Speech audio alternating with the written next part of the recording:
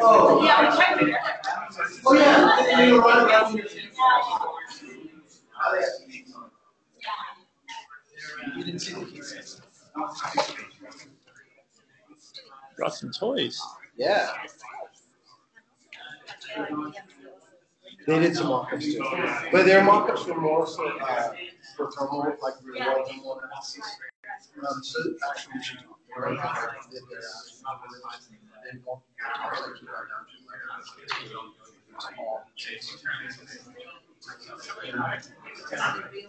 don't think they don't think there's any upside. They don't think there's any upside.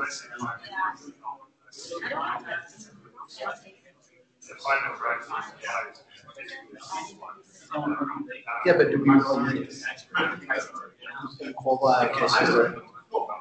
the benefit worth it?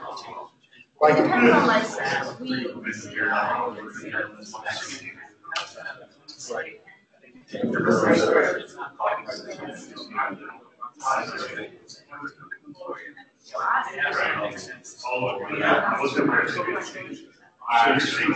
right, because, because we're full on.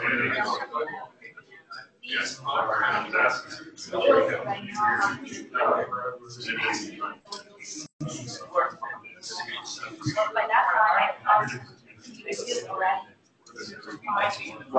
Can we do three point five?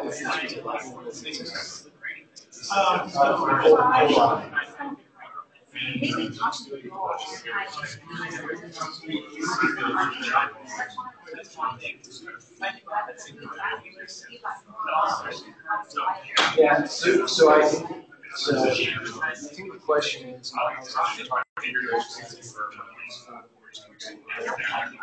Was, he was saying, uh, you might want to have a variance in this, I want to talk to that area. They can add this in a good way, not just like minimal, right? If that's a valid but I guess the question is, is the, where does it? Like, where does it break and how much time do you need to add it? What's the number? What's the, yeah, what's like, makes sense.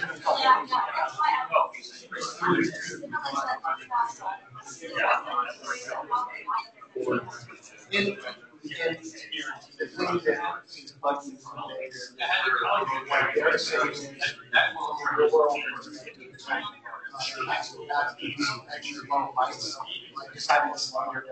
which makes sense to me. Area areas, you know, you're not.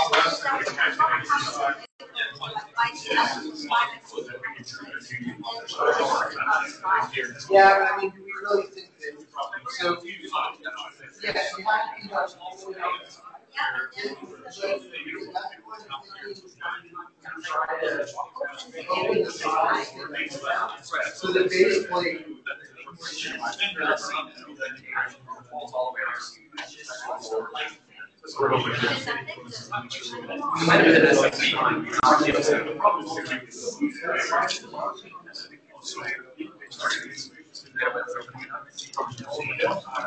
It's just older.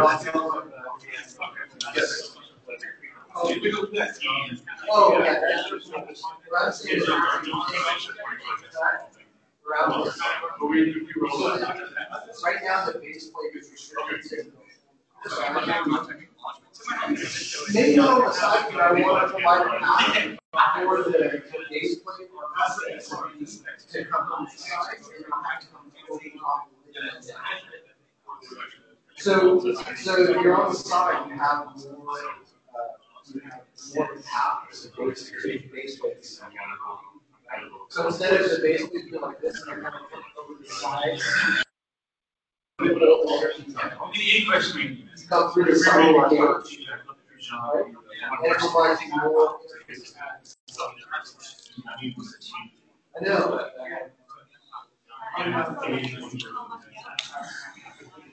We've been, we've got like, working group with mechanical. So these are.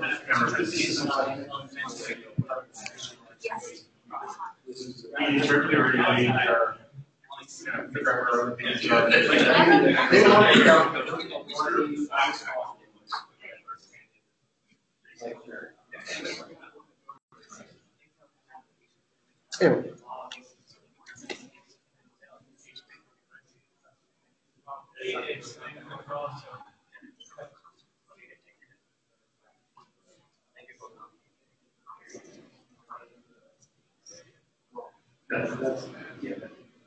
So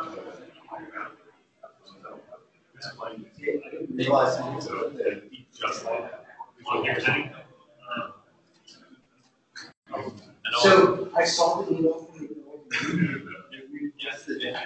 To be honest with you, I thought you were talking about the survey and not. I don't know, I was confused about it. I, would BCC everyone. Uh. Okay. So one thing. Survey that sent to.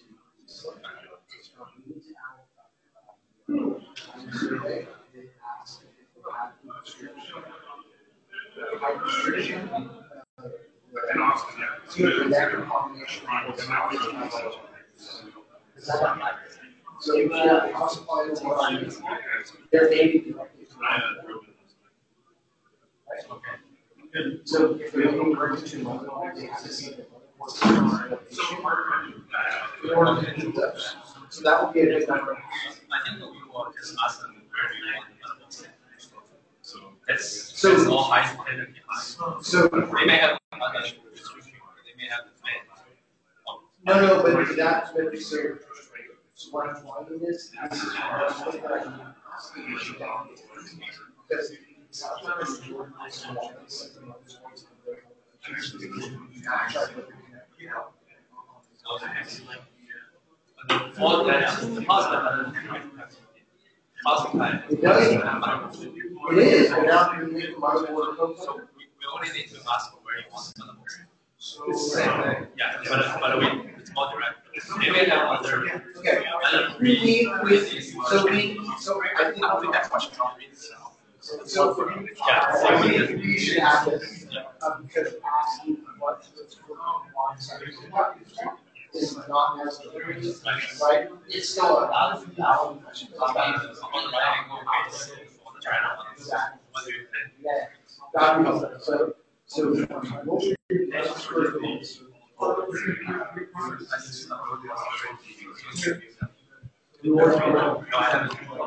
So you to I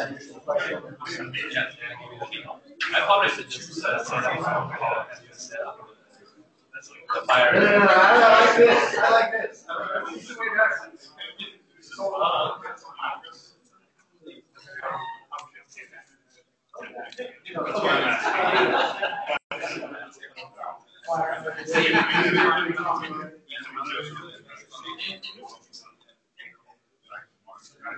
Is there room on this table to set samples? Yeah, absolutely, yeah. Go right ahead. Display all you want.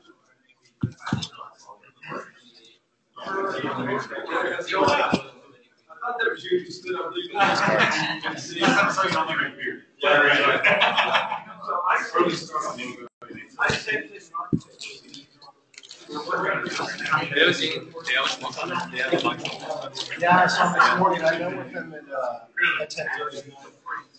They say, they say we can have it.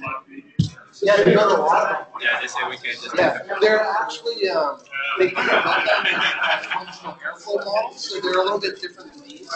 Where these are kind of pure mechanical. They, they actually do it the. Right, PTV. right.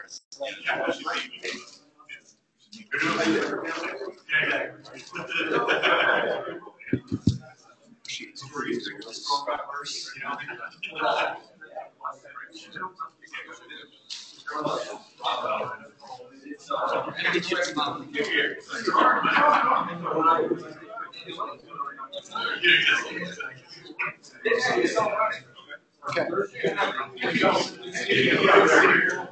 Like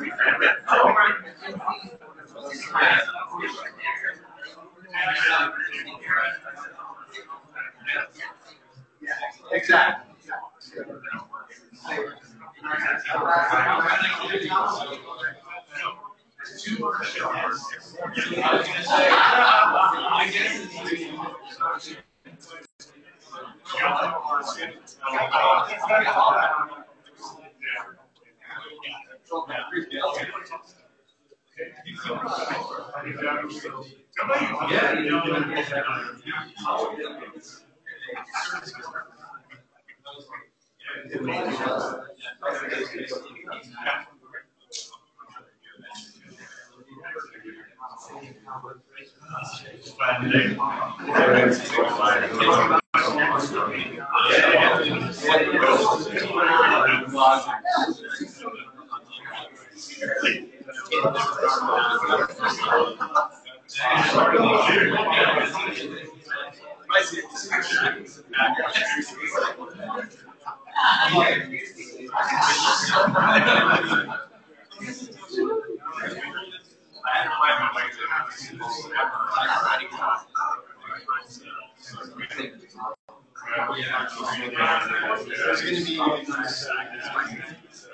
was.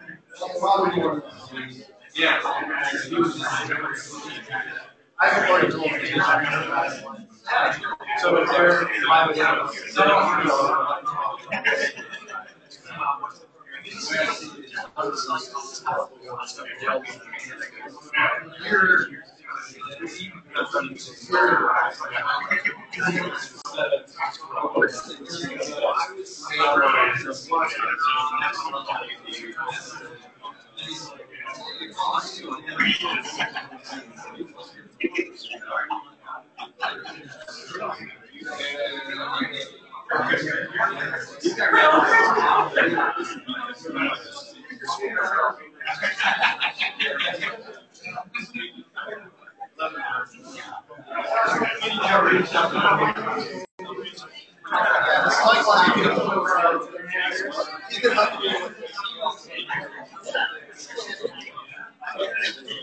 real. Yeah.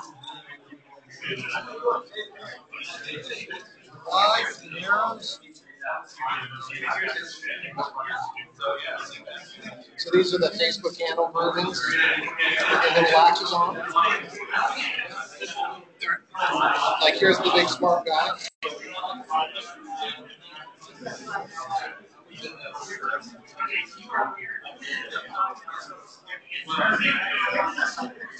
So the one nice thing about the handles is actually, actually Yeah, the, fe- the female is actually the card guide, which gives it gives us really nice tolerance control because we control the card the card guide itself. Oh yeah, yeah, it's, yeah. So so these are mock-ups. So th- there's actually more elegant features in the production versions of the latest files you guys have. But what we're trying to do is trying to keep this mounting very dainty but very flexible.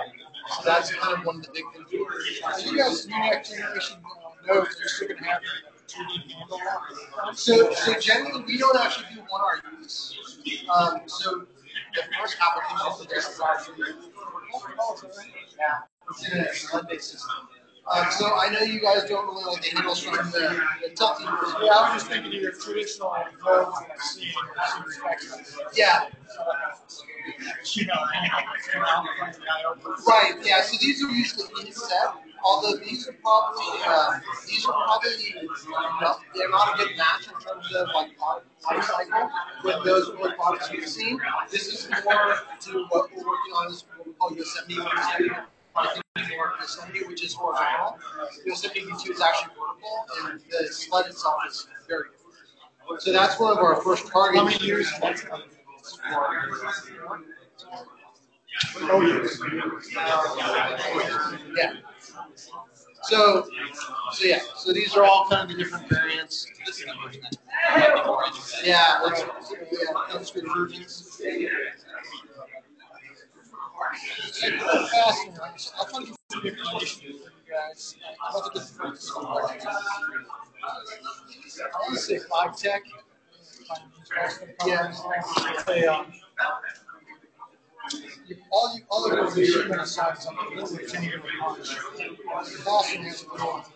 little kind of rectangular T.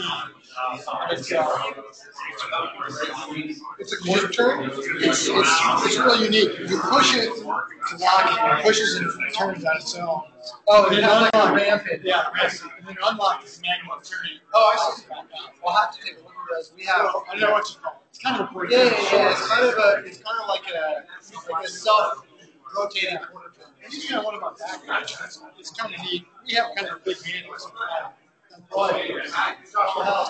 Pleasure to finally meet you. Yeah. So here's, here's what you're interested in. Yes.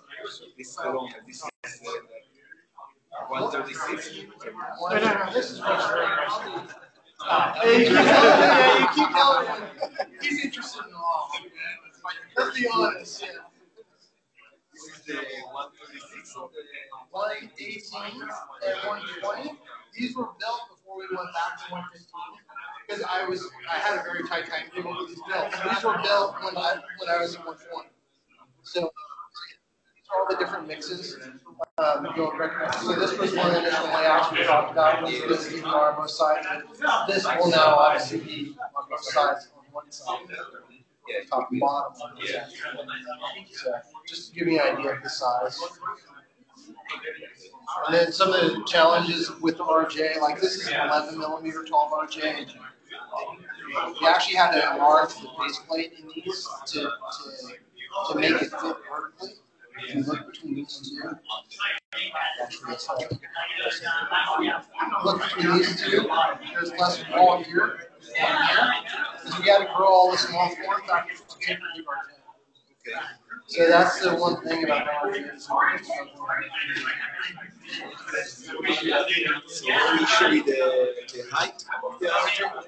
Yeah, the issue with the heights, the shortest, the shortest we did was eleven millimeters tall, tall And we had to grow the faceplate one millimeter to make it Um, but, uh, don't, we don't need blind, uh, uh, uh, millimeters.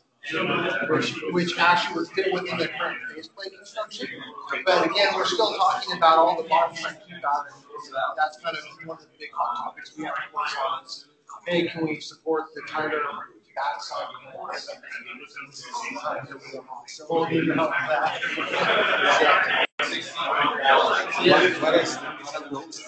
So these these are basically uh, these are the the chassis, what the motherboard would look like with the card guide, right? And this is the Gen Z. So we wanted to build something functional so that people could, you know, feel how they insert things like that. Build something really functional. It is mechanical.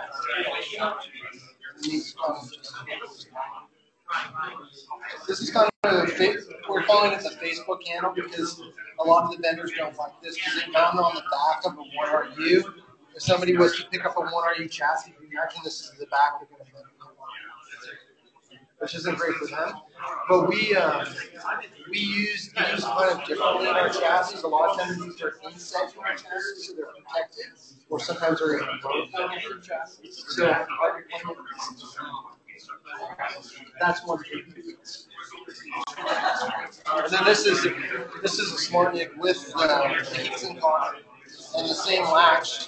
So it's the same latch in terms of the profile on this side, but we're a little longer just to, to center face the the, the connectors, right?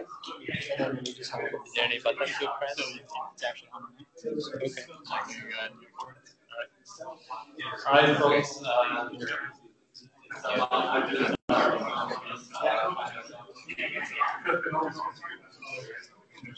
So did John want you to see your, uh, no, we'll find out. First? Well, so- yeah, yeah. right. It, it's meant to be. It's like it's sort of small. Do we have the agenda for the room? We do. Um, do you want to put that up instead? Take a second get out presenter mode.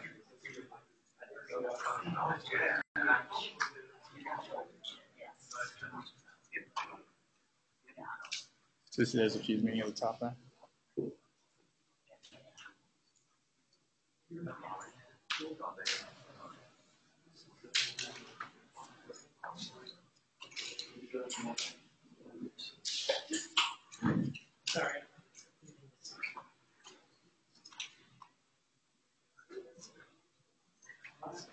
everybody to the, uh, server working group. I'm John Stuewe, co-leader the server working group. My counterpart, uh, got sucked over into a tower and rack discussion panel of some sort. so. And, uh, Bill was also going to join us and, do a lot of, he had some kind of rack stuff. So we're Run the, run by the seat of here. Um, so today we have um, just going to be a general to cover. Uh, After our uh, welcome announcements, we'll have Mark Shaw, who is right here coming up and uh, talking about Project Olympus. And then most of the rest of the day is focusing on the, 3.0. Uh, We've had a lot of success with the current schemas, and there's a lot of holes in the deck, I'm sure most people in this room are very aware of. So we got together six months ago and started talking about what we want to fix in the next gen MES side and have a violent agreement on what we want to fix, but it's a little bit harder to get agreement on how to fix it. So, uh, we're meeting twice a week and, uh, having the detail, we're gonna have to have more focus meetings going over all the details. Uh, It's gonna be a, a trick getting the whole industry to agree on all the details. Uh, one good step along that path is understanding where we're at. Uh, got, uh, the issues, Jeff uh, a few words, and we'll probably be running a little bit ahead of schedule without, uh, without the intro to get scheduled. All right, thank you everyone for coming. Uh, it's really good, uh, very proud and uh, we have very good representative from, from from Cisco and from Vector um, community. So I think we have the right person in the room. Uh, with that, uh, we will just move ahead with the agenda. And overall, I'm trying to, um, create and keep the, uh, the schedule. I will set a, uh, alarm, uh, and, uh, and like four minutes before the session. And uh, it's not stop, feel free to finish whatever uh, you can project, uh, but it's just a reminder.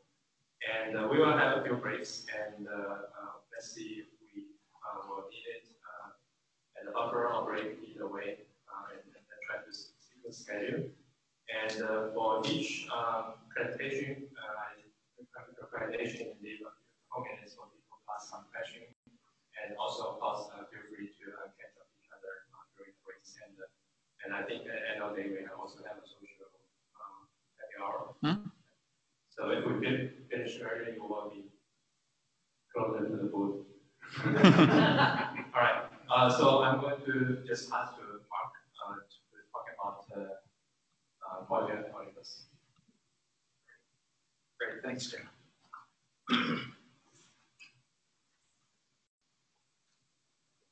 All right, so who, who here is familiar with Project Olympus? So uh, Project Olympus, Microsoft was very excited last last year, actually a year ago, at uh, London to announce that we were open sourcing, bringing our hardware designs to OCP long before it was ever done. So a year ago, you know, things were only about half baked, and uh, you know, and, and in that time, you know, you know, we had quite a bit of uh, engagement from the industry, people building on top of Olympus. Last spring, we showed a lot of hardware in, the, uh, in the labs, and I thought I'd give you an update on, on where we're at. Uh, okay.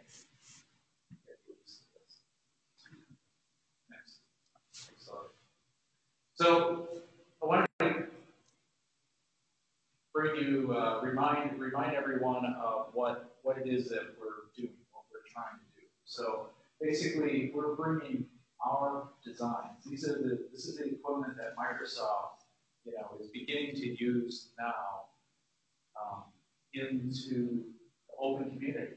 So we have lots of good reasons to do that. You know, we want we want uh, OCP to be a vibrant community. But what we found is that the more we work together, you know, this hardware is changing at a rapid pace. You know, the better the designs that we can get, the better the hardware. And, uh, you know, we can deliver more differentiated hardware more quickly by working throughout the entire industry. And so the development model for this, you know, is, is quite different. It's, uh, it's, you know, say, co-developing the hardware. You know, we work with multiple vendors and that sort of thing. And, you know, when we, actually, when we started doing this work, we've had people come to us and say, hey, we want to build this and we want to build that, we want to build the other. And so that's that's been great. And uh, you know, another primary goal for this was to make sure that um, that we address some of the issues that OCP equipment has had, you know, in supply chain. So, you know, the OCP supply chain is starting to grow. You know, servers, you know, people are buying OCP equipment. That's awesome. Uh, when we when we started, um, you know, the, the, the volumes were, were kind of low, but we're trying to make this easy for suppliers to deliver. And so there's a lot of progress being made um, by the OCP uh, community. So, so when we uh, when we looked at a year ago when we uh, announced this in, in London November summit, which by the way, we'll, we'll have a booth in London too, again this year, another uh, five or six weeks. But we were only, you know, we're only a third done, third done, half done, that sort of thing. Um, by the time March came about, we're about two thirds done, and basically now some of the parts are actually done. So we are working on the contributions for, uh, for version one, V1, and we'll get that, um, we'll get that uh, out there pretty very soon, hopefully. Hopefully it won't be long, but uh, we're just in the final stages getting that out to actually, actually out to OCP. So everything, everything, you know, uh, I think at 66 percentage is out at GitHub right now. But when I looked at it, it's like, well, you know, we've got a long list of specs, but I think the number of specs are going to double, and the contributions are going to be uh, pretty, pretty significant.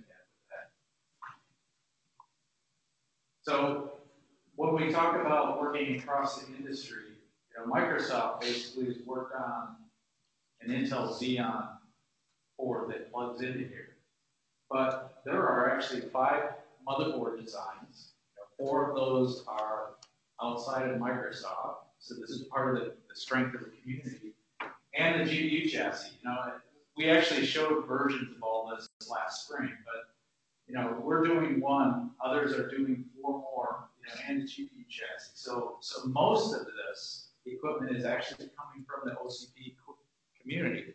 What we've done is we created a framework for OCP to build up, to build upon it. So that's we're um, you know very excited about that as we you know as we roll things out and people will uh, be able to purchase that. And so, uh, and so, uh, you know, basically there, you know, we will have over the, over the coming, you know, course of the next few months, that sort of thing, you will have multiple vendors that you can actually go and purchase hardware from. You won't need to have an order of ten thousand servers to get their attention. They'll give you your attention for whatever volumes you need. All right, so now let's talk about the, uh, the Xeon server that we built. I am proud to say that the blacked out DIMMs are no longer blacked out. Intel, Intel has uh, released the Skylake processor they call it the scalable platform. Previously, we had to cover up the DIMMs because that was all proprietary. That was all proprietary to, uh, to Intel. But uh, you know, so there's 24 DIMMs out there. You know, whatever capacity put on there. But one of the things that, that we have is this nice, beautiful heatsink. You know, we're very proud of that heatsink. But what that heatsink does is really drive the efficiency of the server. That's one of the core things that drive the efficiency of the server up. So the, the architecture of this is that you know we have these 40 millimeter fans in the back, and the potential to become inefficient. You know, you have a big risk there. And so when you put a uh, high performance uh, thermal solution out there, you can actually reduce the fan speed significantly. And for us, that's that's a double efficiency. It's efficiency at gain at the data center as well as reduction of electricity inside the servers. Um, but this system, it's a full feature, full featured motherboard. You get uh, full two DIMMs, two DIMMs per channel, so 24 DIMMs. We have three full height half length PCIe slots, Gen 3 um, full performance slots. We have, you know, we can actually put up to 16 M.2 that's uh, flash cards, NVMe, NVMe based flash cards, high performance. Through a combination of, you know, we've worked with uh, you know, the Facebook guys to release the Ava Ava cards, so you put four M.2s on, on a card. That's another example of, of where we're leveraging the, uh, the work that the Facebook team is doing through OCP. And that gives us uh, eight additional slots, but basically we can support eight other M.2 slots on this board. So if you want to, you can really load this thing up, be uh, pretty, pretty capable of capacity. So last spring, we also showed the AMD board. You know, uh, since then, um, AMD has actually launched their processor, um, the EPYC processor. And so, uh, you know, it looks very similar to the previous board that you saw. It's got 32 DIMM slots out there. But pretty much everything else is the same. In fact, you can take the, the Xeon board, pull it out of the chassis, and take the AMD board, plug it in. All the connectors, all the, the pin, or all the, the standoffs, everything is the same. So that was obviously by design.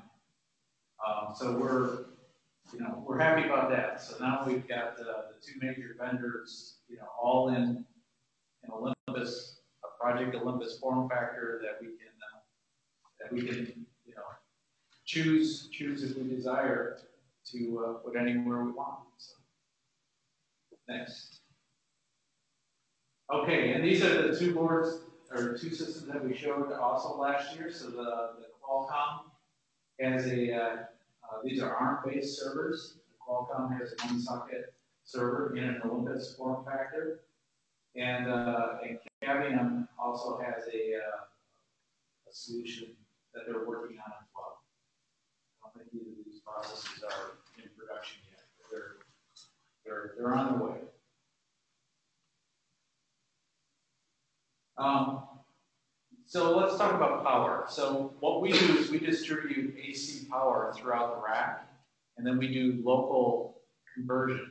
it's, it's, uh, you know, it's, it's different than what you see in some of the other, uh, OCP designs. But for us, what we've done, what that does is it really, it allows us to localize everything. We localize the thermal design, we localize the power design, and um, it's important for us to keep like fault domains um, local to the server. You know, if something goes wrong and affects the server, it doesn't affect any other server, and that sort of thing. And so that was pretty important, but we had a, uh, a big challenge in that we need three-phase balancing in the data center. So in the data center, um, all the power comes in from the utility off of three phases. And you need to keep those phases, the load on each phase is balanced as close to balance as you can because when they start getting imbalance, you actually have to decrease your load, which means you're decreasing the utilization of the data center. And so if you're 10% balance, what you're going to do is you're going to say, hey, you know, my data center, I have to pull 10% of my servers out if you're if you're imbalanced by 10%. And so so we created a, a three-phase power supply. It's actually three single phases inside. And so uh, it provides us N plus one. We can run everything off of two out of three of those phases. And, uh, and you know, that lives in the back of the server. And essentially that power supply should just run um, without ever repair.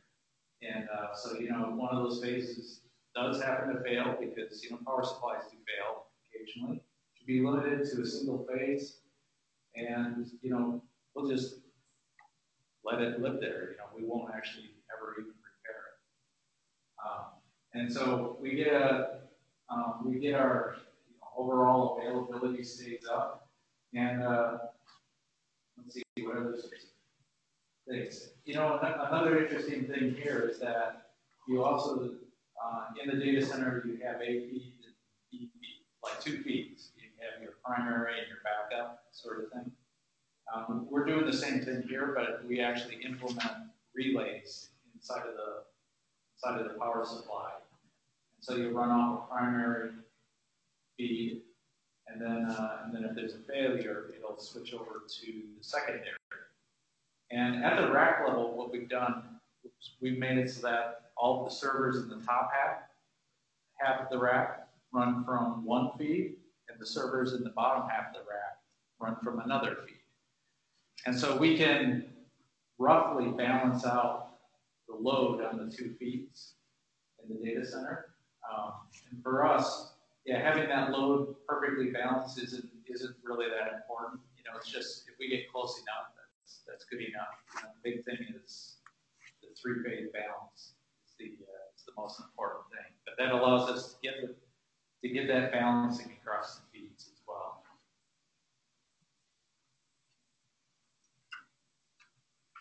So the power. So this is, you know, we have all this great stuff. We have Xeon motherboard, we have AMD, we have ARM, we have all this cool stuff. Probably one of the most important things of the entire Olympus infrastructure is this power cord connector right there. We got today, we've got data centers with at least four different standards of power cords. You know, we have 400 volts, three phase, we have 415 volts, three phase, we have 208 volts, three phase. Um, you know, we have multiple versions of 208, we have 30 amp, we have 50 amp. And the challenge that we have before Project Olympus is that we'll have a rack. We'll say, hey, this rack goes into this data center. And then we'll say, actually, why don't we put it into that data center? It's like, oh, now we actually send technicians out to, you know, like an integration or maybe a stage for shipping. And they go out and they rip those racks apart and they pull the PDUs out and they put new PDUs in with the right power cord. We're like, ah, this is awful. It's terrible, horrible problem.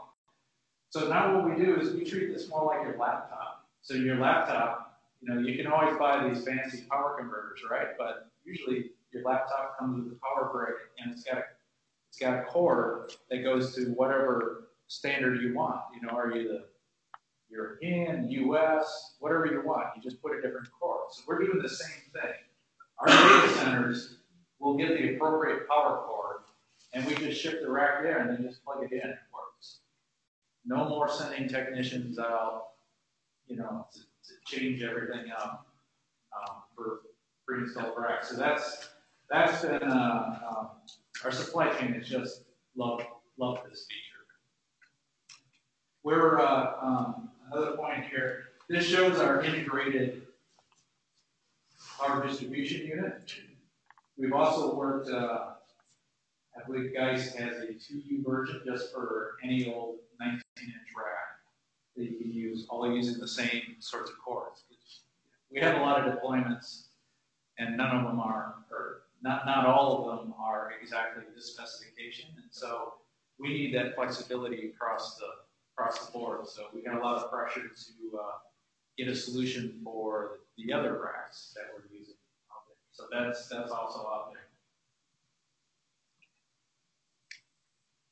Um, speaking of racks, you know, the 19 inch rack is, is the basic standard and Microsoft had chosen, you know, from the very beginning to stick with the standard EIA rack. Uh, for us, it provides a lot of provides a lot of flexibility, especially because we never know quite how the equipment is going, quite how things are changing. We used to have 42U, 48U, 52U, 54U racks. We used to have four versions of heights of racks. And, you know, when we started this project, we are like, great, hey, we could go with the, the 21 inch rack. Okay, I'm going to build a 42, a 48, a 52, and a 54 version of that rack. And I'm like, no way. It's just no way. So, so what we've done is we stick with the industry standard, and then we, you know, we choose where we need to go. Right now, for this generation, we're sticking with a 42 and a 48U. It's because we, we ship worldwide, and that sort of thing. But, you know, it, it looks like uh, those two standards, you know, fit, fit everywhere. It is a 1200 millimeter deep rack, so it's a standard 600 millimeter wide, standard EIA rails. It is 1200 millimeters deep. And uh, we've done that, you know, that's actually driven by our storage design more than anything because we integrate um, both compute servers and storage servers all into the same rack.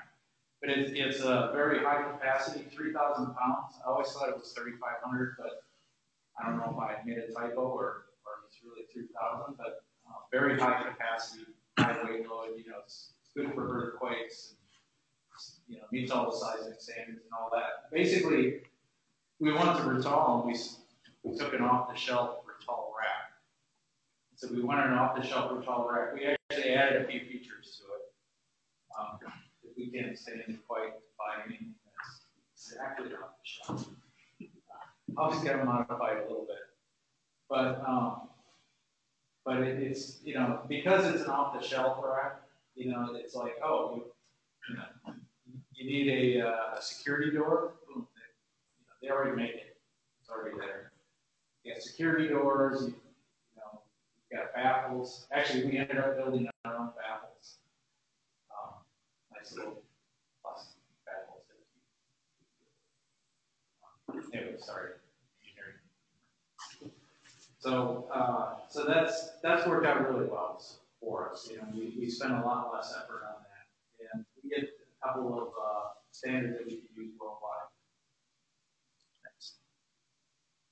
Okay, so for rack management, Microsoft deploys at scale. And one of the things that's, that's uh, very important for us is that our software that we use to manage our servers is uniform across, you know, it's, it's uniform across the world. It doesn't matter what servers we plug in. If you want to turn a server off, you go and you issue a redfish command to it and you say, you know, the server in rack position 13, I want to turn that server off. It will turn off, and you don't have to worry about what happens underneath. And so that's uh, uh, that's something we're working closely with the, uh, the management, um, hardware management sub team. But that single interface is uh, this is a this is a, an evolution from our previous um, cloud server design that we contributed to OCP. That was at a chassis level. This time we said, hey, let's do this at the rack level. So, and uh, and and we added the uh, redfish interface before we had a nice interface that was very close to redfish, but not quite redfish. So we adopted the redfish standard so that everyone can use it. But you know, the interesting thing about this is that we, the previous generation had serial, basically serial IBM talking to all the servers embedded in the chassis. We said, yeah, let's just move Ethernet. Let's just have this server or this, this management talk to all the BMCs via Ethernet. And so we uh, took a reference design, uh, you know, low cost one gig reference design and uh, adapted that. It's really hard. We had to add a second, second power supply for APPG. Um, adapted that as part of the uh, our base management infrastructure. And that turns out we can uh, leverage a lot more of the industry, the industry work on, uh, on and such that way. That's, we're, we're kind of swimming upstream with the, uh, still using serial, but see that everyone else had uh, already moved beyond. So Ethernet's the way to go for, uh, for management. So but what about equipment that doesn't necessarily conform to our, power distribution unit? So we do buy equipment that's not, you know, that's not Olympus, but it's, it's, uh, you know, but we need, still need to deal with it. So what we did was we took that rack manager and we built a one U, one U chassis. We plugged the same rack manager into it, and then we can use we can use that same management um, networking switch that and talk to any BMC for any equipment that wants to uh, that we want to use. And so that allows us to have a way to easily bring in non-Olympus equipment into our data center, which, which is important because if somebody comes along and says, hey, I've got this new thing, would you like it? You know, you hate to say, well, yeah, that'd be fine, but I can't figure out how to turn off the server.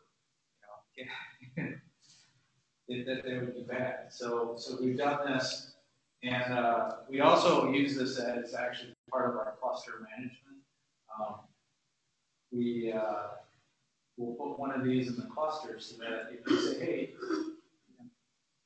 we, what we want to do is minimize technicians having to do things in the data center because you know things that could be automated, you want them to be automated when you have people go out, it takes time and that sort of thing. So we can actually go off and power cycle rack managers in the data center, you know, just in, in the event that, you know, if something didn't respond, it think, hey, something break or something, just go off and power cycle it.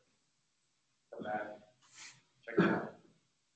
Um, we, we can use this also to as a power control for the servers inside of the rack. We do have a power cord with relay built into the cable.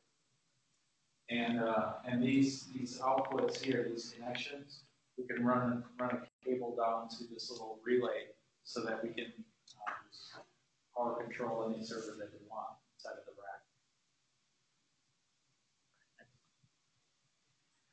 Okay, now artificial intelligence, machine learning, deep neural networks.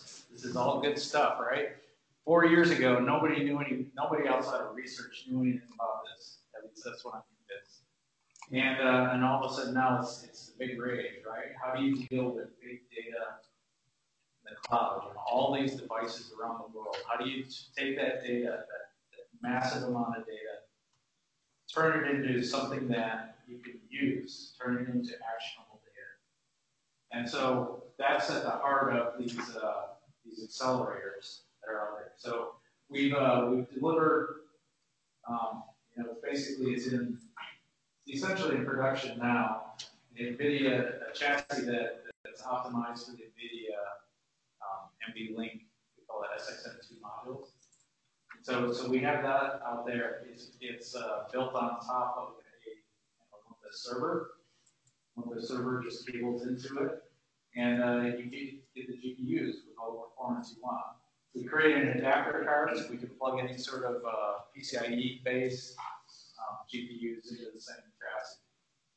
And, uh, and the, the, the thing is, this is all a very young, um,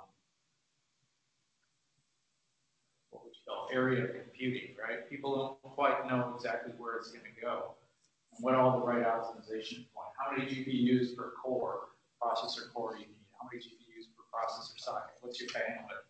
So what we did was build a tremendous amount of flexibility into this chassis so that, you know, as we work to figure out what the real optimization points are, we can, uh, we can experiment. We can experiment and try things out. Next. All right, so storage. You know, where would the world be, all these IoT devices without storage? So we've been working on, and we, we showed at the last uh, at the last uh, summit also our JBOD. It's 88 hard drives um, in a rack, and uh, this this is uh, all designed for mile service. So we're you know it, it's basically there's like cable management on the side of the chassis, so you can pull it out, but um, it's, it's also a very flexible system. So it's 88 hard drives is actually four partitions, four partitions of 22 hard drives. And we can put one, two, or four head nodes against that so you can decide, you know, depending on your application, where you want to be. So for, for us, 44 hard drives looks pretty good because a hard drive is roughly one gigabit. And our networking is 40 and 50 gigabits, so 44 hard drives fits pretty pretty well uh, matched with the, uh, with the line rate of the networking coming in. But you know you can you can choose what it is you want.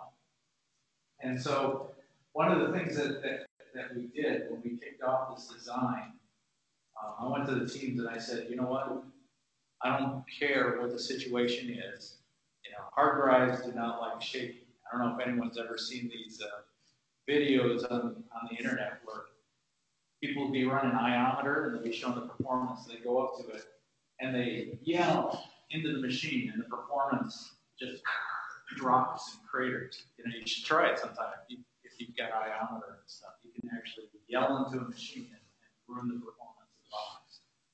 And so I, I, I set forth a, a goal for the team at worst case, 5% performance degradation due to fans or, or whatever. You know, can't let anything go bad. And oh, by the way, you can't let the hard drives get hot either, because then the, uh, the failure, the failures of the hard drives will go up. And, uh, and the team went off, took the challenge, and they met it. So if you have a fan failure in the box, you know, the, the temperatures still stay low, the uh, response to rotational vibration, that sort of thing, remained low.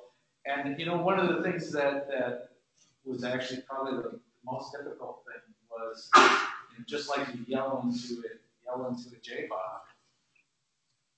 These machines tend to whistle when they pull the air through them. The, the air, you know, gets high velocity going around those hard drives and stuff, and they tend to whistle. They actually make noise inside.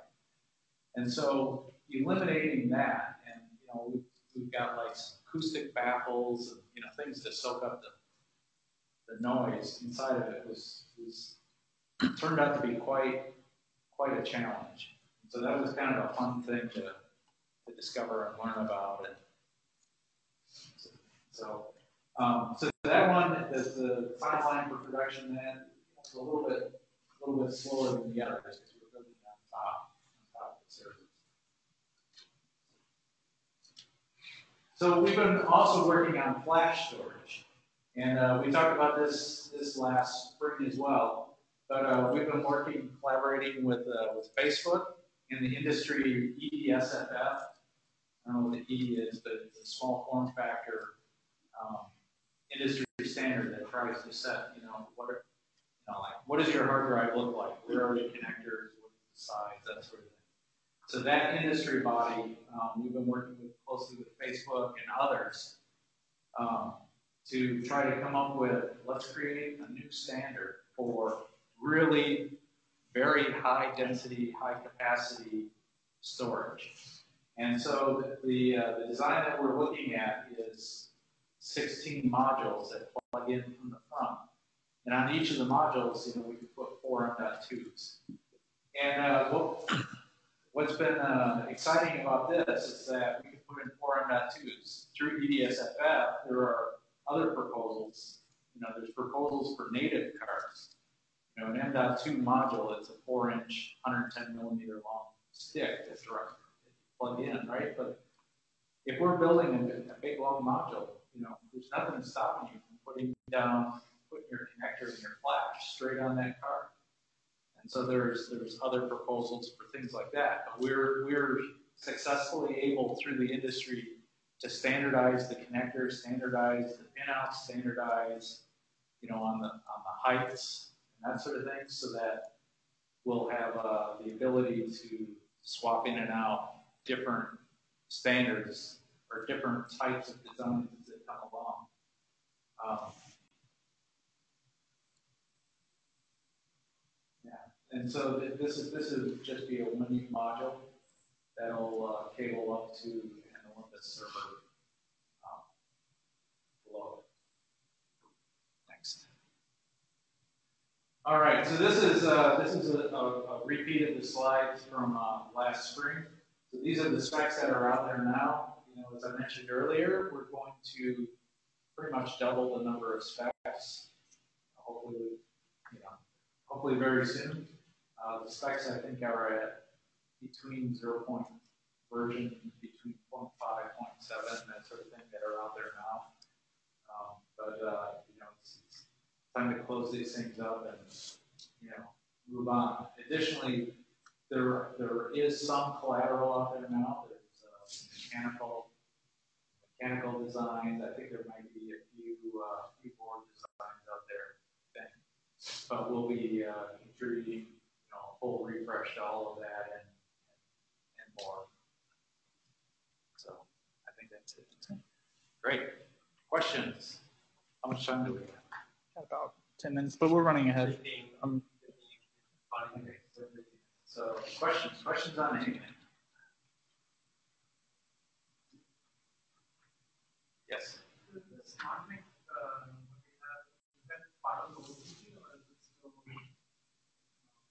Yeah, SmartNIC, if, if, if you could bump back to the uh, Xeon slide. So Microsoft has been talking about, we, we have the SmartNIC design. It's basically using a know, off the shelf you know, networking ASIC along with an Altera, Intel Altera um, FPGA. And we're using it for accelerators, we're using it for you know augmenting our networking, like improve our, our routing and security. Which, which slide? Page. And because there's actually a picture of the smart so this is our smart. In the back, this little heat sink in the back, if you squint really hard, that's the NIC.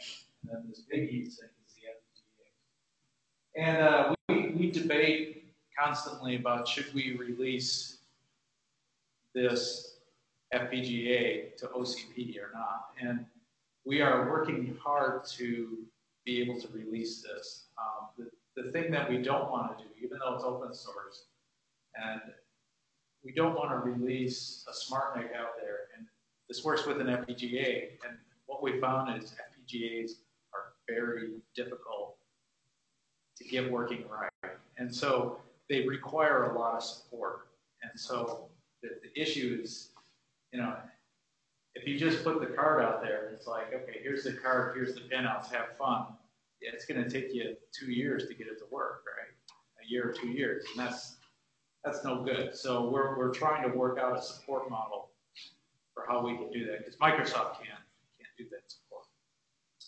Yeah, okay. So besides the uh, FPGA design itself, what about just the um, specs of the car in general? Are you guys interested in even internally for having ultimate uh, smart technologies, or is it you know at least at the uh, Olympus platform, the Wiz OCP, uh, just defining the form factor of power and all that stuff, smart NIC. Yeah, um, well. Think of the FPGA as a whole massively separate thing, but we're just talking about the form factor.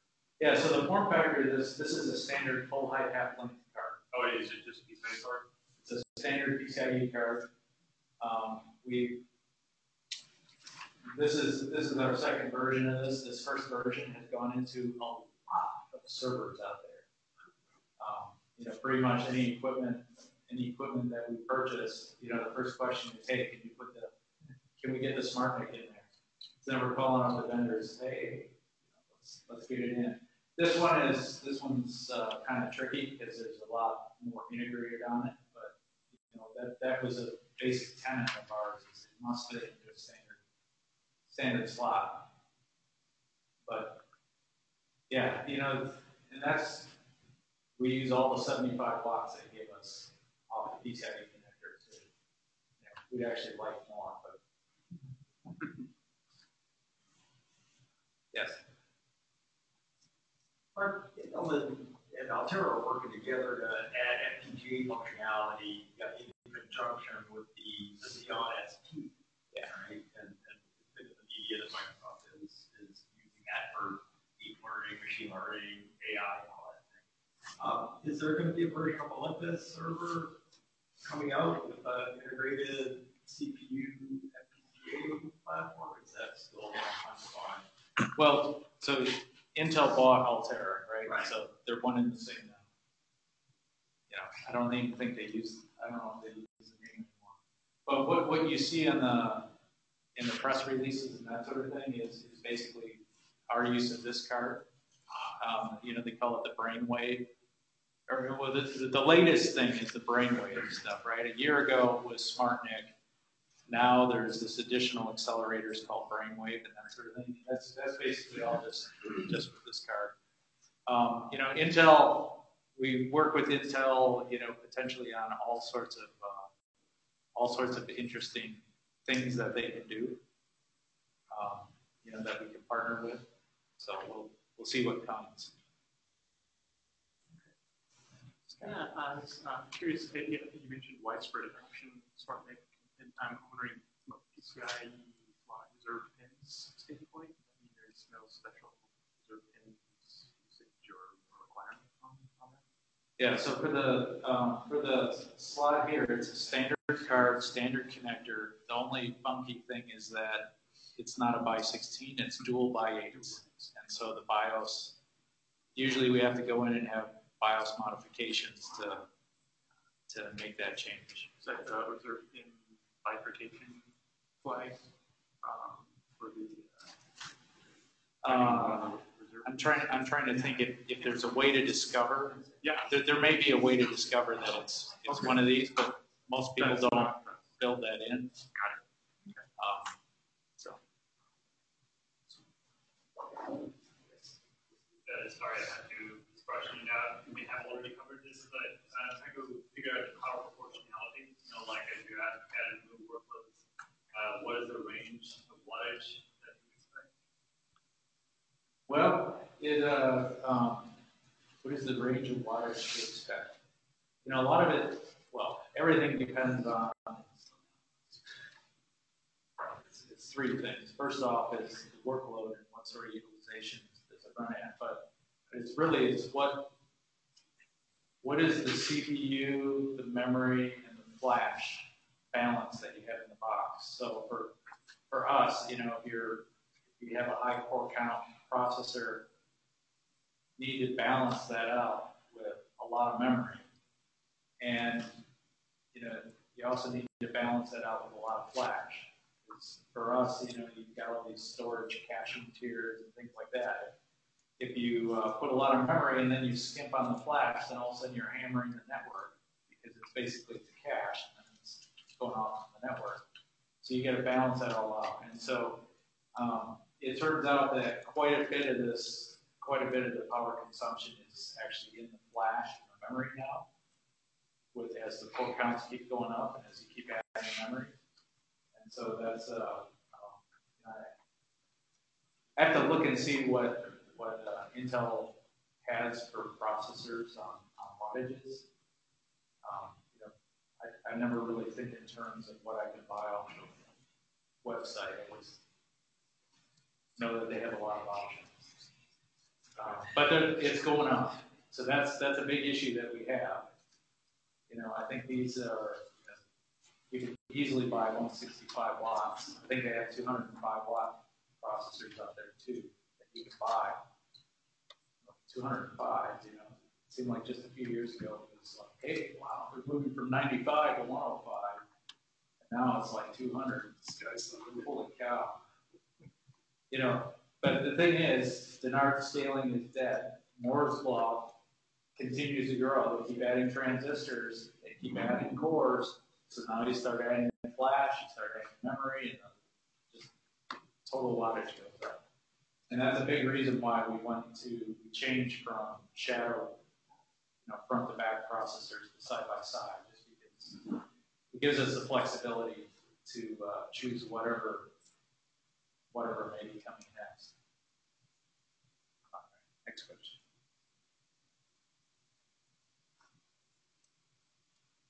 No more questions? Okay, well, thank you very much.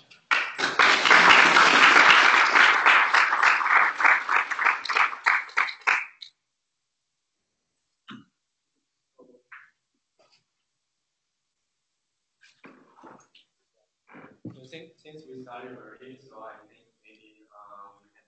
Uh, I will just continue with the second topic and the overview of this. And then we may um, uh, finish this part and set up uh, a revolving time. Depends on how far we go, we can do some Q&A uh, based on that. Actually, I'm wondering, maybe some people were coming from other, other ones expecting to, uh, to Oh, so the, to so we probably should take the break early and start a few minutes earlier, but not just start the whole session early. Sure. Uh, maybe in this case, uh, we can just uh, stick to the agenda. And also, I think before we start this, uh, many people are checking the samples here. We may just uh, hang around and talk to each other. So what's the reboot time? We have listed break from two thirty to two forty. Yeah. Right, right. So actually, then let's um, have a long break and come back on two forty sharp. How about that? Yeah, two thirty-five, so. Yeah, two thirty-five. Yeah. All right. Yeah. Good.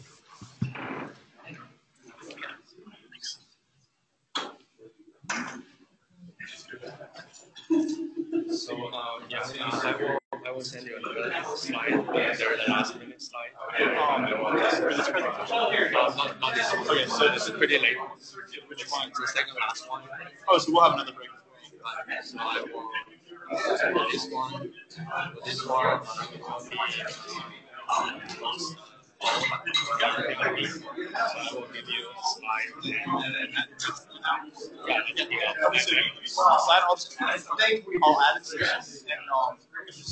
we can keep the text separate, Oh, okay. Uh, I will name it, so say, I will name it the seven point five or. Yeah, so yeah, So that you know where. Okay, cool. Yeah, hey, um, This is the, it's, you know, by, yeah, I'll just write it. Yeah.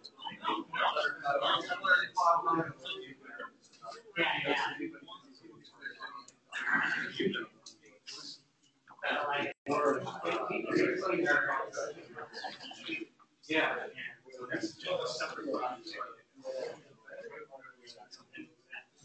I'm Michael. I'm Michael. Facebook.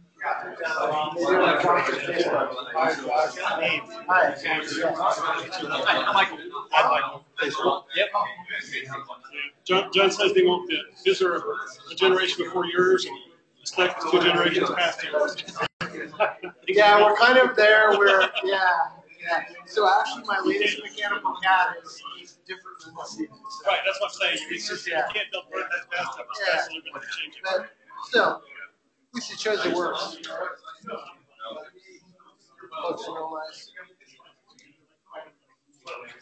So the one thing that's interesting about the chassis is that the chassis can either take, well, these are set up to either take the latch version or the, the thumbscrew version. So it's the same mechanicals, so it can go either way. So how does that other connector that's ninety degrees work? How do you, how do we slide in? So basically, I only contact straddles because that's actually kind of limiting use case in general. Straddles are very challenging different from what I use. The right angles are basically unique connectors sitting on top of the boards, and there won't be a there won't be a large cutout on the on the motherboards. And these instead of them being straddle style card beds, they'll clip into the PCB themselves. And this card, this card will be slightly elevated, like this, above the motherboard. Right?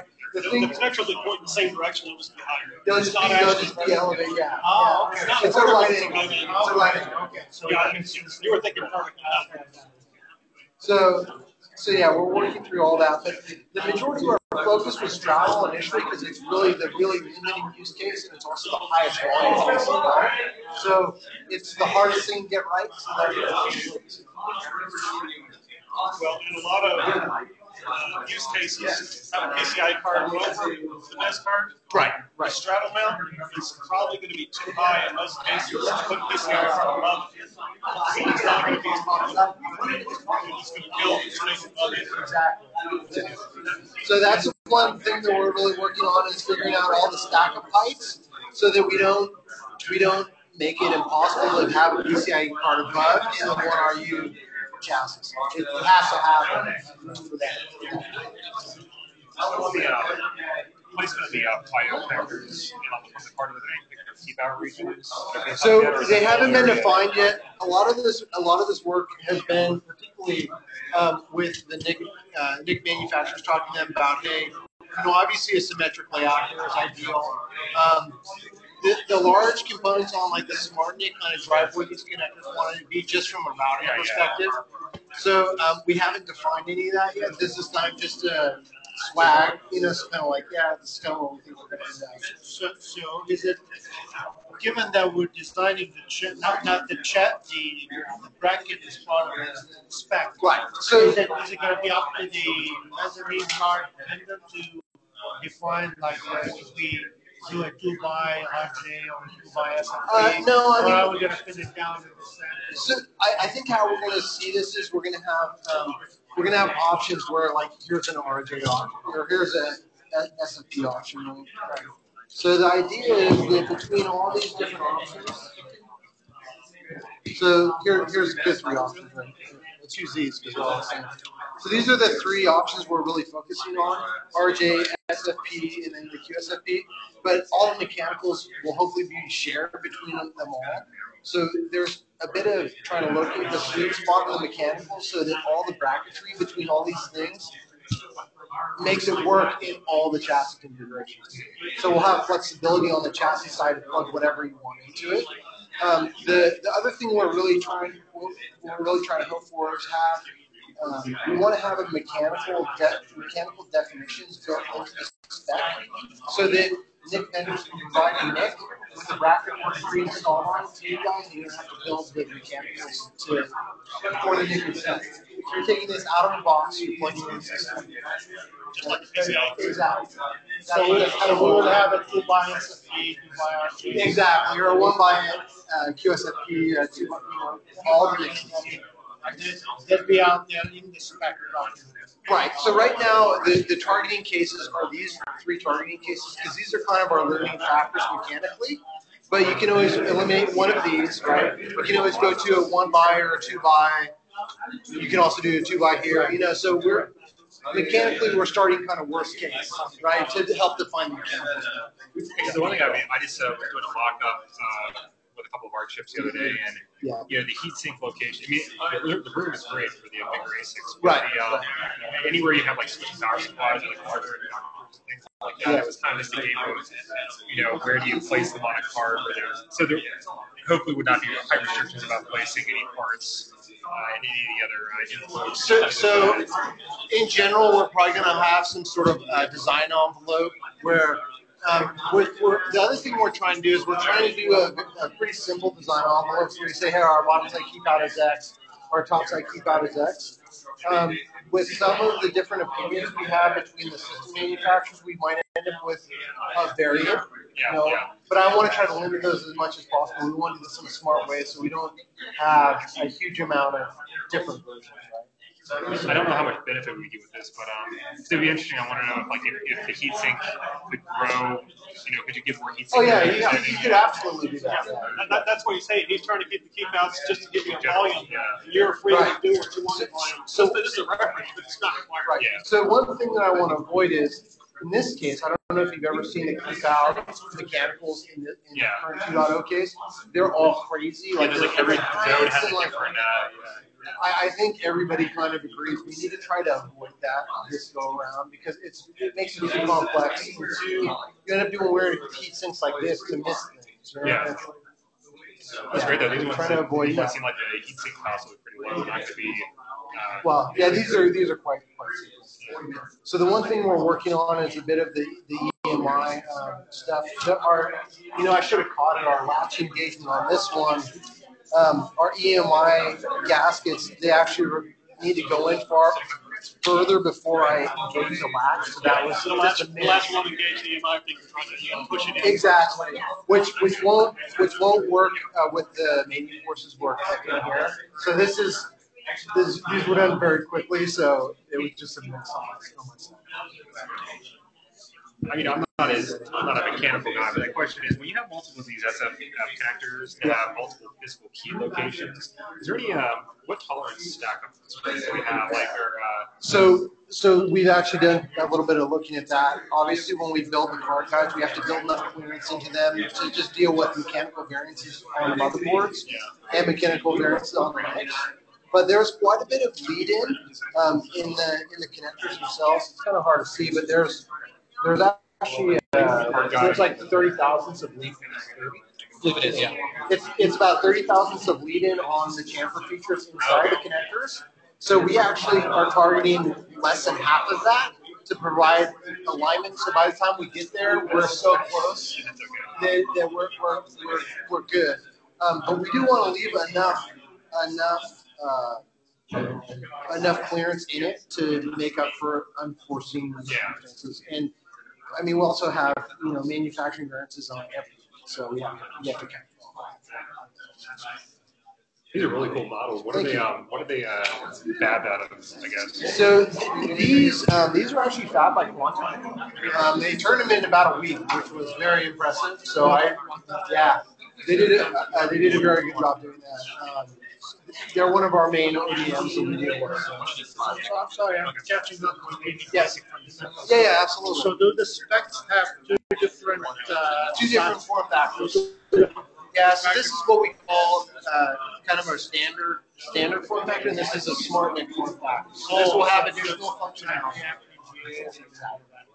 So, so this is actually a 40 by 45 by 45 FPGA, and these are you know DDR memory that are near on either side. Um, we've got some feedback since that they don't think this layout would work just from Oh, a, it's- a width perspective. I'm, yeah, I'm also. I guess the um, even our. I mean, we have a 45 by 45 chip, and just routing PCIe to a, such a wide Yeah, is yeah, pretty. Uh, yeah, absolutely. So, so a lot of the a lot of the trace estate is, is one of the critical things, particularly with these short modules. You know, everything has to be kind of in a in the right zone. the reason I was asking about placement is Yeah. I did a mock-up where I, you know, if we could, if we move the connectors, like I did two SFPs, but move them over. It's, it's not, it's a kind of funky placement, but if you move it over in the ASIC, it would, you could cheat it up a little farther. Yeah. So, so Michael, actually, we we have these conversations too, because mechanically there are certain reasons to do that as well. Um, but all the slide decks I've seen uh, from uh, particularly Mel- Mellanox, um, everything was kind of very classical, center face, somewhat symmetric.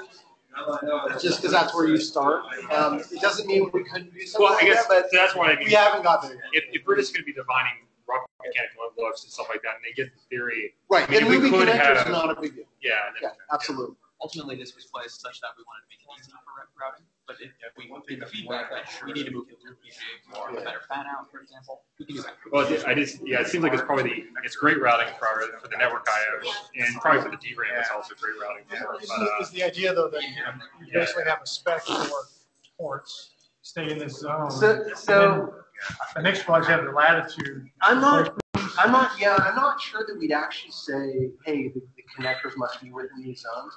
The, the, the more restriction that I'm seeing is, it's more of a, um, hey, you should use connectors at these heights to work well with the faceplates we have specified. The, the vertical height is probably one of my biggest variables. In terms of me, in terms of these being moved on the faceplates, I'm, I'm, it's not that restrictive. You're just changing the curve pattern. It's really not that big of Right, a you deal. just- The only thing you gotta watch for is whatever you decide fastener system is. Right. In this case, if we use the thumb screws, that is gonna be Right. not associated with that. So one thing we've been uh, spending a lot of time in on is actually using is a little bit of space for our, our fasteners in the corners here. So that it gives us maximal flexibility on the faceplates. And it also maximizes our real, usable real estate on, on the front of these as well. So we've actually been spending a lot of time on that. Um, These aren't the latest mechanicals. We, we're thinking of using a very small SMT uh, nut uh, in these corners to really provide a really small footprint and give us, you know, maximum flexibility. So that, that's kind of where we. Which, where's your thoughts on integrating a, if I build a system around the wide cart like this? Yeah. But want to install a small cart? Yeah, Are you so- thinking bridge adapter or are you thinking a rail? So we're, well, we're actually thinking, and we didn't do it for the mock-ups because it's kind of a bit of a, a bit of a special case. Um, I want to focus on the big things uh, for, for these mock-ups. Well, how we see it is that this, this can obviously go in to this connector. Let's see if I can, I can plug it into it. It can go into this connector, right? Same connector. Um, we'd have, uh, kind of a blank with a card guide on it, Okay. right?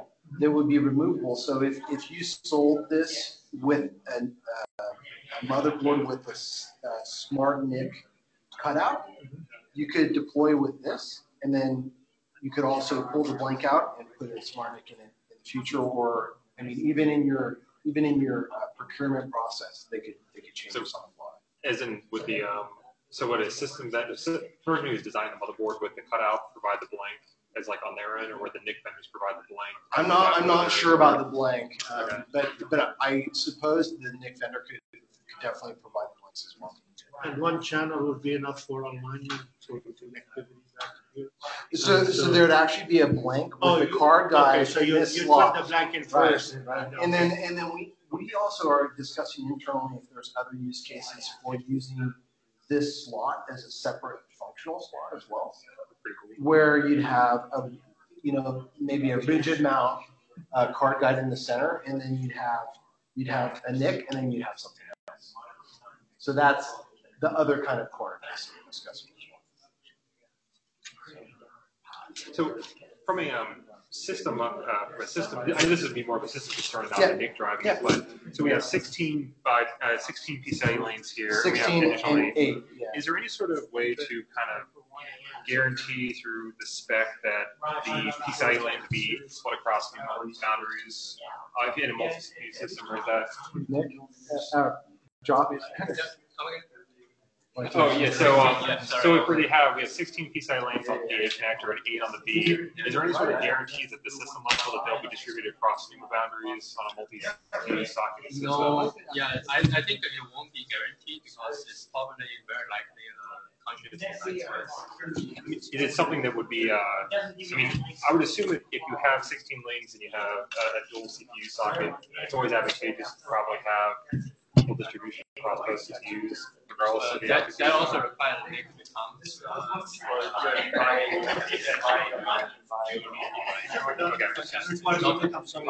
to, to take a to, to dual core, like it's almost multi-host. So the NIC, they are treating two instances of PCIe right? So do, do, and, and then also like it depends on if the NIC presents itself as a two NIC, two like two Ethernets connection or one. Well, so even in a not a multi-host situation where it's a, it's a one logical host with multi-cores, I mean, it would it be interesting to be able to provide some sort of, I don't know, like we were just looking at the Microsoft thing, and Microsoft is a by 16 with logical, you know, two by eights bifurcated. I mean, that's something that would be of interest? I Uh, mean, in, in their case, I believe, I, I'm reading their paper on internet, is, is they, they have, uh, by the FPGA, by I, I I think maybe in that way, but I think it's very uh, specific. It wouldn't, it wouldn't be a requirement for saying your system has to design Yeah. a certain way. Um, But is there any possibility of being able to buy, I mean, is there anyone else who has interest in being able to support a, uh, like a bifurcated by sixteen on that interface to, uh, in which case, I don't know, it just seems like, uh, if you could support bifurcated, uh, two by eights and a by sixteen slot or that type A connector, and you had multiple CPUs on the motherboard, it'd be nice to be able to assign them to you. we, we, we, we, uh, from the specification point, we need to work that out anyway, because we want to support, uh, bifurcation of uh, two by eight or four by The four. idea that we. So those infrastructure, uh, well, To is there, either they are electric created, or well, or, and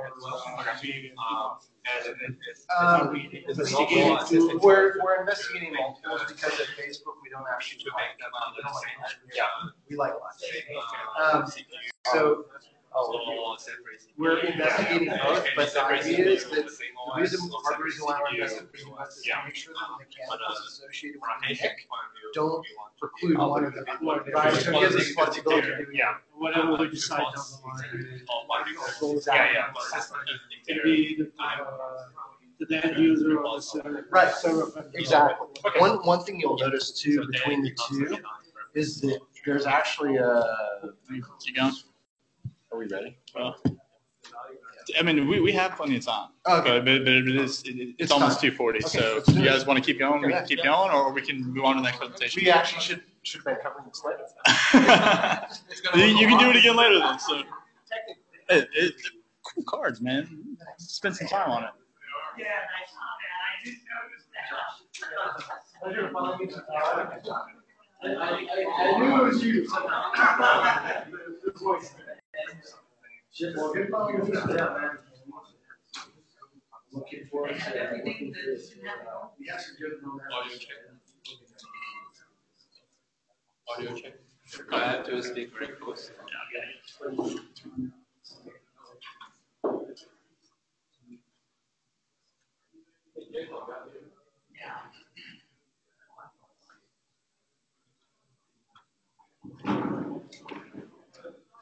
Audio check. Audio check. Same here. Okay. I think we'll try to pop over one more. I think, I think the pressure. I should have said, thirty-five, thirty-five. Not twenty.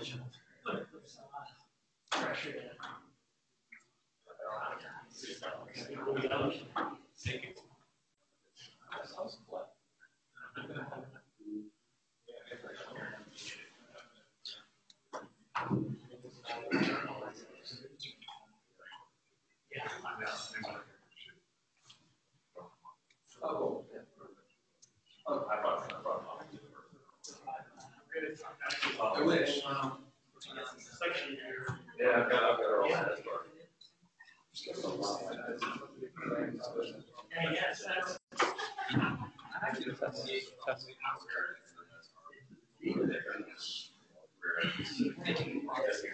You hear this?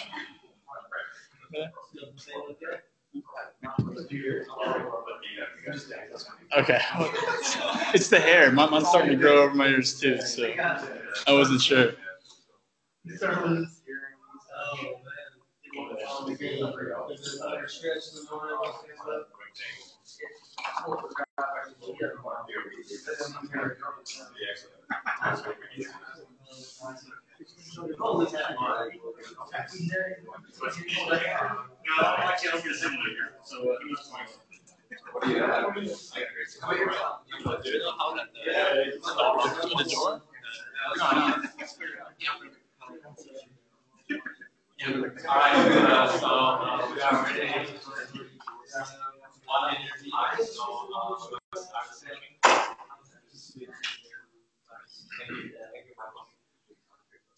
Alright, uh, so. Uh, I think, uh, most of, uh, the audience here, uh, are familiar with topic and, uh, also can, follow up with the topic studies, and there are many offline discussions. So I'll try to keep the overview really short and brief, and follow some uh, uh, like next steps.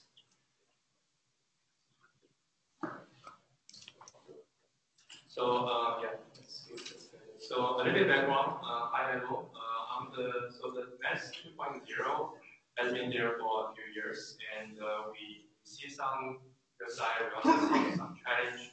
Um, so overall, I think my uh, my my overall takeaway why it's uh, uh, become one form factor being adopted by many people because it's uh, it address it address a real real world problem that having a content module in a system, but also in a in an open way, uh, which means the spec is like uh, is the and the, the system side can develop something and install. Um, and but uh, the development process itself, I call it uh, pretty much close and incremental. Close, I mean uh, by close, I mean when we develop the spec of Med 2.0, we pretty much at the Facebook, right, we um, look at some new use case. We work with the suppliers to uh, prove the case and make sure it works. And then we grab the spec and we take it to OCP. Uh, and uh, for many people, uh, for public to see the spec, uh, uh, they don't really see how it works to get that place. They only see a, pretty close to the final version. And by incremental, it is it is more like we start with this project, we didn't think about as an open module, so we really addressed a certain problem in a certain system, and you can see this in the very first um, link that we used, uh, and, and the outline really um, uh, weird shape, really didn't have a long-term planning. And when we see more uh, challenge or more use case, new use case, we, we do incremental change and fill, fill in those gaps and become this kind of product. So uh, every couple of years we see some new, new use cases to accommodate such as uh, multi-host uh, or um, QSFP and also uh, QS, QSP 28. Every time we do a change. Um, and uh, we also hit some limitation, uh, especially on the thermal uh, point of view. That's the biggest one. The other is uh, one uh, smart many big suppliers are looking at smart use case. They are uh, asking uh, us, or me, that uh, how do I am to put a DRAM into small PCB in a, a different form factor. So, um, so we take this and try to make it more um, uh, specification, but change the way how we work with it. So that's why we have uh, the right people in the room here. Uh, and and also, uh, in the past, I want to call out, uh, I see more adoption. Uh, if I search something on the internet, I see more adoption on TIC. And the white box, uh, generic white box side, there are very limited adoption in the major OEM, such as IC. So that's also one thing somehow didn't happen in the past. so we want to definitely see a lot of uh, in the momentum already this year. Yeah. So uh, OCP NIC 3.0, and one thing I want to call out is I start to change the name. I don't call it a mess as uh, it doesn't look like Mandarin style anymore. Uh, and I just call it OCP NIC 3.0, but it's going to take some time for everyone to bring that into it. Uh, so please correct each other. Uh, we started this effort around February, just before the, this year's summit. Uh, and we start with building a subgroup um, uh, under the under the server group and uh, having some conference call and uh, weekly and get more um, people be aware and have offline one-on-one kind of more discussion together in combination with public discussion. So um, the major challenge here are mostly the, the what the current uh, OCP 2.0 cannot do and uh, the, the statement is to try to find the problem itself through asking the stakeholder, nature doctor, and uh, look at all the different combination of solutions. Uh, and being open, really being open to any options and uh, we do not uh, set a certain pace that we just want to move it, but we are open to every options. Um, here, here are actually a brief list uh, of all options we have been uh, really looking. And uh, guess what? We landed on the last one. And, and uh, it, it, it's, it's, I think it's really how the open mind uh, bring us there. And, because at, at early stage, like the first uh, maybe uh, 10 or 11 of them, mostly talking about managing car, while later we are being exposed to the option of uh, car and we start to see difficulty with cars while there are connectors, buyers engage us to show us there are ways to solve it, and the they are right connector being able to other industry community uh, the connector is somewhat readily available, and there is good signal integrity future proof, and uh, guess what? We just go with what, uh, what makes sense instead of what been working on. And uh, uh, a few uh, high level here, there will be more detailed discussion, and all the numbers here are really rough, and we are really talking about maybe changing some number by 5 millimeter or 10 millimeter here. Um, so, but here is pretty much where we uh, where we land uh, in, the, in the ballpark, uh, and uh, we will need to work on it.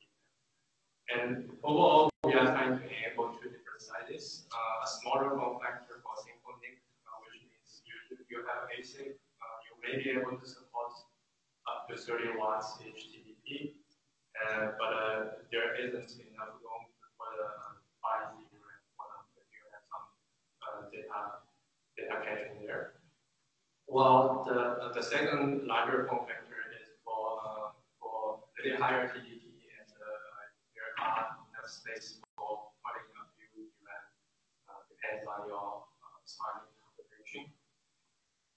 And other than the two sides, we have two different connectors now, uh, straddle mount and the right angle, we have the multi sample here. Um, and uh, the intention is the same thing, supposed to be able to plug into both, uh, both uh, style, uh, so that uh, the next file can be two different mix. All right, a quick schedule, so I just with aggressive schedule, and we take uh, probably about two, two months, uh, one and a half, two months more for phase two, uh, which we think we already uh, hit the milestone of the phase two. Uh, phase two is really just to converge, look at all the options, converge to once, instead of working with uh, like more than one population idea.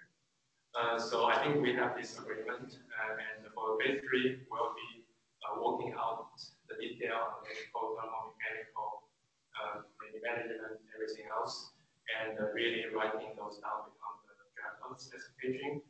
Uh, and uh, the, uh, we, I hope to uh, finish this by end of November so that we can catch the, the fourth Wednesday of November, the day before Thanksgiving, I think. there is a server group conference call on that day, and if we can put a spec on the server group uh, then they, uh, for the draft, instead, uh, they will put us as on the of uh, getting this approved uh, within uh, within the end of the year or maybe very first couple of weeks of next year, depends on the incubation committee.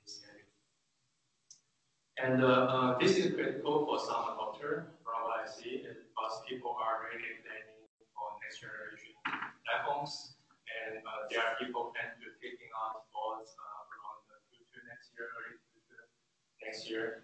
So uh, for the specification, really inviting and all the details um, um, are, are confirmed uh, around that time frame will allow them to really take it. Otherwise, uh, um, if, if the, the, the, specification is not put in place at that time frame, uh, those adopters, those uh, early birds uh, program will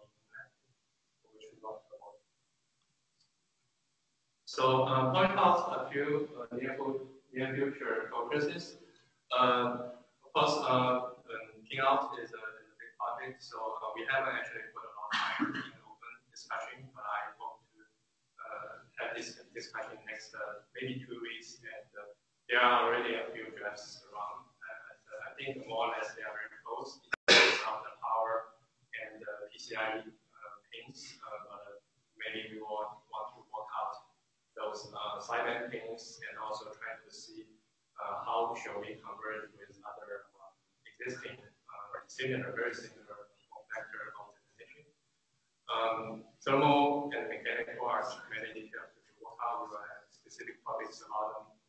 And, and uh, I want to plot another thing is connector enabling. I have some fine print here. Uh. Uh, but on high level, I want to uh, clarify that the, the subgroup plays a role. That subgroup will talk to everyone and uh, convert the requirement and hopefully to solve out the requirement to uh, less uh, and uh, broadcast this message to the connector community. And the connector suppliers should look at those requirements and also talk with your customer directly to gauge, to verify that uh, message and uh, set up your plan for enabling. And for the system uh, adopter side, uh, I would call out that please do not assume that the subgroup will enable connector at certain time and uh, make those uh, connector off the shelf at a certain time. And still do aggressively engage with your connector supplier and get their uh, availability, cooling schedule, sample schedule. Uh, and uh, but the, the subgroup will also try to do the same push and try to apply the voice so the suppliers will have a common input and uh, common requirement. Um, but uh, end of your project, if your project really is very good and um, the critical path, um, the critical path is connecting building, please do drive aggressively and uh, please feel free uh, reach out to me one one and see how should the subgroup to update your program. Yeah, uh, a few, this is more for people uh, not in the room. Uh, uh key resources, we keep uh, monthly call and uh, mailing list. Um, and another thing I want to plot, uh, I, I uh, for the specification, uh, I currently have uh, at least two, uh, two uh, people reach out to me to offer help with drafting some of the chapters of the specification. I, I will take that help actually. So if you are also some, anyone of you are also interested and also deeply involved with this work, please feel free. So what I intend to do is to uh, have a high level um, draft and send out to the community and then kind of dispatch some of the chapters to uh, the volunteer who wants to, to own the, the chapters. And, and I will uh, do chapters as well. I think that's it. All right. Uh, how are we doing?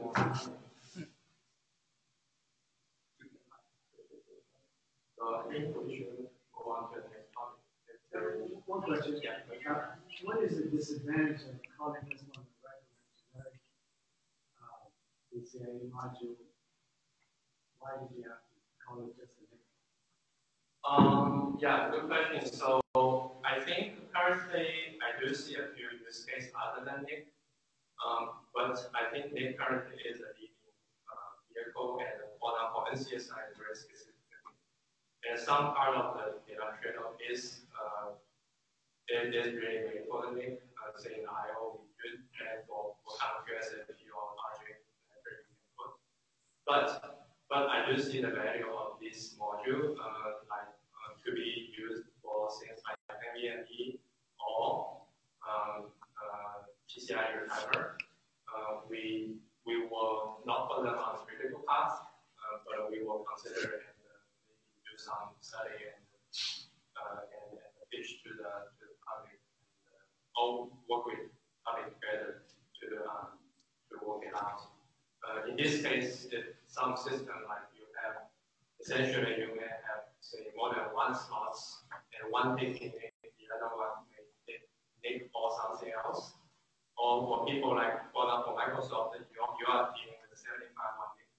Um, but maybe your motherboard, uh, you know, to similar slots for, for things not gig, but available to you. But other people may dominate theirs and, and make your um, motherboard very attractive to different, um, different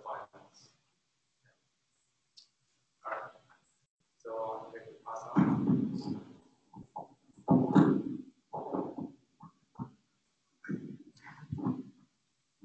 I'll save the, this for the warehouse question.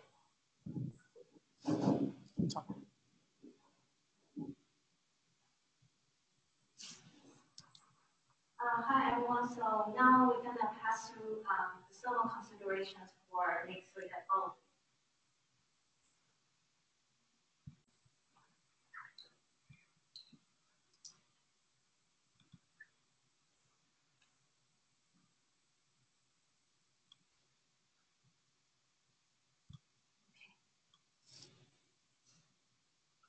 So uh, my name is Yueming Li, and I'm a thermal engineer from Facebook working on the mass rate level thermal uh, consideration part. So let's move on to the next slide. So if people are familiar with the biweekly call we are um, going through for the last few months, you might already be familiar with the uh, thermal boundary we use in, the, in our simulations. So typically we have two categories, the cold air cases, which are the NICs, NICs are in front of the server, and uh, hot cases, which we put the NIC on the view. So for cold cases, uh, typically the simulation, we use 35C approach air temperature, and for hot cases, uh, it's 55. And in the simulation, we kind of scan through different level of power consumption of the ASIC. So we go from 15 watts all the way to 35 watts. Um, to understand like what is the limitation from thermal perspective. Also, we scan through different level of airflow uh, from 150 LFM all the way to 500. We add another 750 LFM for hot level cases only, but that doesn't mean that the system needs to provide that high amount of CFM. It's just uh, from purely a standard uh, understanding of how much the limitation will hit. Um, for the cold aisle cases, uh, we use uh, the worst-case IO module, which is the dual QSFP module, consumes around 3.5 watts each. This is a typical power consumption for 100 uh, QSFP right now. And uh, this is a maximum power, and the typical power, like during normal use cases, might be 2.8 or a little bit lower, but we choose this worst case just for thermal simulation. For the hot aisle cases, since we find that the QSFP is more power dense, and it might uh, already meet the thermal limitation, so we also add another uh, IO module into the study, which is the uh, quad SFP, which consumes 1.5 watt each. Next, please. Um, so all the boundary conditions listed above, they are not like we want to put in the spec, and it's more to understand what is the limitation from thermal perspective, to scan through different power levels, scan through different airflow level, and help us understand where can we go, what is the direction. And this is, um, Sorry. yeah, this is the cold aisle cases simulation.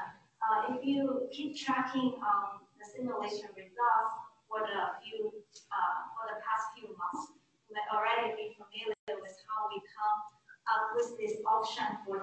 So basically, we also have comparison between the previous option 7, option 13, and option 14. So by uh, converging to this option 14, actually the ASIC is flipping to the top, give us more flexibility of ASIC height. Also, since we get rid of the stack connector on the side, the ASIC ASIC can also grow wider and help us have a better uh, thermal performance for the ASIC. Um, so in the chart below, we can see um, the red region is actually the fail region, and the green one is the uh, pass region. So uh, from this chart, we can see we can uh, possibly support up to 35 watts basic power.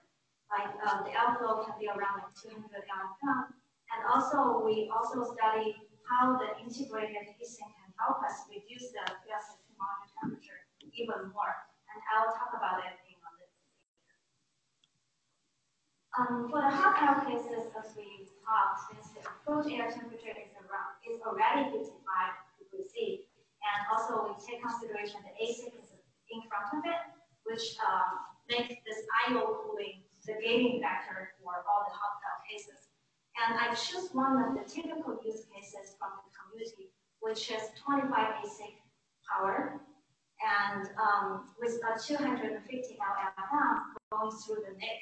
And through the simulation, it kind of very challenging for us to make the QSFP pass However, for the quad SFP since it's less power condensed, we might um, see there's still, higher than what we expected. But I think maybe later by tweaking it more on the thermal side, also um, if we think about the typical power, maybe just around 1.2 watts, and also some of the hot aisle adapters we just use that cable instead of this active cable, uh, we may still have a chance to make some work.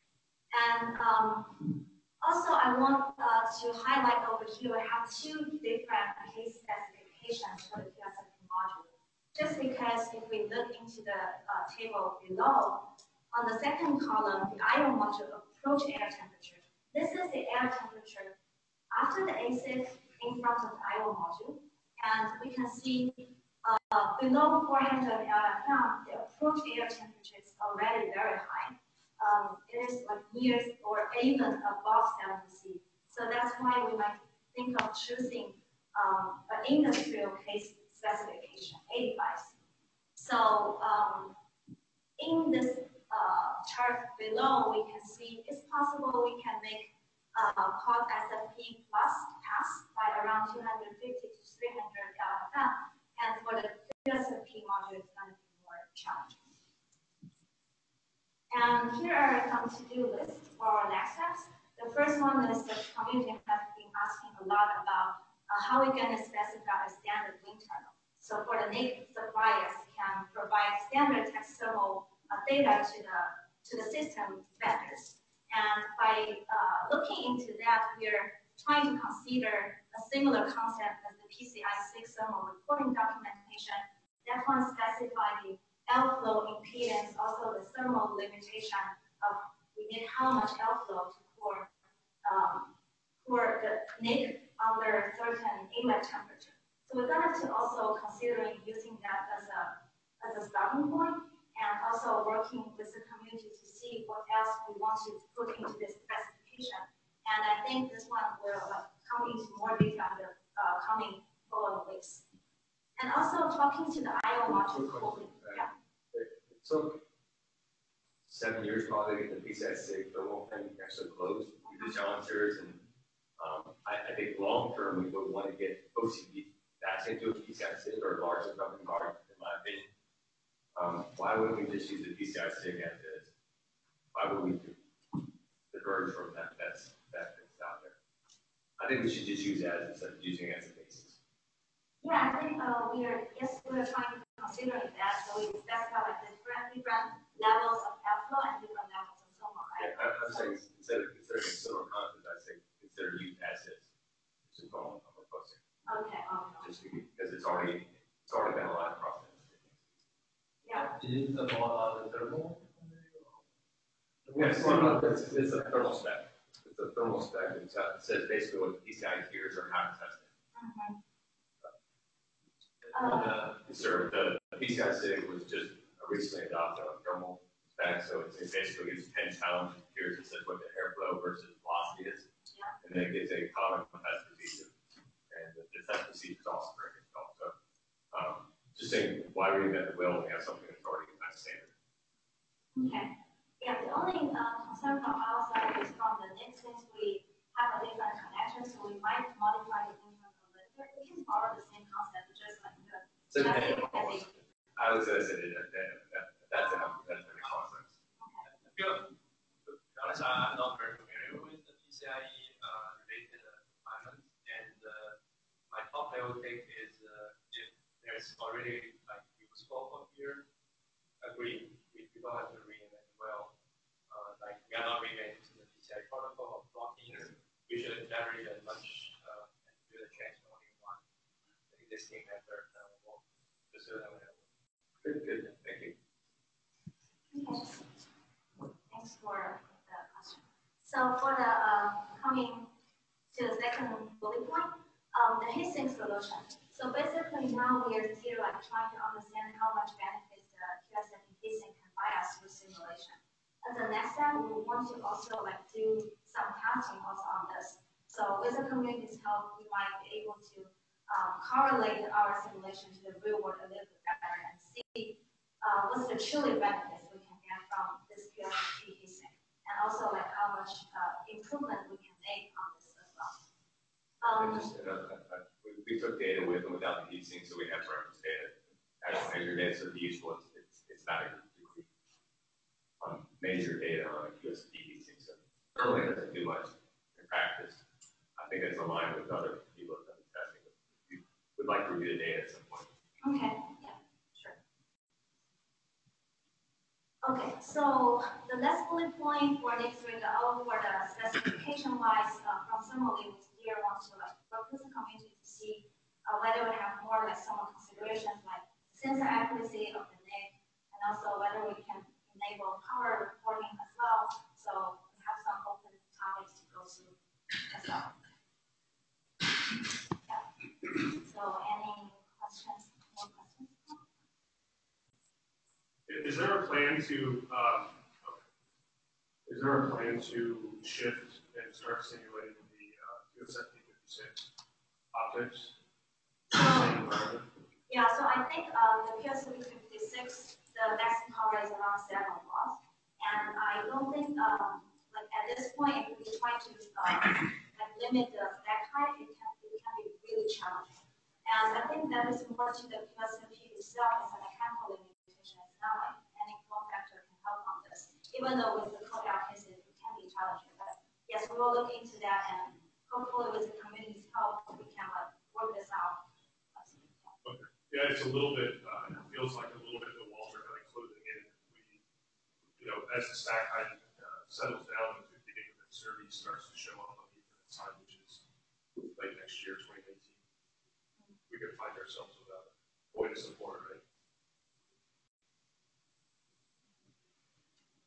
I guess it, in common to that, like, there's possibly a window with the spec stratified where if you want to support, you know, seven watt QSFP fifty-six, you end up having to only use a full out case or something like that, because some of the envelopes, it's not that big of a foot.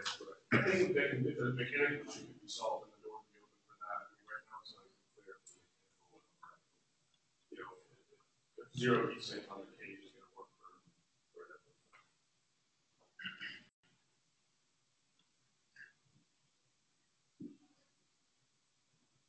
It's the same shape, fifty-six, right? Why, when you say a mechanical issue, what specifically do you mean? Potentially heat sink requirement for the. Oh, oh, just a required heat sink, Yeah. tall, tall heat sink. Okay.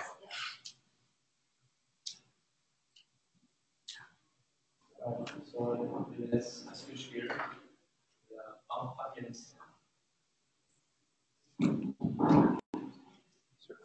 Yeah, it's just right there. Just shove it in your pocket.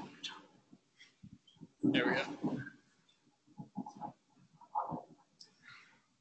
Sorry, okay.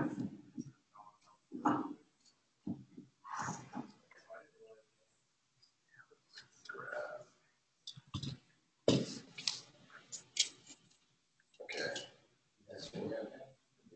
Okay. Uh, so I wasn't really sure on the audience we're gonna have here, so I did just a kind of brief overview of why we're doing what we're doing mechanically with 3.0 versus 2.0. Um, I know a lot of you on the call, I've already talked with most people that are on the call already. Um, so it was more of just, an this is kind of more of just an overview of why we made the decisions we did, also the directions we're going in, the information we need to move forward, and uh, that sort of thing. So basically, the, the first thing I want to point out are the main differences in kind of how we arrived at the current mechanical specification. Um, I like using tables to kind of explain you know, the pros and cons of why, you know, why we make certain uh, decisions. Slide over just a little. Wait. Okay, so um, basically, the, the big takeaways here are uh, just the mounting methods of these two uh, form factors. Um, the current Mezz form factor, um, while it's worked very well for a lot of years and has had a very good adoption, uh, mechanically this is very difficult to deal with. Um, so the connector style is a Mezz style, uh, where the connector style for the new one is an edge style, so it has gold fingers on the backside. Um, the PCB orientations, in this case, it's always horizontal. In this case, it's, it's generally always horizontal as well. There are some certain cases where these go vertical on the back of cards and things like that, in both cases. Um, the, the one big thing is the chassis installation. Um, the, I kind of classified this, uh, this 2.0 as an in chassis, meaning there's no access to this from the back panel of the chassis. Uh, this will normally, you know, want to use this under a PCIe card. So in order to get to this, you have to pull the cover off, pull a PCIe card out, pull this out physically. Where this new version of the card, is actually accessible from the front panel panel, like a traditional one. So that's one big mechanical difference. Um, some of the other things, uh, the installation action is another uh, big mechanical difference. Um, we've always struggled, uh, particularly at Facebook, with packaging these in, in a particularly elegant way. Because you kind of have a front panel. You have a front panel, this is coming down like this, and then somehow we need to encase this within the front. Um, it's just not very elegant in terms of putting it nicely in my package around this. Um, where this, the EMI containment is basically built into the package itself. So it's it's just uh, much more easy. It's much easier installation method.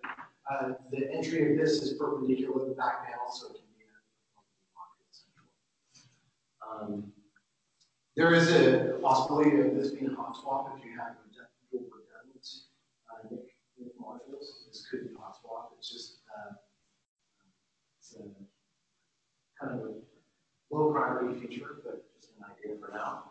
Um, and as I already mentioned, the EMI containment for the traditional NIC case is uh, pretty difficult actually to pull this off in a way where it's much more straightforward. Um, so as most of you have seen the samples up here, um, I just kind of want to point out some of the features. Um, so this is a true module now, um, and you have either snap-in card guides or a screw-in card guide. And you have your straddle connector in the back here and motherboard.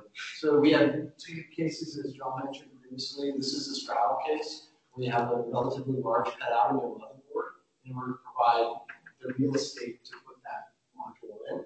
We also have a right angle case where if you imagine these um, card guides would actually be up higher vertically and there will be no cutout and this connector will be sitting, it's basically uh, sitting on top of the motherboard. But the, the NIC itself is the same NIC used in both situations. So you could, the same NIC could go into the straddle or go to the right angle. There's no difference on the mechanical between the two. So, next slide.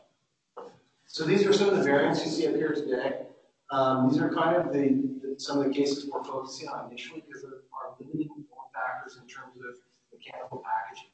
So whenever you, start these sort of things, you kind of pick the worst case uh, combinations and you focus on those because that's what drives a lot of the design here. So we have a 2 QSFP, uh, 4 SFP, 4 RJ45. We also have latch variants. Um, we at Facebook like using latches as opposed to thumb screws. It's just a serviceability thing for us. Um, and then we also have our smart form factor, which I also alluded to. So we call this a, a, small NIC, and this is either a large or a small NIC. Um, these are the main forces associated with them.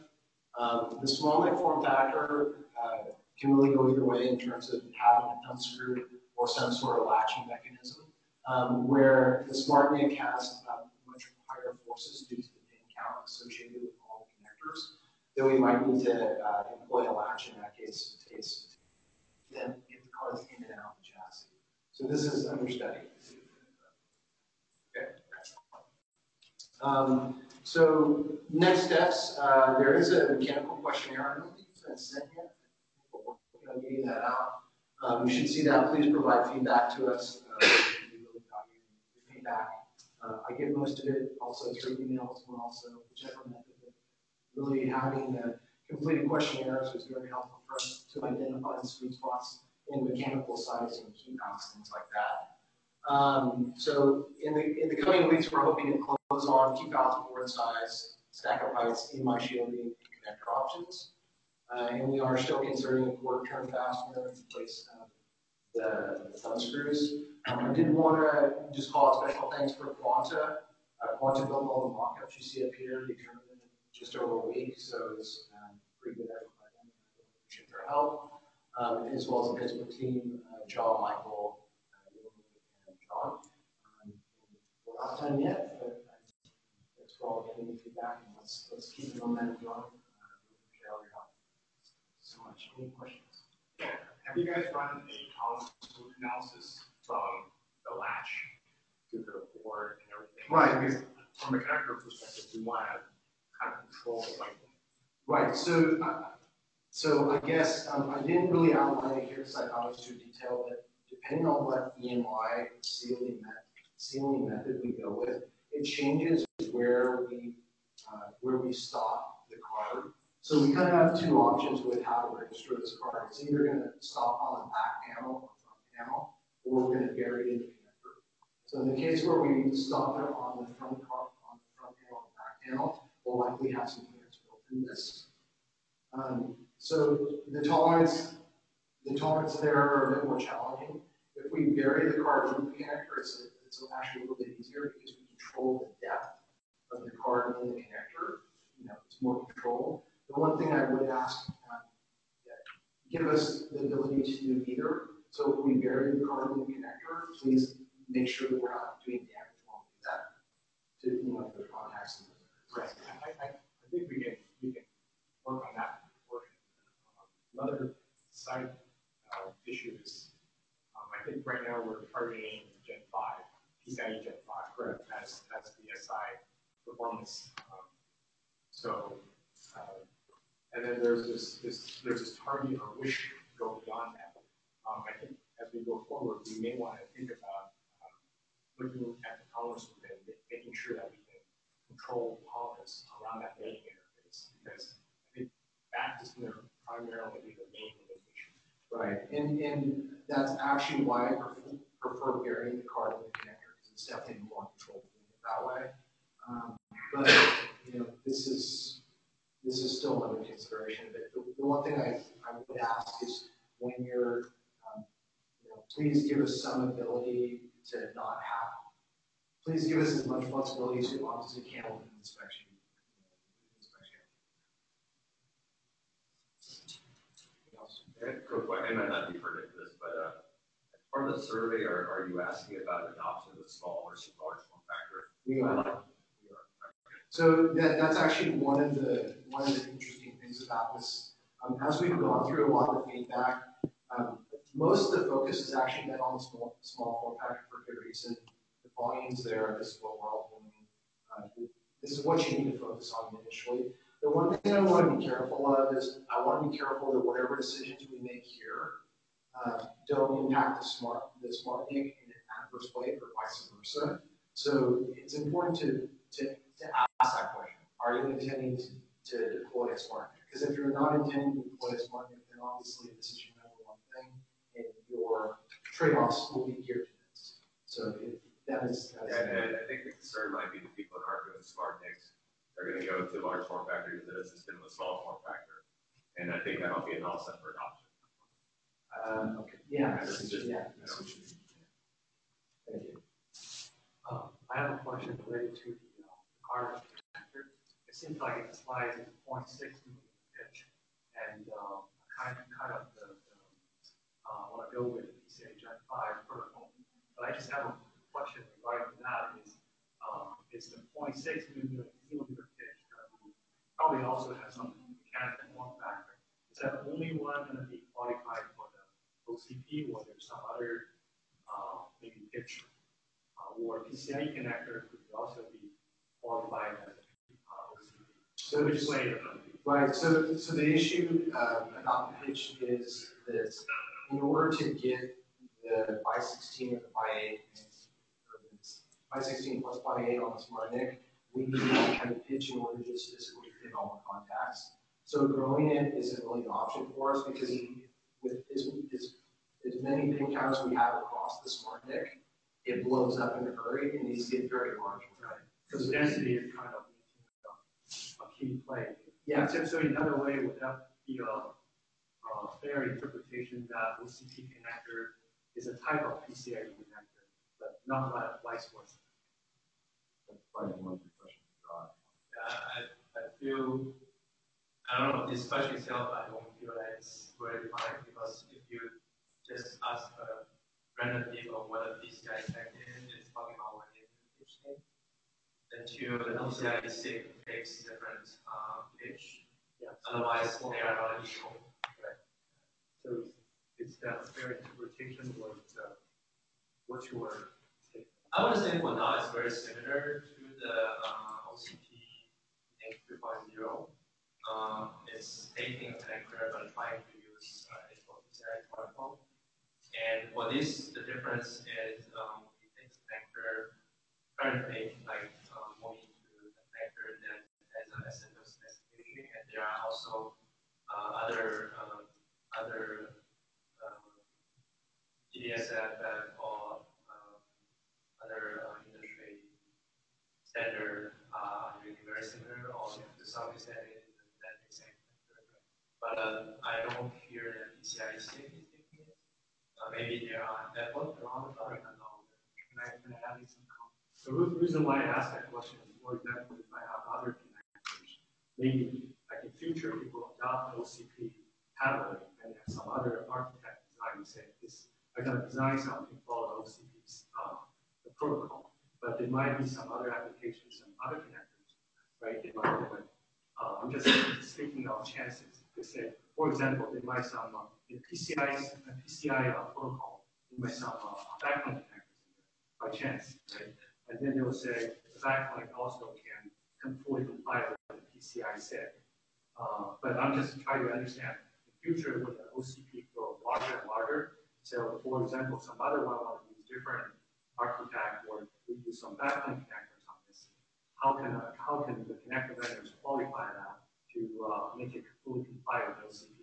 So, so let me just restate the question. So you say hypothetically, whenever there is some need, yeah, and uh, uh, asking for making interface different than the so-called OCP 3.0, uh, how do you make that thing becomes the like for OCP, Right. OCP language or normal or something? Right. So should it keep the same mechanical pitch or should it keep the same form factor? So, so yeah, if I want to say if this is uh, uh, the, the, the adoption is the new thing is not um, interface mating um, involvable. So in this case, it's pretty much you're talking about defining OCP in 4.0 or something, whatever the 3.0 can output you. Um, I want to say it is another uh, refresh of the uh, another one of major efforts and another uh, effort to building the the consensus for people who do. Um, but we do need to see good enough reason to do that, right? Because people people are on board, and, and part of the like part of the this discussion here is we started with trying to shooting for mechanical compatibility with the 2.0, but we finally decided that not to give up that, them up that not easy because many people is already on board. So, so they need to refresh all their platform along uh, the chassis of the board. Um, and this kind of thing cannot be happen too often. That's first uh, confidence and uh, first credit. So, so we have to be uh, be careful how like what kind of introduction we put it in, and, and that it makes sense to cause the, the I'm sure John wants to say the same thing. To say the same thing. I can read, I can read mind. Well, John, John, John and I totally is separate projects.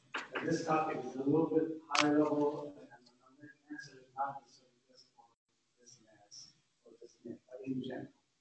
In general, we are all getting together to develop modules that are interoperable with other things. And the the, the broader the specification is to provide the highest likelihood for a particular module to be interoperable with other things. the is. Now, having done any kind of a module, any kind of a design, if it is in a modular form, we are inviting everybody to innovate the individual components of it. For example, we have a motherboard, uh, it has inputs and outputs, we have chassis, we have a power supply, Yes, any component of that can be modified as long as it brings some usefulness to the community. Right? Now, specifically on this one, small enough that it's one connector in, one connector out. if it is not specified in the parent spec, anything that's outside of that will not meet the spec. It requires its own specification as at GSA. Its own specification, its own work. But nobody wants to eliminate any new innovation. But at the same time, you know, would you say if there's a, a change that makes it incompatible with another board to use on stack? But what we have up here with QSFP, SFP, and RJ forty-five, you know, we're gonna define the spec, it's hopefully generic enough that those are free connectors and their recommended locations, but if you wanted to put a, a SAS or a PCA in front, as long as it's interoperable with the system and meets all the, the requirements of the key it meets the spec. We're not saying these are the only connectors you can use. We're saying, we're That's- that's saying, why I well, wonder what is one side. I know you would, but I want to make the other point on the other side. that Hopefully we can make the spec generic enough, you can put whatever connectors you want on there, as long as they meet the electrical requirements and the keep outs, it's interoperable. Yeah, that's the thing we want to maintain. That's why I asked. That's why I changed a little bit. And also, Also, it- it- it- This is small enough that, that is, that it is, I'm just, I'm arguing this, but I can be wrong.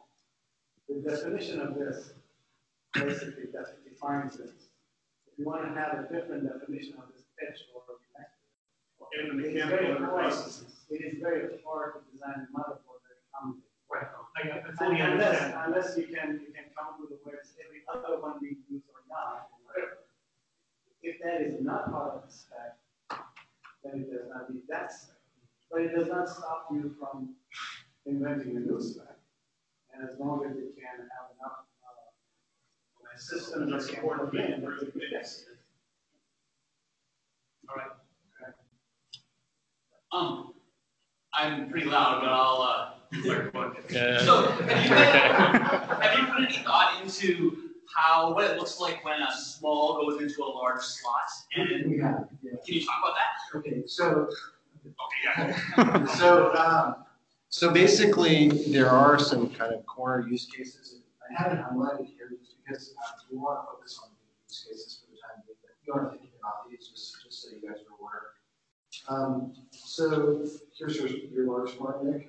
Um, any of the small smart NICs can go in the same connector here. It's Y16 with OCP.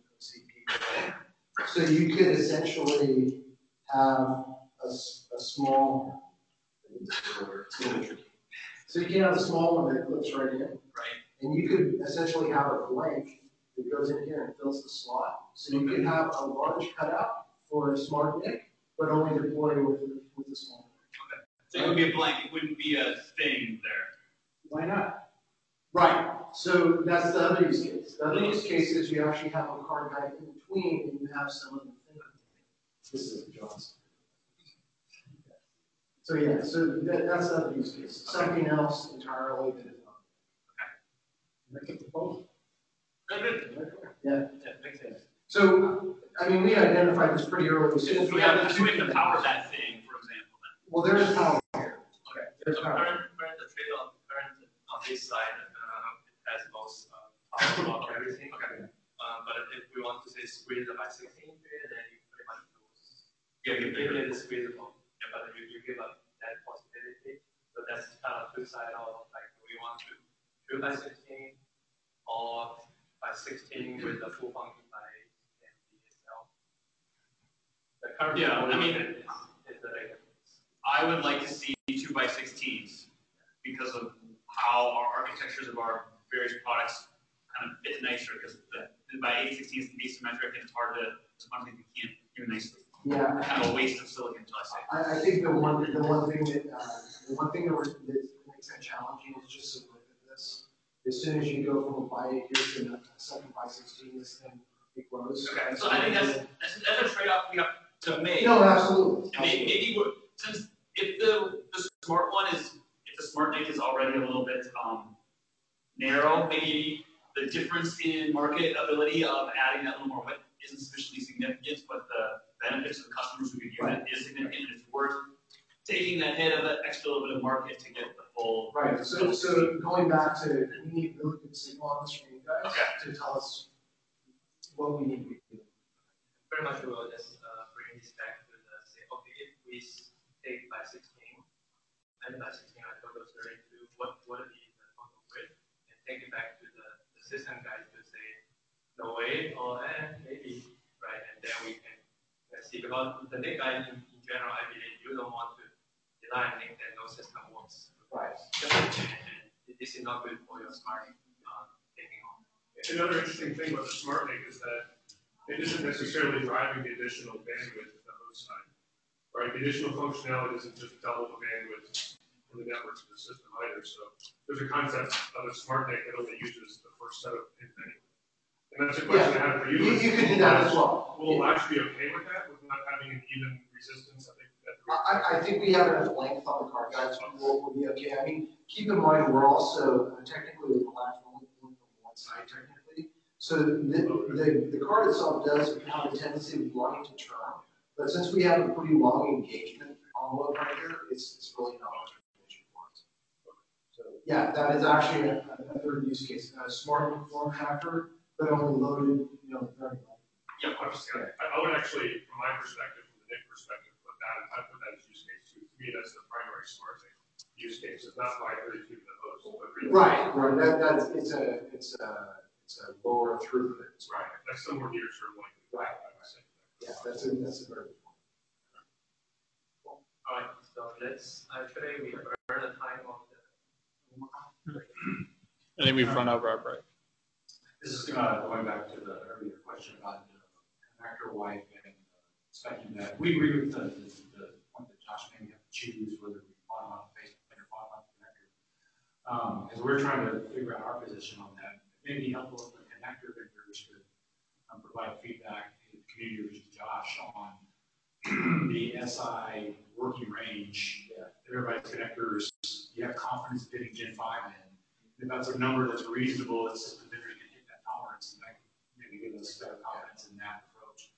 Um, versus the other. Sure, good point. It's not like someone has an answer. Instant feedback. So, right, so, so SFFTA one thousand two defines the electrical working range That works through the performance specification required and that went through for and hopefully that here for. I think the question is, like, from that one point three, that's what the nominal is. The worst case from from what we were trying to target, uh, we want to do one point three as, um, worst case of the wipe being made. So if people pull it out more, there will be a SI, um, impact to. So I think we have to also spec what range of the, um, of the electrical wipe, uh, is necessary to meet whatever SI requirements. So Well, one that's- point three is the range of the line of working, it's not a minimum. So that's, that's already included, already worked on. SFFTA one thousand. Looking at the schedule, we think we're already five minutes into the connector update. Why don't we get the connector guys up front? Yes. Thank you very much. Oh, is it my turn? Yeah. I guess I could wanted to say that.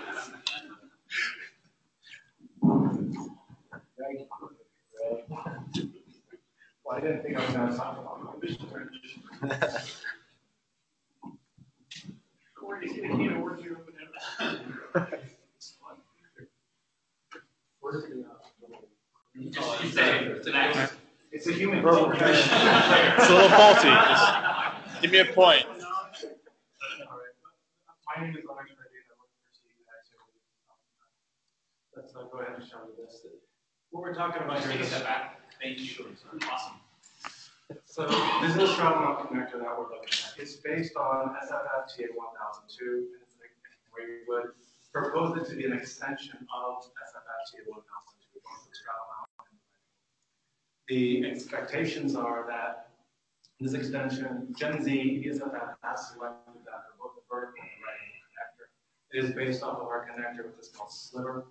Uh, we expect the straddle mount performance to be equivalent or better than the right angle connector performance that we're going to be showing you today. Uh, the routing design guidelines will be available in November, uh, and this sizing is for reference only. So The, the sizes of the wings, exactly how that terminates. I, I think there are some efforts that we're gonna have to do to get to the equivalent on that between the different. And there will be added guides to make it easy for assembly, because one of the things we wanna do is we wanna work with ODM partners, make sure that everything is clean, make sure that everything Uh, here's a visual of how the SFFTA 1002 works from a footprint section. There are three major sections for what we call Gen Z EDSFF, right? There's the 1C, the 2C, and 4C section. In the 1C section is where all of your majority of your control signals are, as well as your first by four uh, performance signals. The next, the next two sections are all high-speed performance signals. The 2C section has another by four, that's how you would get to by eight. And then the last 4C section gets you to by 16. So 4, 8, 16, that's, that's each section is essentially, the multiplier to C is a by four amount of signals. The control section is what we've added for NCSI, another 28 pin section. It comes from this 2C section, essentially creating a copy such that we don't have to duplicate copies of much more um, volume transparent and something that we can utilize without having to do things that are expensive. Okay. The some of the challenges is you want to deal with different PCB thicknesses. So uh, speaking with a lot of the different system vendors and getting their feedback, the different thicknesses that uh, we're going to target are 062, 076, 093, and then uh, if there's discussion about whether we need to make that go to 120, that uh, comes back in the feedback form that you guys are putting out there. But our intention is to set our tooling timeline based on industry volume. So you guys are going to be driving it really. Most likely, the initial start is going to be around the uh, thickness of 076, but again, your feedback is going to be right. Here is the actual suggested pinout that we're Instead of going through the details here, I talked through it a second ago, which you have most of these control signals. The 12 volts, your power falls into that. Uh, there was a question around what's the current rating of pen. The current rating of pen is going to be 1.1 amps per pen. Uh, that's gonna that works in a zero flow environment or a zero airflow environment with a 30 degree rise with standard pads that you're connecting to. Once you add things like power planes to included, that that could potentially reduce your thermal load but that's not how we measured it when we went when we went uh, measured it on the right angle connector because uh, again the straddle mount we believe would be more uh, capable or less capable I should say it's more difficult to build for that structure than it would for. Uh, without going into specifics, what really you're adding into the control section is, is NCSI capabilities. That, that's the that's the need that was the additional control section doesn't exist necessarily in the other set of standards that are trying to also adopt this subset of form. Uh, this goes into now the right angle. So we have the straddle mount, then the right angle is corollary to it. Right angle is an exact match to the standard that already exists for EDSFF and, uh, and Gen Z and the SFFTA 1002. Uh, this performance is 56 gig capable. Uh, then uh, we believe that's going to be, there's potential to get up to 112 gig, that's PAM4. We have that demonstrated performance now, so we actually have standard, we have actually demonstrations that we show at DesignCon where we put 112 gigabits per second through our connector and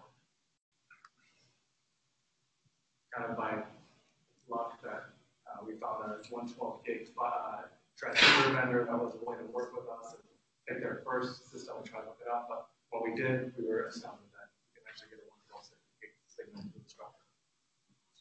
Routing the site. Hold on.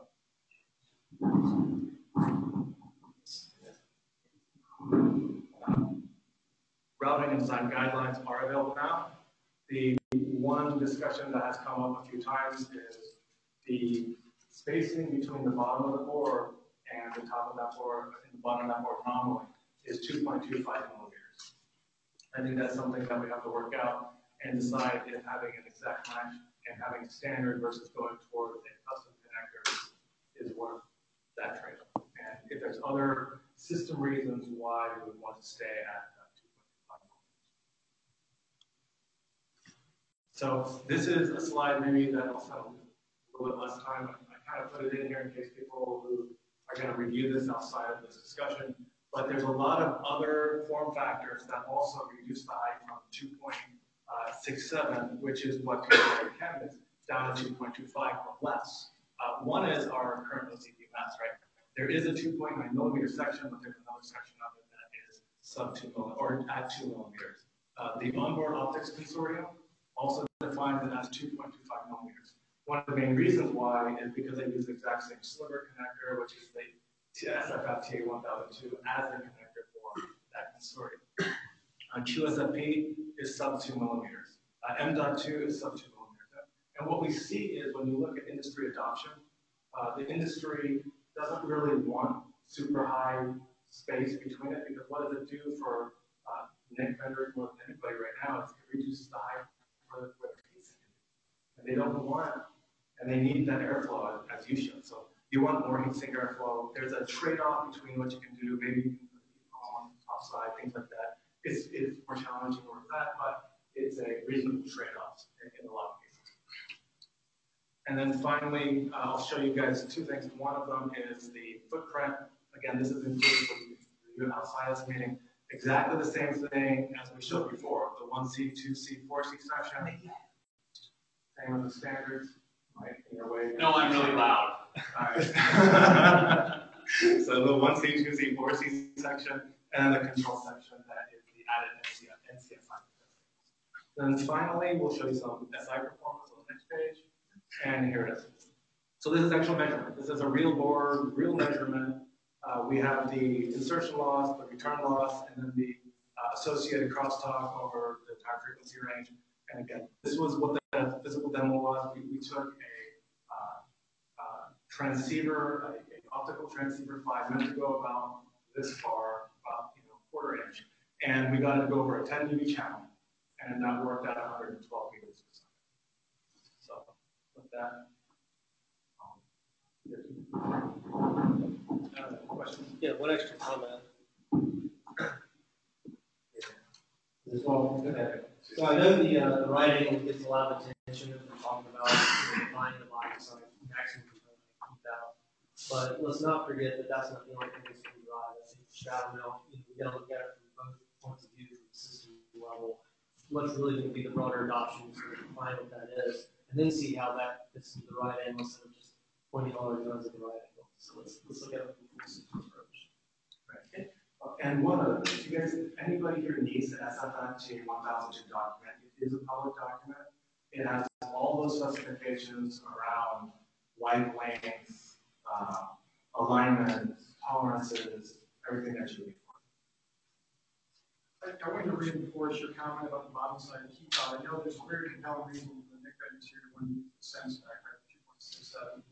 Um, but you need to recognize, I think, one of the reasons that, or one of the places where the 2.0 got adopted in DC volume dimension was white box. A lot of those are multi-node um, environments, right, two-use formulas which means your node is less than your U, which means the motherboard is sitting lower to the sheet metal than traditional one you would or 2U. And I think that's where another place where the 2.67 is going to be problematic, in the very place where it was used optimize certain bridge with the 3.1. And then you're going to do the bottom side. So I think you really have to think about long and hard about that bottom side keep up. You know, I think I would push for like a 1.9, for example, which would give me a much more flexible module and red line. So it's just, you know, cut my sound. Uh, in that case, I'm going to go straight on. So, so a quick question to this one, and comment question is, uh, for the uh, for system vendor, we also want to get more like full picture on the uh, how do you use it, and uh, because you really care about the, the photo height, uh, you, you probably go with straddle mounts, and for straddle mounts, uh, we want to see if the link is like reducing the link from 267 to 225. Does it help with the system? Because usually it's about like three linear-ish standoff. Well, that, no, that's his point. No, the board two doesn't. Yeah, exactly. The bottom side. I, so I already, I'm from no any junctions, but um, so I was auditing our portfolio, so I can't speak to the whole industry, but there are definitely multi-nodes where the motherboard sits as close as two point two millimeters to achievement.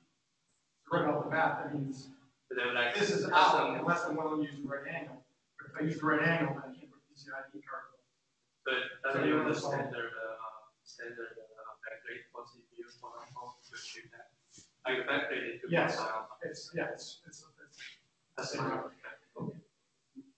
So this almost for the big guys on the So it's, um, Yeah, so, um, in our NICs, we already have existing, um, designs with capacitors. I'm, oh, by the way, I'm Paul Kapler at Intel Corporation, and, uh, we have designs for the capacitor height and the screw that we're using and the heat sink fixture that we're using are already, um, at two point six seven millimeters.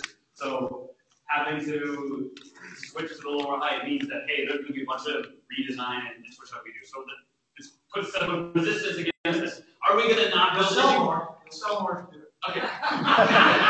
Hey, we're- we're- we have to, we have to compromise here, that's what we're all about, right? But, uh, I definitely need to say that in order to, hey, there's gonna be a cost to this. And maybe it's. Also flexibility. Yeah, exactly, Yep. That- That's, and that's what we have to win, right? So, so that's the fourth space you need, and the bottom one on top, right? Yeah, yes, we need, yeah, for example, If we need more space, could we put the dimension of the board? um, Deeper, I, I think we were pushing every dimension to its very limit, top, every X, Y, Z dimensions. Even the, even the push pin on the heat sinks don't work if you go too low. Right, so typical of a push pin, push pin uh, bar on the back backside is usually two or just over two millimeters, that's standard off the shelf ones. So you start running into these things that seem very trivial, but they're issues. So there, is all little things that will increase cost. That's what it comes down to. And maybe we need, maybe we want to increase cost, and as a community, we have to do that. Let's, we can, I'm not gonna say, no, no, no, we're not gonna build it, but, um, I want to voice a little bit of resistance to that because it's gonna increase your cost. A lot of the ASICs have a lot of filtering requirements and those filters, right, they go underneath the BGA where they're most effective and you can't put them on the BGA, you gotta put them on top, you know, half an inch away, it's, big deal. Um, very good connector very good performance. Um, I have a question now, because uh, after we saw this, this performance of the connector, and the question is like, usually I think uh, for a standard that the, uh, uh, as a connector vendors, as a group, uh, we can help on defining uh, the connector spec and also how to test the connectors. And um, in this OCP that going to see that uh, how we can contribute and as a whole connector vendor group to specify the connector testing procedures and uh, mechanical form factors and all that stuff. Is it done in here or, because you mentioned somewhere in Gen Z, what all the work is done in Gen Z over there? Oh, that's a, that's a great question. Uh, I, I think that, at least in my mind, we utilize, we continue to utilize right? So um, I, I would suggest that we contribute the straddle mount solution to SFF TA 1000. And, and that's where the definition will be set for all these structures so that we take advantage of what's already been done there.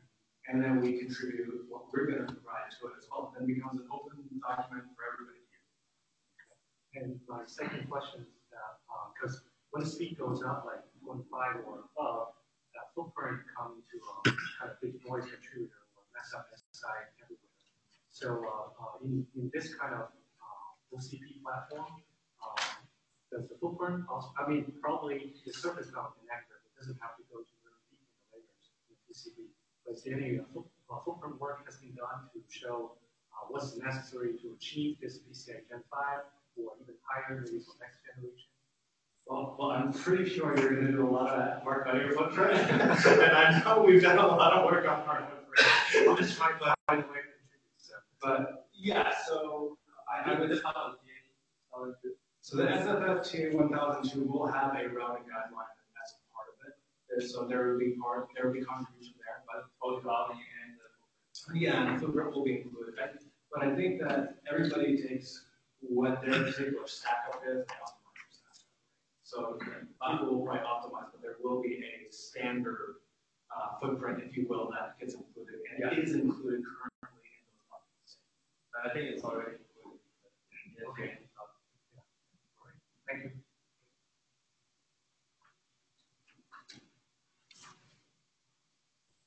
Yeah, I kind of follow a comment on, on the backside. Uh, my concern on the, on the backside keep out is if we're overly, overly constrained on, on the width and the backside keep out. I, believe it's seventy-four millimeters. And so my concern is the input focus on the backside because we're gonna be at two millimeters or something. It's gonna go to the top side and we're gonna be out of space on the top side because we're seventy-four millimeters. But I, I, I kind of feel we're already overly constrained to get these solutions that work with everybody. I think we might have to visit some of our out, especially with, I think seventy-four millimeters is very challenging. Challenging.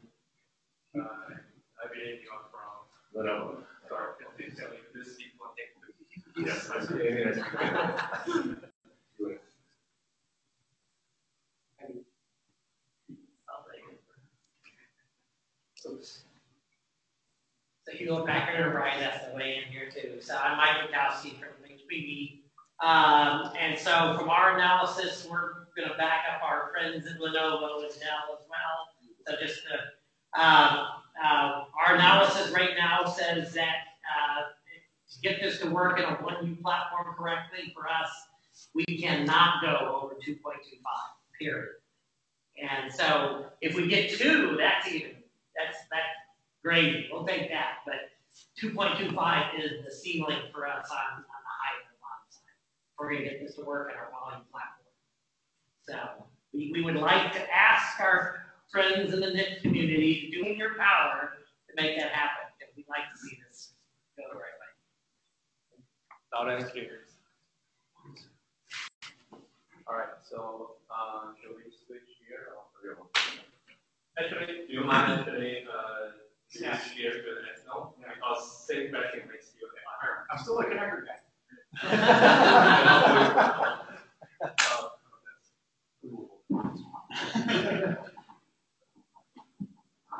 Hey,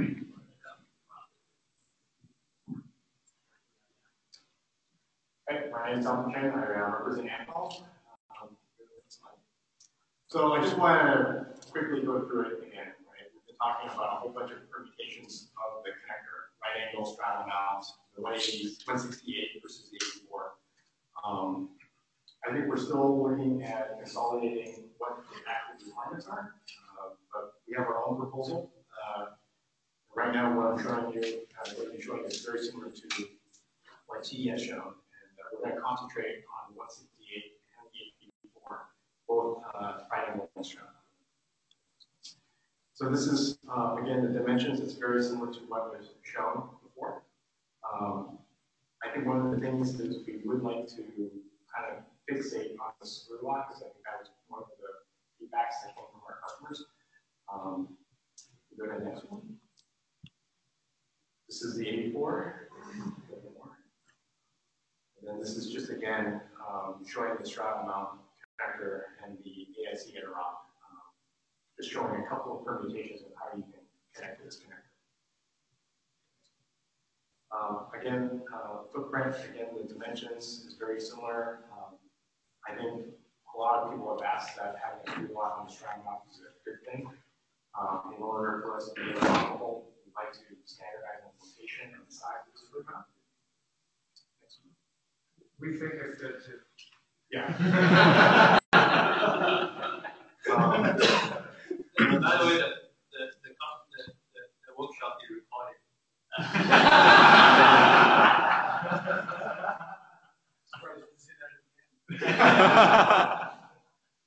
Uh, the footprint for the connector, uh, on the motherboard side, uh, is the same thing for the eighty-four pin. Uh, going. Again, um, supporting different PCB thicknesses, um, what, again, to what he's saying, we are gonna look at all the different flavors. It is really driven by you guys. I think what we've been hearing is the seventy-three mil, uh, thick board and also the sixty-two. Um, but again, you let us know. We have heard the request for hundred and twenty million. Uh, that's something that's outstanding, that's roll. uh, to that. Is this gonna be the questionnaire also? Yes, it, it, it, it should be, um, because we need, we need direction on what the tool first, right? Or what to tool in general. Yeah, so now this is the right angle. Uh, we are going to be offering two different, uh, right angle offsets. The SFF TA one zero zero two standard, which is at two point two five. And for the OCP, we are also looking at a, a three millimeter offset from, um, our the PCB mix. Um, we are going to do that as a part of the standard offset. So if there is a different offset, we are not going to say we are not going to support it, but we definitely need it to know. And it's kind of, it's going to be based on demand. Um, anything can be done, but you let us know what you like, and we will try to support it as best as we can. Is, is there a, a rough number on like a maximum you guys could go with this offset? I- I- That side breaks down? Yeah, so- Yeah, that kind of work. We, we, we, we've done some very preliminary work, right? Um, one of the first feedbacks I had to do, Joe was, you know, when we were looking at OCP NIC 2.0, right, we were looking at, you know, 5, 8, 12, and there was someone else looking at 16 millimeter um, mezzanine stack. We're definitely not going to do the 16. Let's just take that one off? Um, but I think, you know, we would have to run the numbers, but we certainly have made um, PCIe Gen 3 and Gen 4 right angle uh, connectors with offsets of up to like almost 6 millimeter, I want to say. Um, but for Gen 5, again, we have to take a look at it. Because it, it might be of interest, I know we're talking about pretty low offset, so that maybe like no components on one board, right? But you route underneath there. I wonder if in any case, if you want to put some low components, maybe three tall components, that are, you know, under the, under the deck. Right, right. So the, so the challenge with, with that, and look, as a connector company, you guys throw us money, we don't say no. So, so, but, but the truth of the matter is, when you do different heights, you're bifurcating volume. Right, right. And, and so now, you, so now, anything that's not that standard height now becomes a custom. It becomes a custom that you have to look at and say, for this design subset of total volume, is it worth to spend the amount of engineering, e- e- even from the standpoint of finding out, can we dampen those resonances? It's funny, again, now you're adding metal. I, I guess if there's two, two offsets, maybe we should do one that gives us no components at that motherboard, and one that Now, whether or makes sense to go after if they don't component on the motherboard, is it not equivalent to motherboard at all? No, could, you could still, there's other reasons you might want. I know the discussion we're gonna have is you put the Mylar on the the the month? Because we're gonna have to have some isolation there. Well, that, that's a whole nother topic. We need something to protect bottom the boards in any case, because as you go through, you know, that front mating, you're gonna be knocking components off. You're have some. So, so currently, I'm just looking at it here, currently, I think we do hope to converge to one option, like one offset, if we go with right angle, and also one, uh, bottom component profile for the thing. So that we don't like make the trouble for things suppliers, to have one tuning. We really, I think in this case, we really require like two, two different heights. Uh, likely the NIC vendor will try everything to, to squeeze into the low height to reduce one part. But no, I don't think there's a proposal for different connectors on. No, you're- you're just talking about the motherboard. We're just talking about the connector on the motherboard. Coaching's a different. But uh, for the motherboard, uh, if we, the NIC is able to work out with reasonable tolerance on the two to five offset, why would motherboard want a higher? Nord has their own two two five hundred. No, the motherboard has a two two five, maybe I want a six millimeter offset. I, I'm not saying I have an application I want to do this for sure, I'm just trying to think through possible scenarios for right angle connectors. Because once you go right angle in the one unit multi-node, you're not putting PCIe card above it, so you might want to make more use of the multi. I think in that case, it will be separate enabled. Like, if say in the NIC vendor is agree on the two to five, then I think at the next up um, not likely to to promote a different that's. So when I was, my original question really was, was in the context, of we already know technical limitations says, thou shalt not go above X millimeters, so we know outside can move for example. You know, that would, so we know there's a technical limit. So, so Then allows the business or- from, the technical, uh, if you said to five is achievable for the NIC guy, maybe we could say two to five is also achievable for motherboard. Now, from a connector point of view, two times plus load gap? Well, my answer is always depends. And I really like the Schwab's comments, it threw us a lot of money. That's that's the logical point, right? So, So- as a technical, The technical difficulty here, I think, is connected to two things. One is how you make the contacts. I think this of connect the same key and ethanol we use uh, molding. So the contact shape is optimized a lot better than the traditional connector. The second of all is the stuff that people talking about light that reduce the resonance of the uh, insertion loss a lot. So, so from what I see is if you just want to make it a little bit taller or a little bit different, it won't hurt the um, won't hurt the crosstalk or return loss or probably insertion loss a little bit, but not a game deal. But my answer is pretty vague. It's just like it depends. If you have a specific application, we can make a mechanical model, run some simulation, and we can see from there. So for the first offset out the door is the proposal that we set it at a minimum to allow whatever the bottom side NIC clearances with the assumption that there's no components out the door. Yeah. Yes. Yeah, it Height- the height optimized. It's just to trying to avoid the cutoff. I think not- it's, not I think it's fine. placing. So for the connector vendors, to think about the may come the day when someone comes forward and says, yeah, but. So, so one thing to think about here, though, is if you're gonna put a board under it, we're thinking about putting something like DRAM on the bottom of the board, which is generating some heat, and we're in an awfully little space to cool DRAM that's gonna be blocked by that connector. It's gotta be conduction tool. It's gotta be conduction tool. Cool. To what? The board, board top side Okay. And that's a, a a decent impact, I would think, that comes off. All right, good discussion. So this is a eighty-four C, come on the way. Let's go to the, uh, yeah, so this is the height again.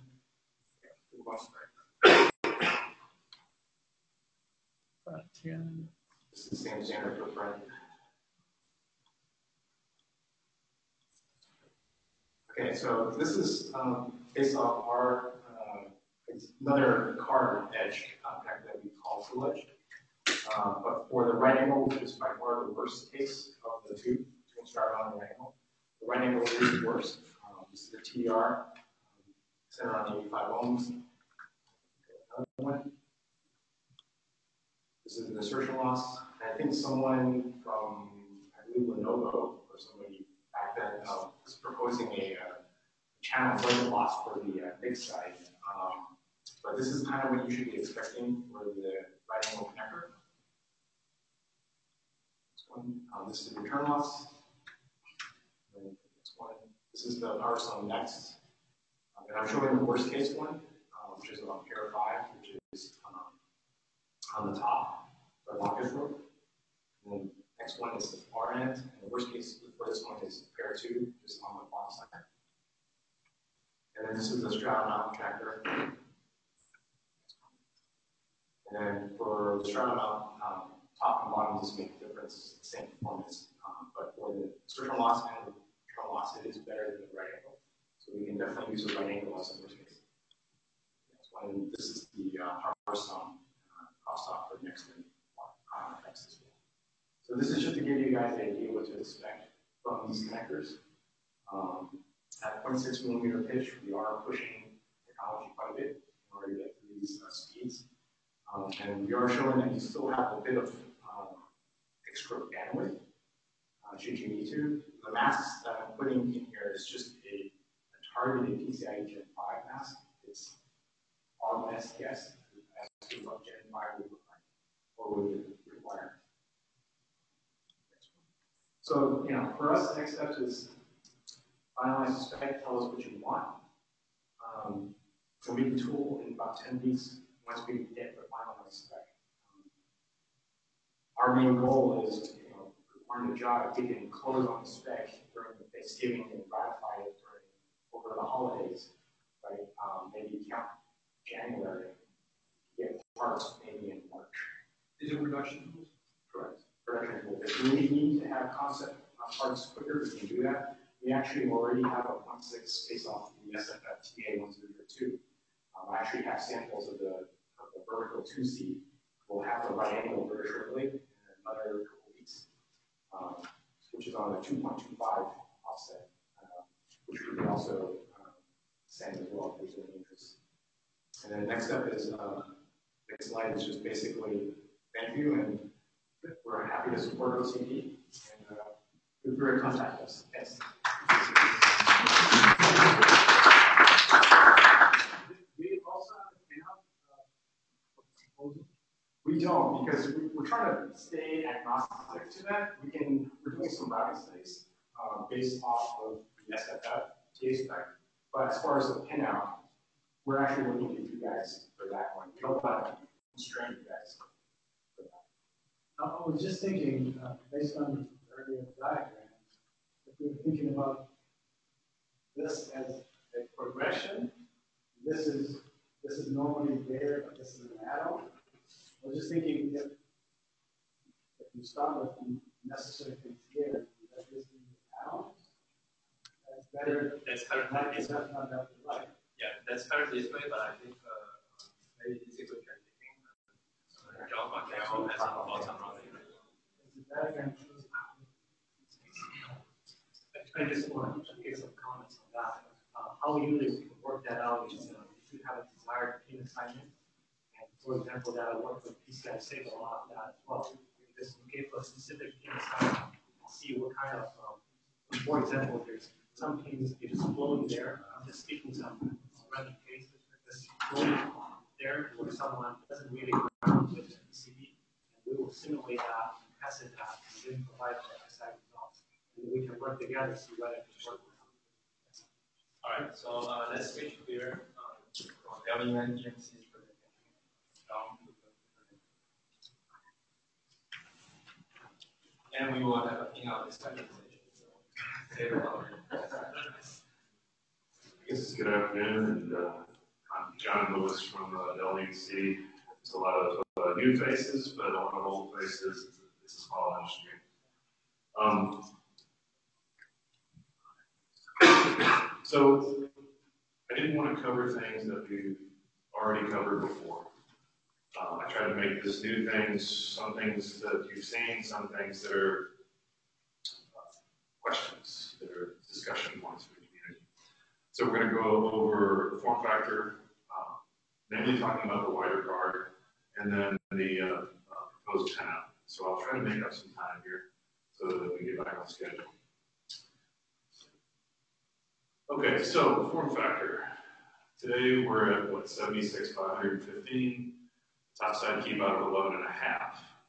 And one of the things that uh, you know, we're looking at is as we socialize this amongst the community, 11 millimeters seems to be more of a sweet spot for us. Um, and so we've reduced that for our models right now to make sure that we don't see any other issue. Uh, of course, thermally, we've talked about you have an optic heat sink or do you not? And that half millimeter doesn't get you any benefit that, that we can tell. And I think our calls and, and our numbers uh, align with how much good, good that heat sink is actually doing these days anyway. On the bottom side, keep out, um, we're good with, we're good with this range. Um, we can go lower. I've heard a lot of discussion about that, but we really need the NIC vendors to come in and tell us what the cost is. Is there a cost impact? What, what do they have to retool? Um, obviously, if we can handle 2.25, we can handle 1.9 or 2.0. It's just a, it's a trade-off for the, for the NIC vendors. And so, uh, to use an old uh, expression, we have no uh, dog in the hunt right now. Um, as long as we, we don't go above that, which I don't think we will. Motherboard thickness, we're aligned with the community on the, uh, on the lower three thicknesses. And it allows a wide range in there, and you, you can pretty much do anything you want with those. Uh, connector A, no changes from what's being seen, but uh, shown before, but on connector B, uh, we'd like to see a full by 16, and we'd like to see the control signals that allow multi-hosts to extend eight hosts, as well as some additional power for these. And so uh, we'll get to this in a minute, but we're suggesting 140 pin connector, we have some preliminary width numbers to show what that would look like. And then uh, RJ45s, when you get down to 11 millimeters or even 11 and a half, the RJ45s probably need to go to midpoint now. Delta Connector has been kind enough to share these with us. I've shared them with Josh. And uh, we will post those up on the, on the wiki uh, if you want. There are other connector vendors, and uh, they all have compatible, comparable parts. Footprints maybe. And then they have uh, single uh, single parts that are 8.8 millimeters above the board, and the board is 10. So on the faceplate, um, we're trending to like the, uh, I believe it's option one from Charles' email. Whether or not, how we do the EMI gasketing, I think is one of the next key elements mechanically we need to determine because it's going to work on how we do the tolerance for the, the, uh, the tolerance analysis for the card insertion. It depends on how the faceplate is going to look. It probably also matters the latching mechanism. So we've done several models. Um, I've looked at any Dell server in the last seven or eight years, we have a, a LOM that uses a dead over faceplate that's very thin sheet metal. It gives good EMI performance. It's really inexpensive in uh, mass production. So we have a lot of experience there.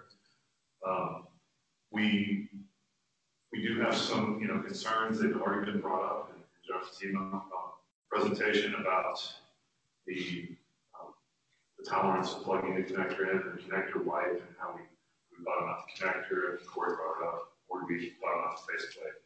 I think all of those things are kind of tied together. And um, so we have some open items that we know mechanically. We have to protect the bottom of the board. I think uh, we all agree we do. Um, scraping components off is typically not a good thing if you want the server to work and the card to work. Um, retention mechanism, what do we do about EMI gaskets and on chassis and on the card? And do we need to define LED locations and specification dimensions? So those are some of the items that, that we're going to be looking at in the next couple weeks mechanically. Um, and encourage your uh, comments, uh, on the reflector, certainly interested in hearing from you privately. I will note that I just saw one thing, this should be 11 millimeters. So I grabbed the wrong picture. I that one. Yeah.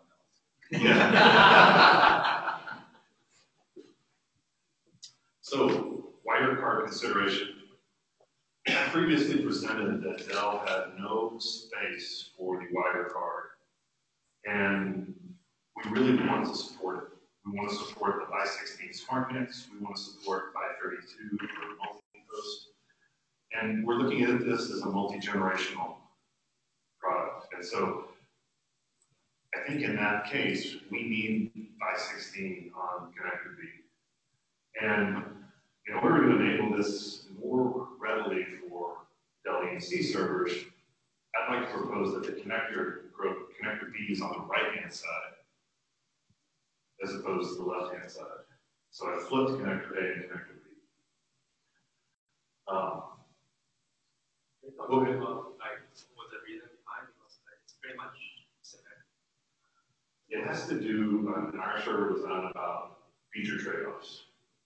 And so there are certain features that you might not want if you have a smart NIC, and certain features that you might want if you just have a standard two by twenty-five, two by fifty. So, so that was somewhat my intuitive observation earlier too. So the NCSI portion is right now? Would be on connector. Is to the, all the way to the. All the way to in the- this- Currently, because currently is a gen, uh, the ED, the, I don't know, 1002 in like this part. They grow from 1C to C4C. And then the OCP guy, the OCP NCSI extender. Right, and that, based on this one, It's NCSI needs to be to the. But It doesn't, I, I'm agnostic to that really. Oh. I mean, so No, is no. routing, is routing better? Potentially, but it may also help to have the low speed signals. What, what do you consider a world that all of these get connect on one eventually at some point? And we allow all the things that need to be left safe, that else go. Okay. That's, that's the reason I was thinking. Way similar to PCIe, you have it by one, and by eight, all it grows in one, one direction, all the stuff. up. Right, and what I'm suggesting is we do that on two connectors. So one would grow however we decide, but this isn't necessarily designed to be a one by thirty-two design, more of a two by sixteen. And I think that looking out into the future, I don't see root complexes doing thirty-two lanes. So, you have two, two portions of, kind of overhead in this case, No, we don't carry all the overhead, this, this is hundred and forty pin. so, so it's- exactly could be standalone by sixteen, something. Correct, and all we added was the control signals to the multi-host, standard PCIe signals, right? You reset, wait, route clock, and we added additional power. Um, we look, anyway, John, real quick question, um, what about the, the PCI signal ordering relative to the way the chips are laid out today? Does it make a big difference one way or the other? so I don't know. It's something that's left to do. Um, This was done very late this week, uh, last week, and so we haven't done all the routing studies that we have done on the narrow part. And frankly, it's, it's work left to be done this week and next week. But that's a great question, right? Is from what we want to put on here, how does that routing look like? Whether it's multiple pieces of silicon, a single piece, I'm not sure what that like. So, so, so, again, um, should, the yellow connector, I, I think it's designed in such a way that if somebody has this kind of a module plug-in, plugging here could just work, this is the extra stuff, that nobody cares. So, only you guys care.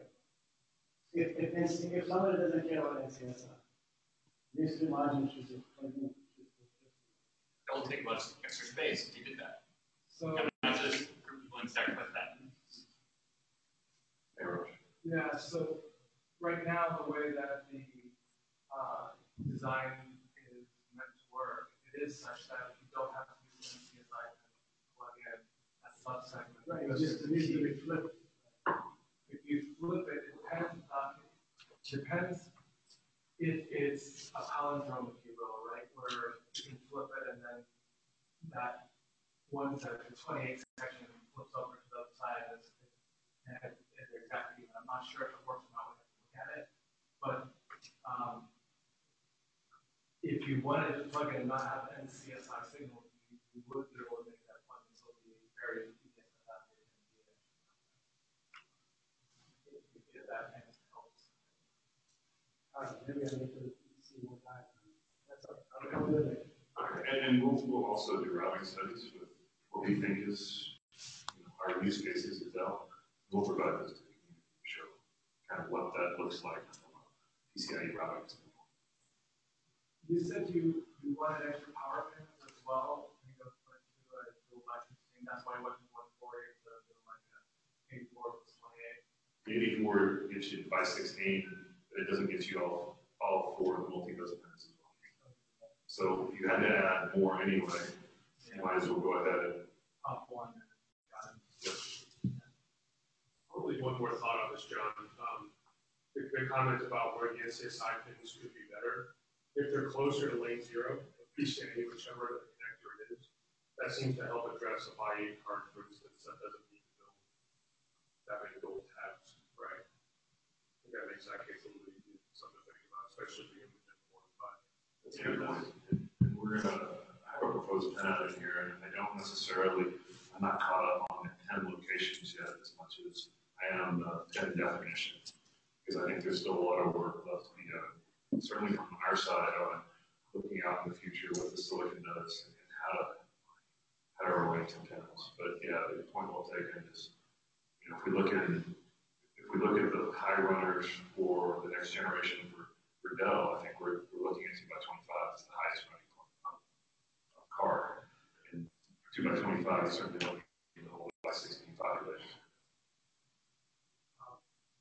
Again, I repeat my, my, my, my, my thinking, if we can, if, uh, if the design does not need NCS, but are two cards playing, there's an earlier comment, both cards are the card guide. So the card guide can be instead of NCS applications. I think uh, Josh was, had some views of, he talked about having some filter point take that space up.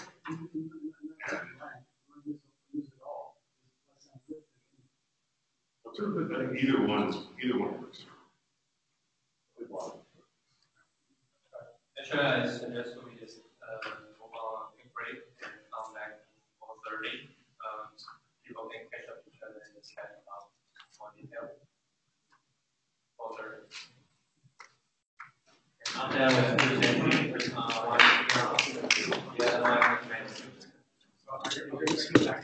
You got five more slides. Uh. Okay, He's got, he's got five more slides. Yeah.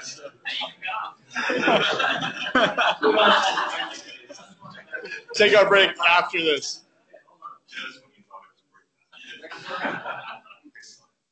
By the way, the numbers, this will all be posted, but there's some preliminary numbers on what that would look like. And if you have questions, especially the connector guys, talk to me and I'll explain what we did. Um, so I won't go through these in detail, but what we've, uh, what we proposed is on power is uh, repurposing the twelve yachts pins, six twelve pins and one point one amps. It Gives you about seventy-nine watts non-link, uh, which is more than enough um, for what we want to do. And it also aligns very well with what PCI SIG does with I sixteen added after today. Um, we're suggesting adding a main enable signal to replace the three V aux to tell the, to allow the system to tell the card when it can come full power. And then a power good from the uh, NIC card back to the system that's defined both in Vaux and vMain.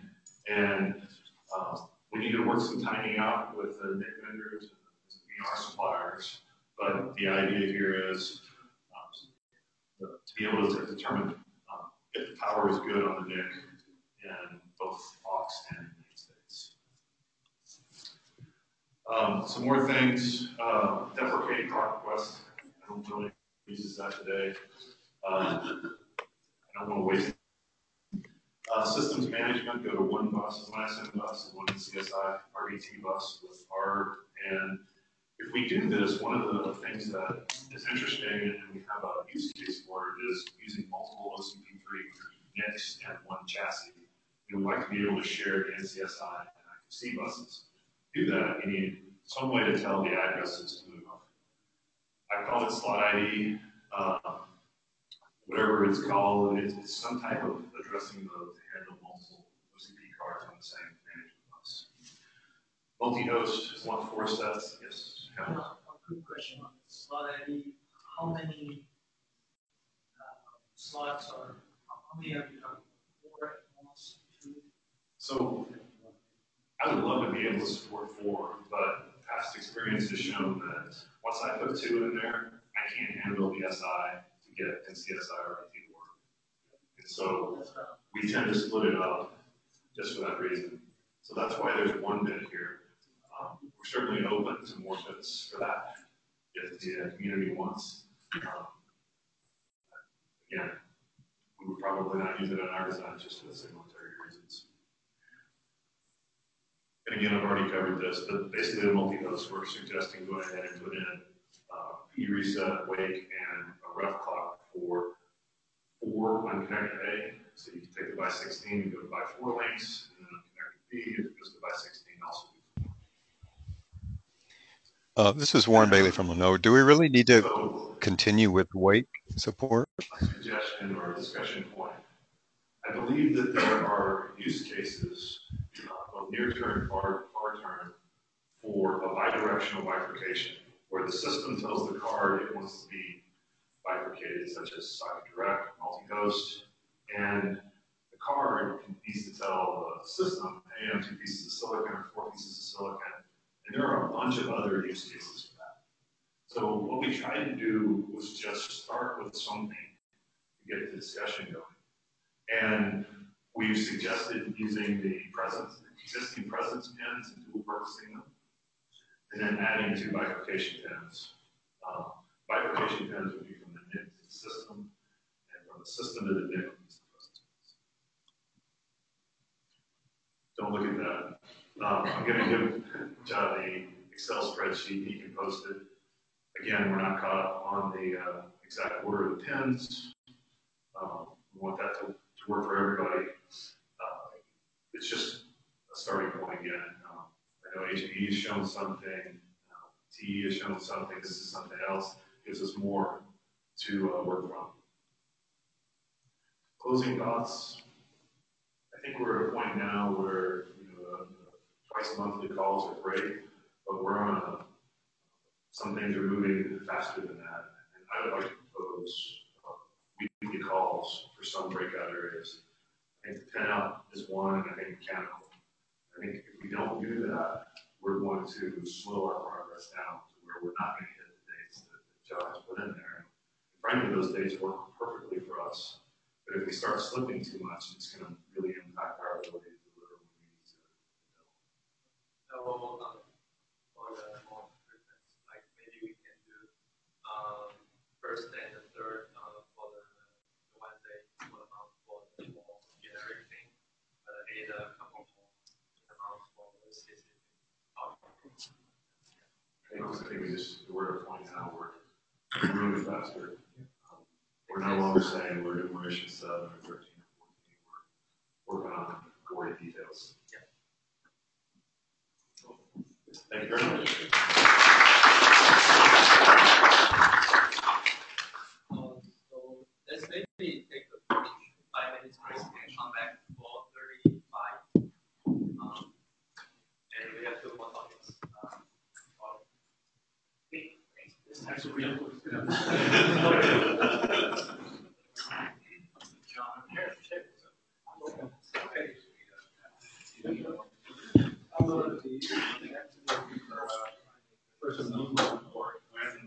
This is awesome. You guys built these up. Watch it, David. Okay. Did you you give your designs to Wonder, or did they just? Well, so we do a lot of work. Yeah, I, I knew that. Yeah, yeah, so, um, so, but they, they deliver. Oh, I didn't It was a very tight, very tight timeline to get these done. so, like, Next one. I mean, we're hard with that. Seeing- Yeah, yeah, yeah, yeah, yeah. No, this makes it so real. Yeah. That's true, and, and the, the other thing is, I mean, for you guys. Yeah, you, you just download them to the, yeah, to the folder. So they should be in the, in the guide, right?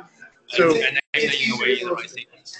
Yeah, so, so, so these, you want me to add to the, Yeah, um, copy them to the folder. Okay. I, I rename them, so they shouldn't, you don't need to delete Yeah, like, anything. okay. What, what is that height right now for your, for your metal? Um, it's, it's, we're at two point two, two point three, but see, I have quite a bit built in here for the, for. for That's true. Interesting. But there's also we have to.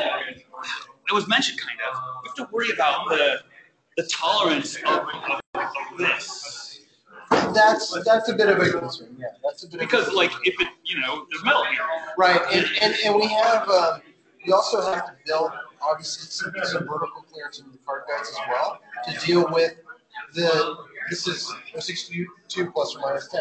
Yeah. Right, so, so there's some, there's some blame here, so there's a lot to consider, but we need to, if we can just get a decision, hey, we're gonna do two twenty-five, then we can get into more detail if we're doing two sixty-seven. Yeah. We have to close on that. So I might be just uh, kind of asking this a little bit, like, for most of the team, are they looking, is the writing going to drive the modern clearances, or is going to be like this line or is that five? I mean, I'm hearing In, my view, it's, it's, it's the, it's, it's the. the good place. Everyone wants to put a name on this thing. Uh, Is that the because- That's that's that's that's what's going on. Yeah. I didn't It's the you- one Hold argument. I- in this I think, uh, uh, PCI is fine. I guess my guessing is looking for routing standpoint, I don't know about if the fourth vendor came using the board area for routing, they keep being able to fit in, or they? Uh, so, so the thing is, if, if They don't like this, but this is, there's all the compromises like thermal you have Right. to deal with.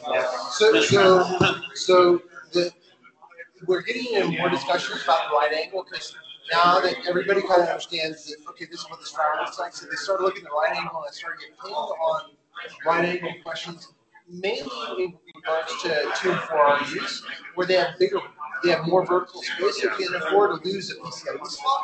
If you're in So- gig. Right, the discussion changed a bit, so it's evolved. Um, you know, obviously, the high runner case is always a straddle.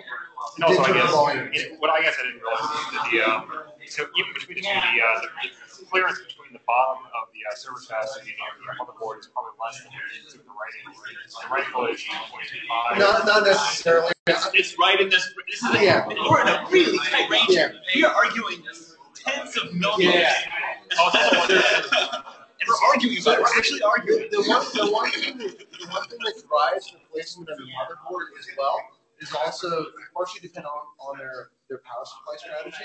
Because you have a power supply that's a module that has a connector, that has a main connector on the motherboard in some cases, and that affects where they can vertically place their motherboard in order to meet the power supply, which then in course drives this as well. So there's all these things involved. Yeah, I guess that's what you were kind of saying earlier, that I mean, if, we were to it, or it's not very high. Uh, Could we You just take have the to be cards way wider? more careful. No, no, no, we're hosed, we need caps underneath our silicon. All right, well, the question is, like, I guess, I mean, um, if the, what's the height of a four? But it's not the, it's not the four two I'm worried about, it's the, it's the bigger, it's, it's, it's, it's the bulk, it's the larger, it's the. The big caps. The big caps. If I have to go to 0402s for everything, now, look at your price, I'm buying Yeah, yeah. expensive caps or I'm just, you know. So, so you, I know you don't want to this on my last, that was my last company, I had a box this big and I had a bottom side shoot out. and I think it was sixty thousand. No, no, I'm not saying. One and a half. We're trying to make these affordable. I know, right? I know, I know. That was, that was a different game. Because uh, this, we have, we have a, a cheap-ish pin that's just made of plastic. Yeah.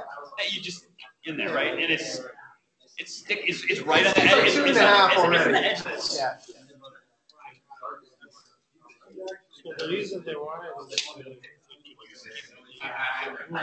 It's not really, it's, it's not, it's not really that, it's actually, um, it's actually, the lower they get uh, the lower they get the module in general, the more space That's not they ours, have but for yeah, we do something like this. So it gives them flexibility on how to get- So, so Yeah. it's a bit linked in terms of. It would be nice you to get keep it the here. same for the, uh, standard It's a bit linked. I mean, that, that gives us the full Yeah, you get more big capsule.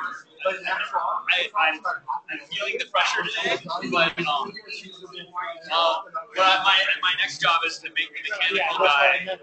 He, he was pushing back to say he wanted this full library of every component about it today. The we get. That's the most, if we're gonna make these things affordable, we want, I want that whole library. But now, but not, but now, now we're gonna, you can say, no, now to see, well, what did put in, now what, what do we push to then, what do you lose, the library? Yeah, so, I mean, we're talking about, we're splitting hairs. And then, it, doesn't it actually? So right now we're at two point six. and whose responsibility is it? Uh, Yeah, so it's in this. Where, we're debating about it. Uh, We're, we're Plug in. debating. Supposed to be a system thing, but the question is. Absolutely. Well, I guess Yeah, it's that'd be great. Yeah, an easy yeah, I mean- the system here, because the system could make a You know, full standoff, and then you're fine, tall, or they can go tight, and then, So so basic compromise you have to go is on top, right? That's flatness of their, So of case and everything, right? And ultra high precision. If you can't put some of this stuff down here, I know, I guess- on top, you might be even more real estate up there. Right, so there, there's all this. Also in general, I'm I'm also just curious, I mean, there is the placement of black ball caps at the bottom of the board. I'm also curious, I mean, what is the adopt, I mean, how are the um, wire versus the smaller it can be?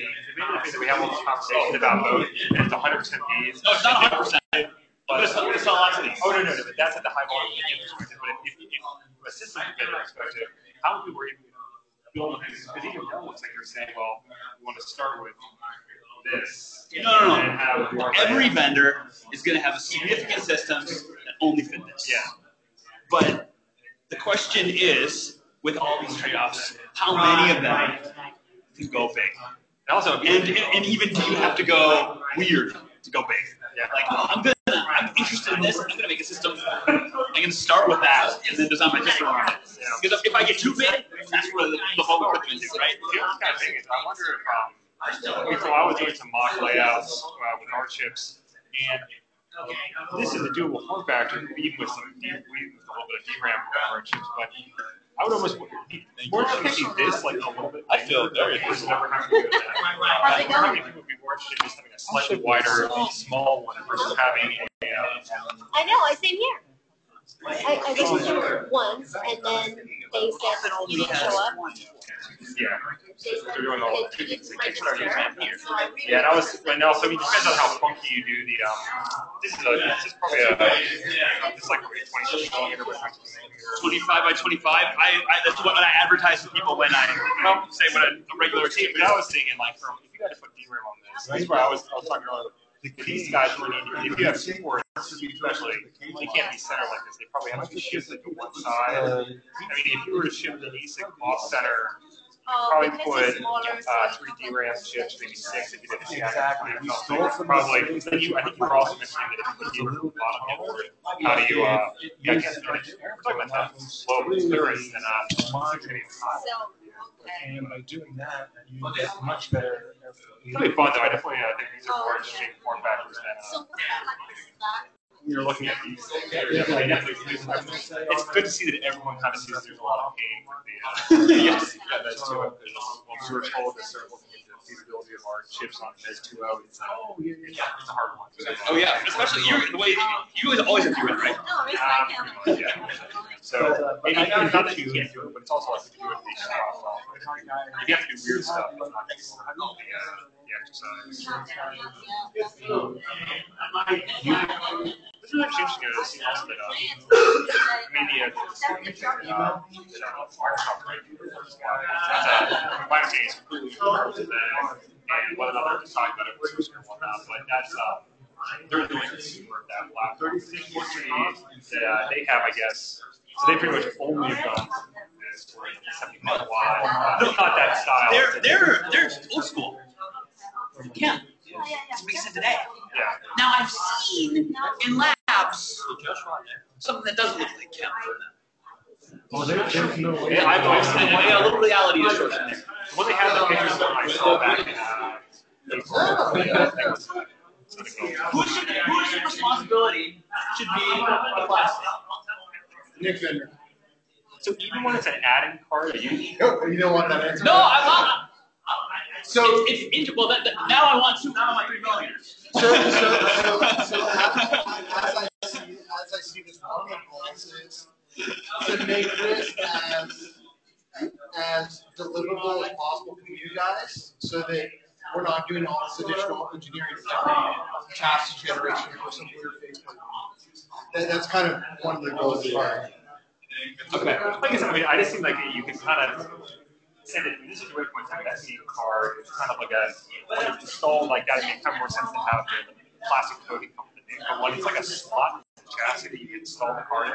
Because you mentioned like you could have the chassis vendor could solve it by making George have a really high standoff. I'm not going to do that, but like You would never do that. Yeah. So, so how, how we done it previously when you have like slidable modules, even like big one carts and things, uh, you know, like a metal carrier plate's a typical way to do it. And I've actually done some that were so restricted couldn't afford fit metal carrier plates. And then I, in that case, you get people that handle work very terribly and they just share stuff off the carts. So the, the Mylar point is a very valid point, and I completely agree with that, but I, I think as much we can, as much as we can do it on your end to provide a kind of a combined solution of as well as a package, I think everybody would be happy.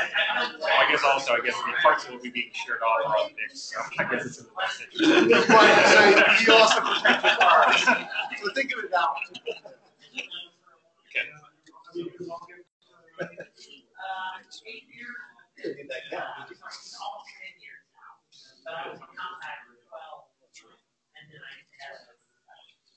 Yeah be that gap. Almost ten years now, but I was in contact for twelve, and then I had. Is this about Uh, two two tenths of a millimeter or one tenth of a millimeter? It's not much, yeah. But, you know, in, in actuality. Two point eight seven. Yeah, yeah. I, I didn't bring my calipers because I was concerned about the TSA throwing them in the trash, so. Yeah, yeah. Well, it's hard to see.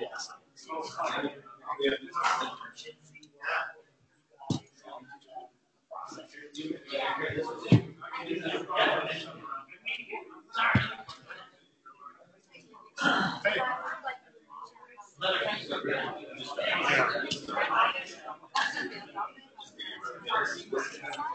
um, I don't know, you'll see a lot of them in the market, but I mean, the technology is going to be being tested next year, right? So definitely with the life cycle of Nixon three, I think we're going to be Maybe a bulk application.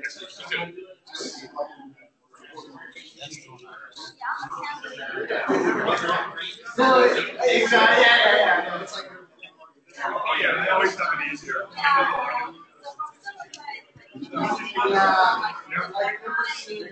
Right. So you so one thing is if someone says there's no party, and they give us a whole thing. And if we don't do anything to preclude that, so far I don't think we are, I mean, it changes the, the, you know, the chassis base solutions, right? Yes, yes. There's probably ways to fill it with. Well, we're talking, about- I don't know if you were here yet or not,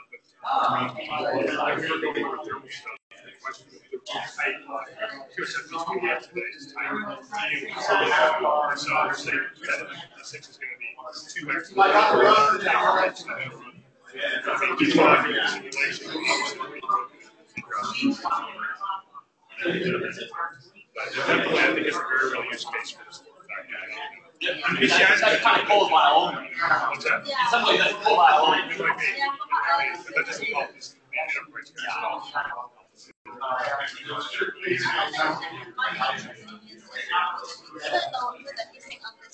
Yeah.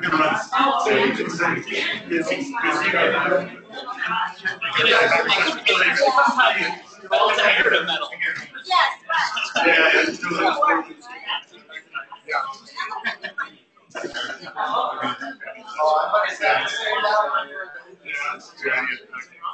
remember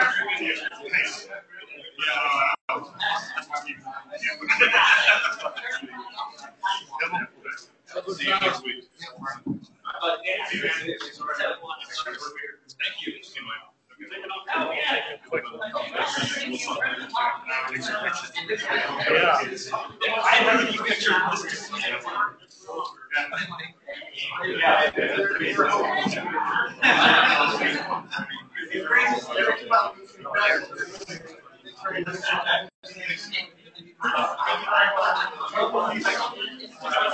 That's what I was asking.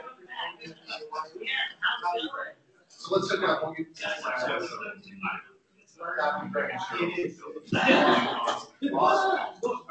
I feel bad.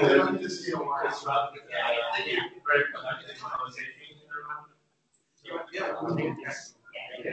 This is gonna be to put it together. No, this is. This is- Oh, you learned this, right? Just so much. After the PC. Alright, so, uh, Paul, Paul from Intel, uh, we talk about, uh, issue of thoughts, uh, about definition for the, like, uh, big part of the stage, so. Yep. So one thing that we're starting to get into on, I was starting to talk about is um, how we're going to handle bifurcations.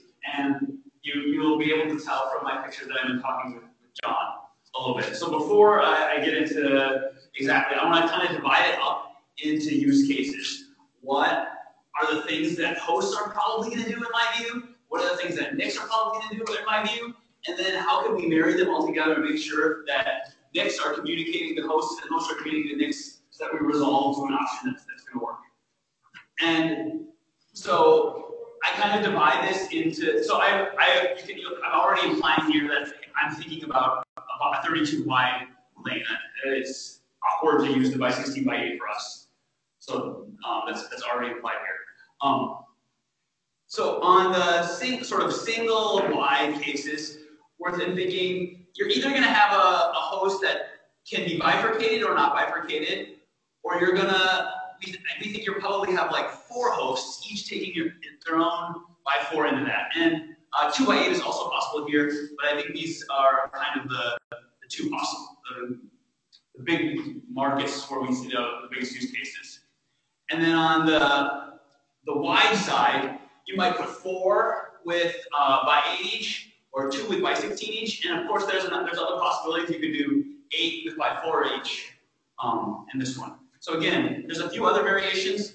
These five, I think, are the, the dominant ones that we'll see, and I'm really interested in hearing from people over, over time, what are the other ones we need to do, and I want to get together, get all the ones we need to have, and uh, make sure we have the right pins to communicate what the hosts can do to the NIC. And then conversely, next, well, what are we going to have? We're going to have a by 16 that doesn't have any multi-host compatibility. This is the, the, the, simple, normal case. Or you might have a by 16 NIC where you can indicate with a pin, hey, I can be 1 by 16 or I can be 2 by 8. Tell me and I'll change my configuration. And finally, you might even have a by 16 NIC that has a full set of options where it can be a 1 by 16 or 2 by 8 or 4 by 4. So this is the kind of range of options I'm thinking in a NIC. If there's other things, we need to talk about them. Do you, do you have 8 by 4? 8 by 4. No, but um, in fact, I, am sorry, right, right, here I was saying, um, I should have said that here actually. I, I, I meant to mistake. Yeah. Good point. Yes. Having a, having eight hosts with by four, I should, I should have written here. This is just uh, crazy slide written on the airplane uh, based on the conversations I'm saying.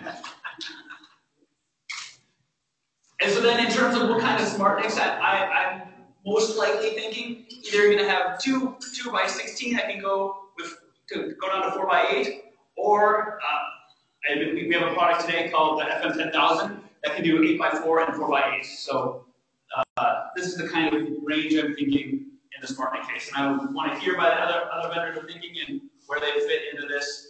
And we go to the next slide. So uh, this looks familiar from what, what John is thinking.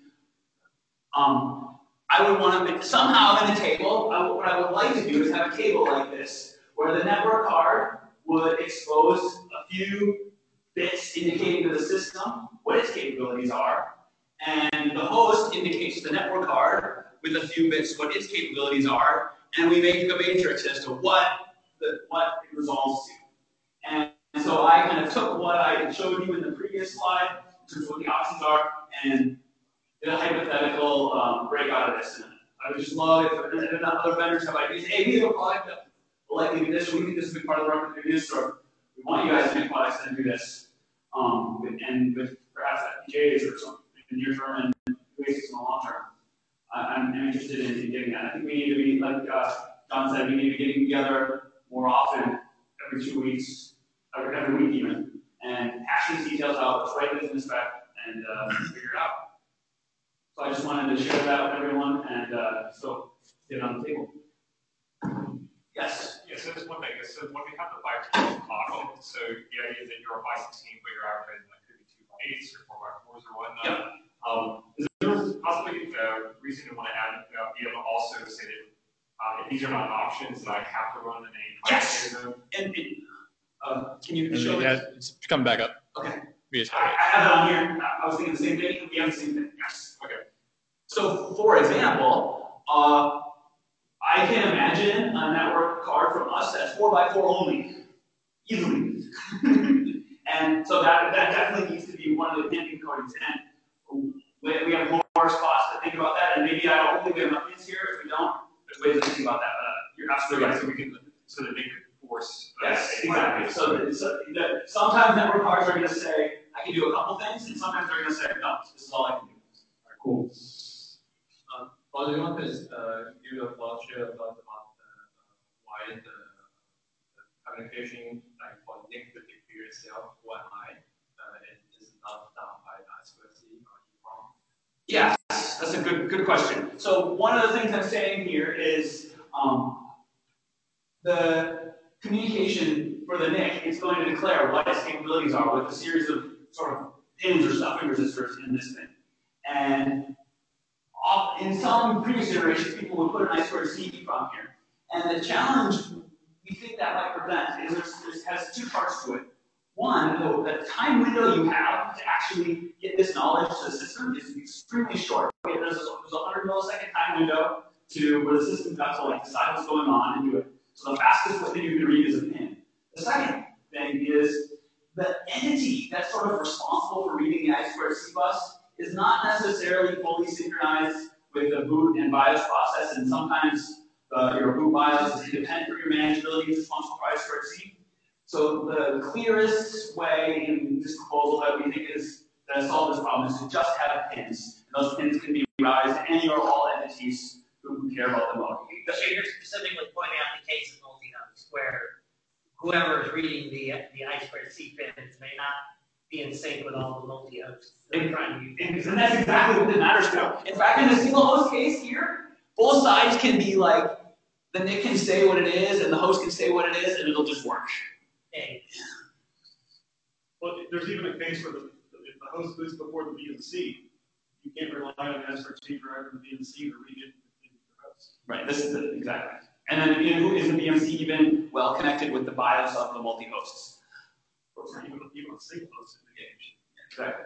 Okay, yeah, so, so all these kind of issues with, and different architectures, how people have control entities, the simple case is just how people that declare it, and every entity on the system that's interested in that fact can extend a wire over and sample it whenever they want to.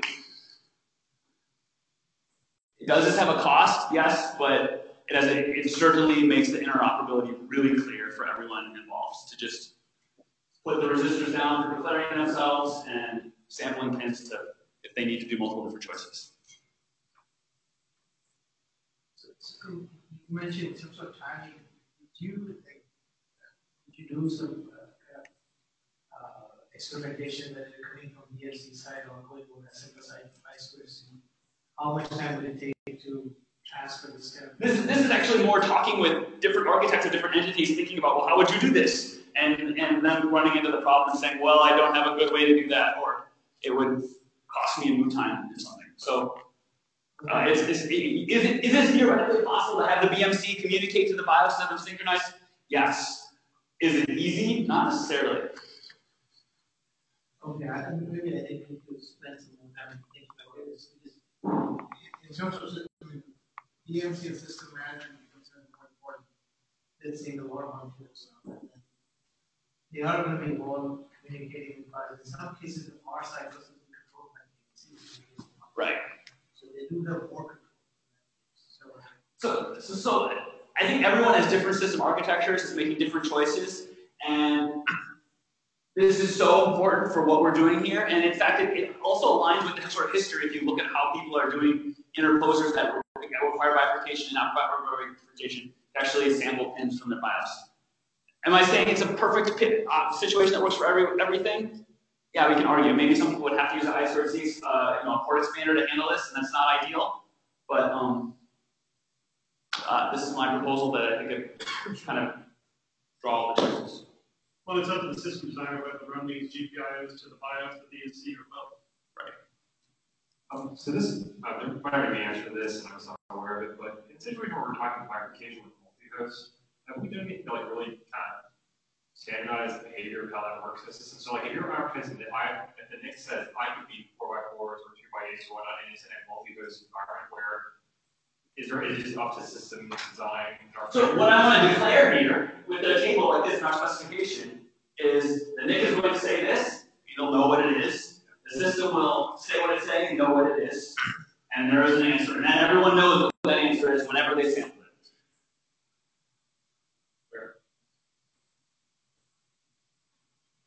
Um, so let's move on.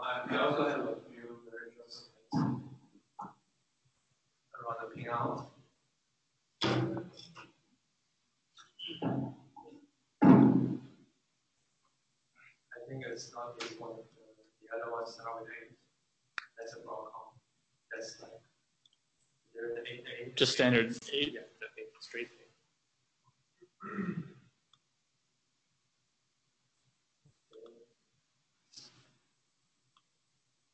Uh, yeah, many redundant. I jump to page three.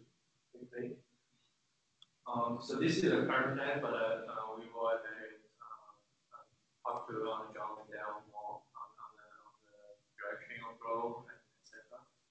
Um, but this is in line with what um, Anthony uh, presented today. Uh, let's skip to page five. So I want to yeah point out a few like discussion point of things. Go ahead. Um, I think the one change, I think, that sexual right should be on the left. You mean the change?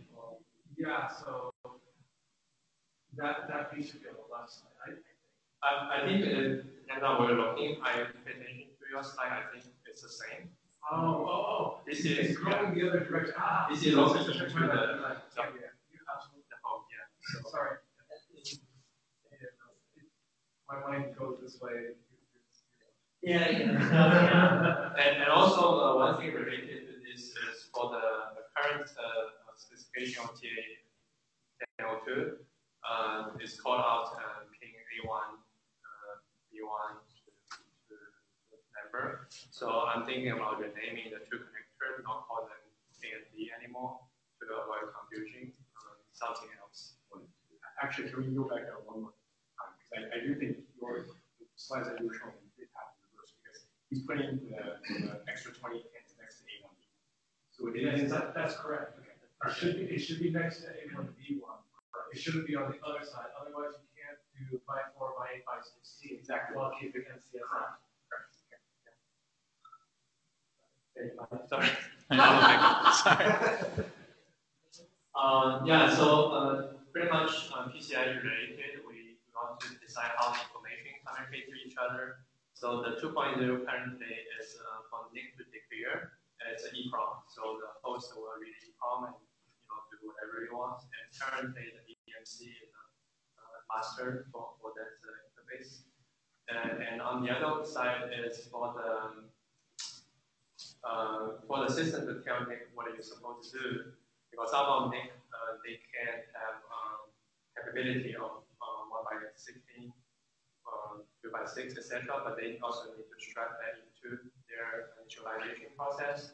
Currently, for the system to declare is actually um, through GPIO um, 2.0. Uh, so we should look at, uh, I think sys- system to declare, it should probably be the only but it is not as flexible to really um, uh, but currently it's done by a very complicated GPRC with one level. And everything also has different uh, register scaling to, to know, to let it know uh, how should I uh, it. Uh, And I've gotten some feedback that, that, system vendors often don't like all that complexity. Yeah, so uh, it's, it's for 2.0 we don't have choice because we're all looking. So we just to squeeze in like uh, also multi-directional. Um, we, want to see here we probably it's a balance between how um, frugal we are with being on, on this side. I mean, two, two point zero had a, uh, an odd multi-directional spec on the, uh, detection pins. Yeah. Uh, do we know how many system vendors and how many card vendors actually implement that? Um, I think for now, what I see is uh, Facebook being the very major. I don't know what are the other major multi-host uh, adopter. So that's true. Yeah. So I don't have a good signal. If someone is already also deploying multi-host, uh, they will need to have that scheme. So that scheme is backward compatible with the current. Like if you don't do anything in single host, you you don't violate. Yeah, I forgot about that. Uh, another thing is PCI clock. Uh, so um, for here, we need to decide how many PCI clocks in the first and second connector, etc. Like for example, the typical use case what today is uh, is uh, four hosts uh, for for the by 16 or even by 8. And in this case, the we need to have uh, um, front to have that use case work. And then same, same question for the second one. And this also is related to the, the, uh, the stress threshold. Uh, is it, uh, SRS. SRS. Yeah, SRS, Yeah, and, and, uh, I had some offline chatting on this topic, but feel free to, maybe we should also do a survey or something. Uh, it's about, uh, the supporting of SRS on the host and device side. And, uh, but it sounds like in the near term, there will still be some legacy device, uh, require, uh, require clock from host if you want to do spectrum. So, uh, so I would say likely we will still have PCI clock defined. Um, but it, it is uh, quite overlap. And power-wise, uh, so far all the new proposal has been running on the Volvo uh, OX, so it's actually a transition. And uh, uh, one some detail is that we want to see how how uh, how we land with other uh, system meeting. Those are I think are the normal Volvo, and uh, if we want some level of compatibility, how do we manage? Like power switch, the power switch on the motherboard or somewhere else to for someone that wants it to also take uh, a flash module or the timer module. Um, Does, and, does anyone have any strong opinions about what the, if they want to lose tolerance on the 12 volts, or they're okay keeping it to 5%? This is, I guess this is a big question for like Lenovo or. uh, Yeah, I think we'll need to look, look at tolerance on that. We have some situations where it go forward. So going out to 50% would be useful, for example? 15. 15, 50, no, that would be 15. I think currently we are just use the PCIe in nine percent or something. Okay, two point zero That's, that's a good question, we can, we can go figure that out, I think the balance was. Yeah. um, There, there might be some cases where it'd be useful, it's probably easiest just to keep out on PCI specs. That's true, okay. I won't get any pushback from that. Um, topic. Uh, and another thing about power, is like just, uh, our answer today is to, to see if, if like for some of the system, for Facebook system, we, we, we put a power sensor or current sensor somewhere. Uh, for things plugging for riser car, whatever riser car. So, uh, when the, when the power of NIC goes, uh, like more than twenty, maybe thirty watts, it's something that we start to want to know how much power it draws in real time telemetry point of view. And uh, if we don't define anything, we still can implement it. Uh, we will just put a sensor on the motherboard, uh, probably combine with power switch. Um, but uh, uh, I just want to throw it out. May think about should we just leave it that way or should we define something on the more? I think leave it as another word implementation, don't put the cost on every module. Yeah, I, I- feel that way. There's Some numbers will fair and some won't. Some only care about the overall. Exactly. Yeah, and, and also some NIC are that really um, low power. So doesn't matter. Um, yeah, side Andrea. Go ahead.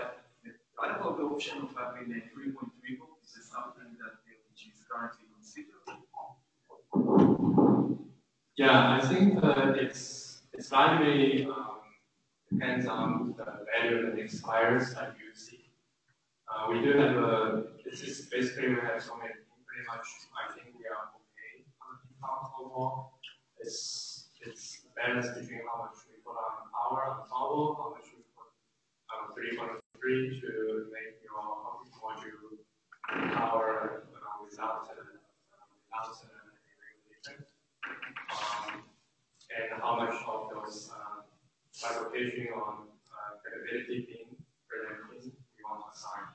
So I would definitely leave that on the table, uh, but let us know your preference and also if, if you see value, what's the current, like how many things you see.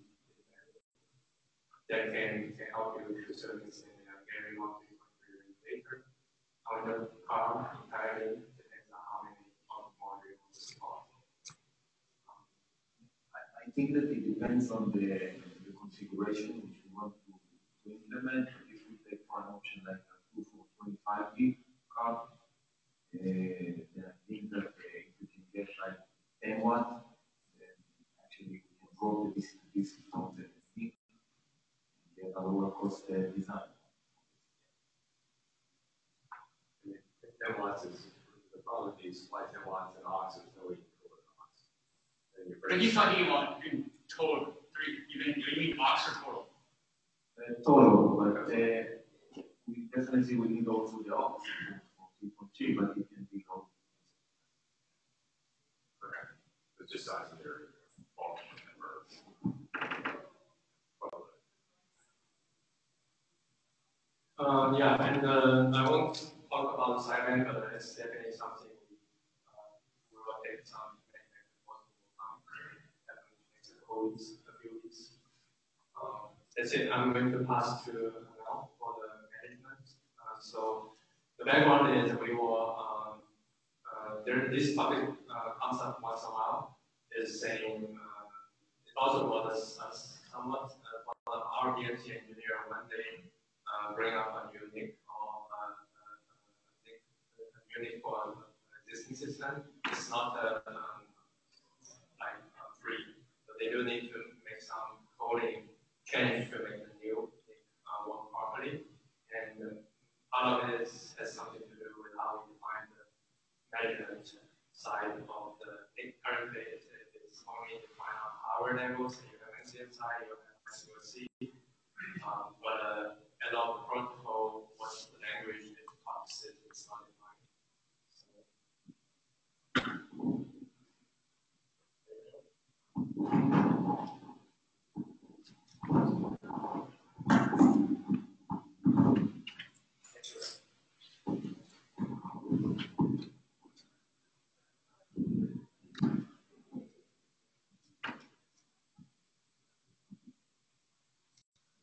So, thanks, John.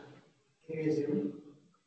Yes. So, um, yeah, I think we have, if you look at OCP Mezz, there's sprinkled around requirements in there, system management. Uh, You're talking about OCP Mezz or OCP NIC zero, uh, started thinking about LP, I mean, everybody knows out of band management is important for all this, and then more and more implementations are going towards using shared thing. And OCP NIC 3.0, uh, just like OCP Mezz 2.0, would be one of the key model there is shared NIC, where your host and management traffic is being uh, coming the same, from the same NIC. Um, additionally, what is happening is all these NIC features uh, are making uh, NIC really complicated. So you, as a part of of your system management, you want to manage those NICs. Uh, and uh, either just simple monitoring control, in some actually do configuration completely through the side. So um, for the OCP, the make clear spec, this, this is in opinion, it's important we address this. And we do have DMTF scanners, which is where uh, I have been working for more than a decade now, defining all the standards. We can pretty much leverage all of the standards, uh, and then specifically for one of the things we can do is wherever there are things optional or not because DMTF standards cover a wide range of uh. We make 3.0, we can further narrow it down and really put a concrete set of requirement for the system standpoint. So, in the rest of the slides I have put, put together, a little bit of intro on something, uh, others are more like proposal drive on, uh, have people start thinking about it. This is more like uh, kickoff the session. Uh, based on this, we would like to see that uh, a number of these items we actually have to specify in the spec. So um, these are basically five topics I want to touch on today. Uh, starting with sideband interfaces, when we talk about NIC uh, or VAS kind of spec, we tend to focus more on the hardware interface side of it. But there's also the control and protocols uh, that you use on top of it to achieve some of this NIC management or sideband. So we, we, we want to go into the details of it. So initially, as uh, I was thinking about sideband interfaces, we have NCSI over RBT, which is required today in Mezz 2.0. Uh, I don't see any reason for us to not continue uh, requiring that. Uh, what we need to do is actually define beyond just NCSI or RBT, some of the optional features that are defined in NCSI require those for to go So that's one uh, area. Other one is uh, I square C. Uh, there's this legacy method that uses I square C for temperature reporting. But if we have I square C or SM bus type of interface, you can do much more with that. There's this standard transport MCTP, which has been standardized for uh, almost a decade now. It's been used widely in both client and we can use those kind of standard transport and uh, carry traffic like NCSI control traffic on top of that. Uh, extend NCSI to cover some of the other monitoring and control use cases. And uh, the third one, which has now come into picture recently, is uh, you start seeing all these chipsets supporting MCU, PCA, and we'll go into, I'll kind of introduce all of this so that those people want to know what those uh, technologies uh, get on board with. So, with NIC 3.0, we want to start thinking about it. We start talking about MCTP, PCA, VM maybe optional to start. It will be important. And then there are a bunch of use cases after that is sensors, firmware update is becoming very important. Do you want to start specifying requirements on the thing to support complete development from the which can come through the site. So that's an area. We have some language in NAS 2.0 about how BMC MAC address and information. It is not, in my mind, it's not fully standardized. We want to put on this path and we also really standardize the scheme. How the BMC MAC address can be provisioned by the NIC, how And uh, the last one, uh, probably the hardware management group, there was already a discussion today uh, because of this. I couldn't but Redfish uh, is gaining uh, more and more useful. It's a standard REST-based API that you use uh, for out-band management, communicating the The second part of that Redfish is what we are working inside the DMTF is to extend that interface to actual devices so that BMC can actually use that to communicate to the devices so that devices have knowledge of Redfish. The, these redfish operations are now performed over low level interfaces like MCTP or SM bus. So I mean, this is this is the uh, and I'll go over one by one. This is the kind of what I want to talk about today. So good. So NCSI, I think most of you already know, it's a standard that's been defined. There's a 1.1 version of that. There are there are two different aspects of NCSI. One is the pass-through. This is where BMC is using shared NIC to communicate traffic in and out of the network. And there is also the control piece. This is where BMC is the requester and is the responder. is controlling the whole NCSI communication, also getting information like link status, link speed, statistic information. There, there are a lot of those kind of monitoring and control functions. And uh, there's also optional feature called uh, asynchronous event notification. Um, this becomes more important as you start getting into a lot of the scenarios where your things are going up and down. Your host driver uh, may be loaded, unloaded. So you want to get that kind of event information from NIC, the BMC. So th those are all already defined uh, in the specification. Um, NCSI started with RMI-based transport, which is primarily used today on OCP Mezz. Um, so that is the physical interface RMI. When we talk about this thin out, uh, I just want to make sure going forward we start talking about it. NCSI by itself is much larger than just the physical interface. The physical interface is RMI based. This part of NCSI. But there is also this protocol, there is uh, also this whole uh, asynchronous event notification, uh, also hardware arbitration is part of NCSI.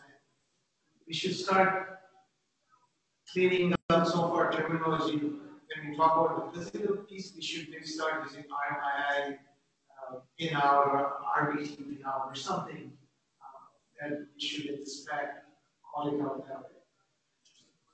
And um, other thing about NCSI, we now have mapping that works also over MCTP. So you don't need to have, especially for NCSI control, you don't need to have RMI based transport. In some low power state, let's say SM bus is your only interface that is available, you shut down everything else, and you still want to communicate with then you can do the NCSI control communication over MCTP SM bus. So um, that's why you see uh, specifically start qualifying NCSI or RBT versus NCSI or So let's start with the RMI-based transport uh, requirements. To me, this this is pretty much unchanged from what we have in 2 Except there are a few things I want to discuss. Uh, we want to grab the spec to the higher level. 1.1 is already published, and I, 2 calls out 1.0 uh, depending on more functionality, we may want to go towards 1.2, which is currently not yet published this announcement. We can talk more um, there are other optional features that for NIC 3.0, we want to go and really solidify it and say, no, this is optional in the spec, but we do require support for a subset of this for OCPP 3.0. So this is where we want to look at some of the optional commands, uh, which may be really useful for OCPP 3.0 operation, and we want to really look into it and say that it's required. Also, asynchronous event notification, the way NCSI spec specifies, and NIC implementation is compliant, even though they do not implement any AENs. The more and more feedback I'm getting, AENs are really useful from the BMC side because they want to know if they throw something down, if they get a notification, or if driver is being going So the question here to us is, do we want to really look into required as a subset of the AENs that, that is required least to be implemented by the NIC? BMC can optionally use it. I think this is the NIC we are talking about, so this is how the NIC requirement. So that's something to also think about. Um, hardware arbitration we already uh, talked about. From the spec standpoint, this is optional. So we need to figure out for OCPP 3.0, do we require this kind support from the NIC or do we recommend for the scenarios that we want to have, we just talked about, you have two chips on the same card that you want to enable hardware so this is the base set, and, and, and I, I, I, didn't go into details because once we go past this high level, I want to talk about more details into each this is the base that, I, that we want to think about for NCSI or RBT. Uh, the next one. So I square C and MCTP now. Let's talk about today I square C one, at least one I square C interface is required to be supported by master. I don't think we will uh, have any change to that in 3.0. What I would suggest is we may want to actually tighten that specification further by saying what specific speeds are required. Uh, I believe SM bus 2.0 compliance is required, so that's something more specified in spec. Uh, MCTP or SM bus support, we had it option. I think if I recall, Mezz 2.0 had it as a should, strongly recommended but not required. With NIC 3.0, my current thinking is maybe we should we want to think about making the share because uh, this is across different things like the BMC vendors. This is how we use. This is one of the transport you can rely on in all costs. Uh, even though let's say even RMII uh, was part of reason. So BMC decided to not use to um, so that's that's what this uh, key two requirements, as I was saying, is you want to think about MCTPS and the support.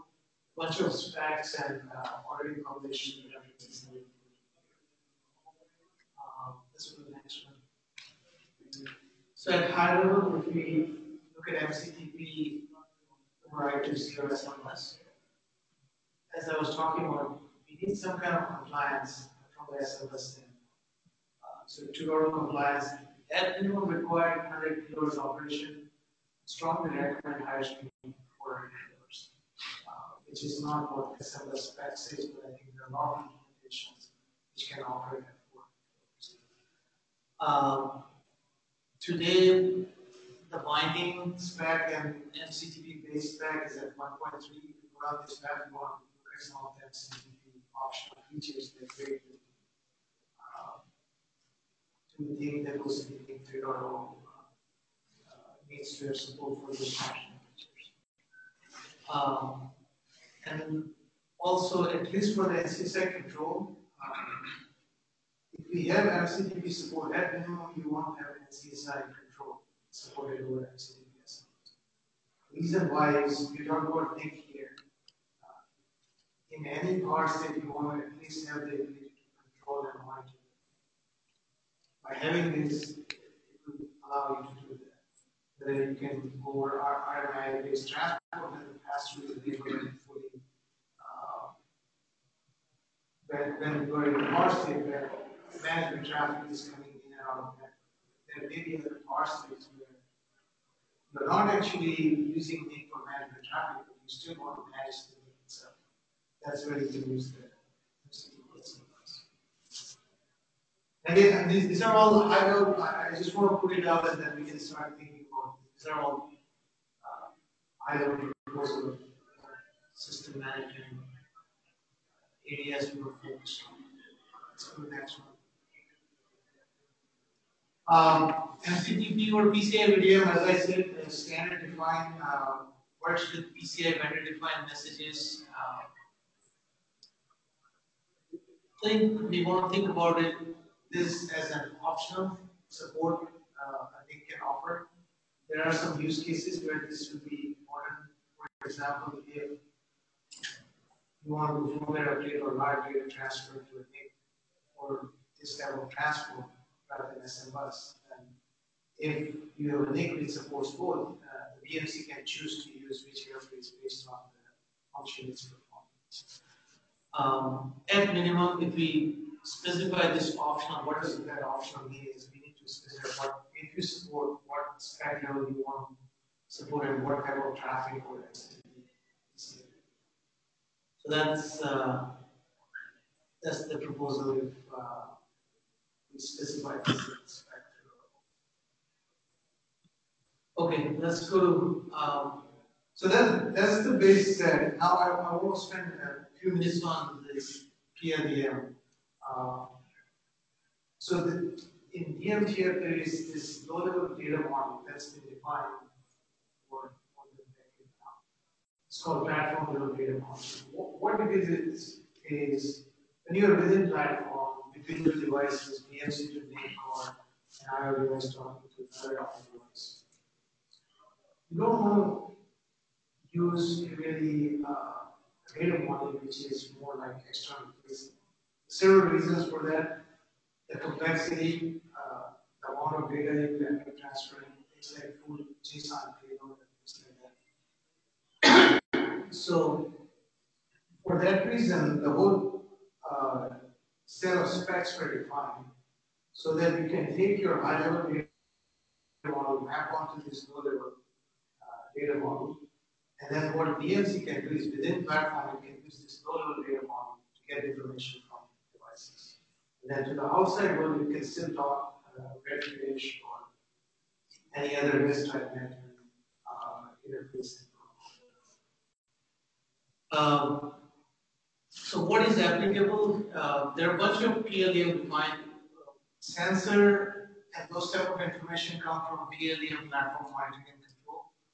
Uh, there's separate spec for firmware update. This is where whole RBAN firmware update model comes into picture. There are also uh, specs which allow you to transfer the entire hardware. So like PLU for BIOS. You can use this between BIOS and BMC. Uh, of course, it doesn't apply to OCPD but it's something to keep in mind. Similarly, like BIOS controller, those are also BIOS and BMC can use to communicate over the same SMS network transport using this standard model. So for PLDM, we want to at least think about for 3.0, OCPD 3.0 is, do you want to have minimum specify optional support for this? Really focus on a subset which applies to things like sensors and because those functionality you would expect a NIC to support, where BMC can monitor NIC temperature, uh, power, we can go in more detail what kind of sensors makes sense. Um, also, if you want to have NIC as one of the device where BMC want to augment then the PLDM is one mechanism, which is something that you can use. So that's PLDM over MCTP. Now, whether we do this across all the MCTP interface, initially, as I was saying, at minimum, you have MCTP SM bus, then most of this functionality uh, should be fine. SF, when you get into large data transfer, where SMS transfer time but I think we're just getting some reading or other uh, sensor data, it should be a problem. So that's uh, part of PLDM. If we go to the next slide, some more specific on thermal, which is very important. Uh, so we have this thermal emulation that we use TMP 421. Um, I think from the legacy standpoint, we still need to continue supporting that. But what we want to start thinking about is uh, OCP NIC, there are different components of temperature. The AC temperature itself, optical module, uh, or, or, or, the basically overall uh, power of the board versus AC power. So we want to, rather than just the temperature monitoring, my initial thought is we want to be more explicit about some more sensors data that you expect from the NIC and OCP NIC figure and we can decide which one is required, which is which is optional. If this is the spec, we want to specify some sensors like link status, hour, temperature, um, and then uh, PLDM uh, use the PLDM standard to actually get to those sensors. We can go in, if we go around this path, we can go into a minimum set that you can expect all these to support so that you have a common set BMC can rely. So, those are some thoughts on sensor requirements. Let's go to the next one. Um, PLDM firmware update, uh, talk about it, it's uh, already published standard. What it defines is the mechanism for a device to actually initiate transfer. So that model is what is defined in the spec. It specifies specific firmware update package, so you can rely on one common package format. You don't have to worry about package formats and so um, and there are two different ways you can activate it. There are different mechanisms. You can have self-activation or you can have activation uh, where you can run from the device maybe on the next system boot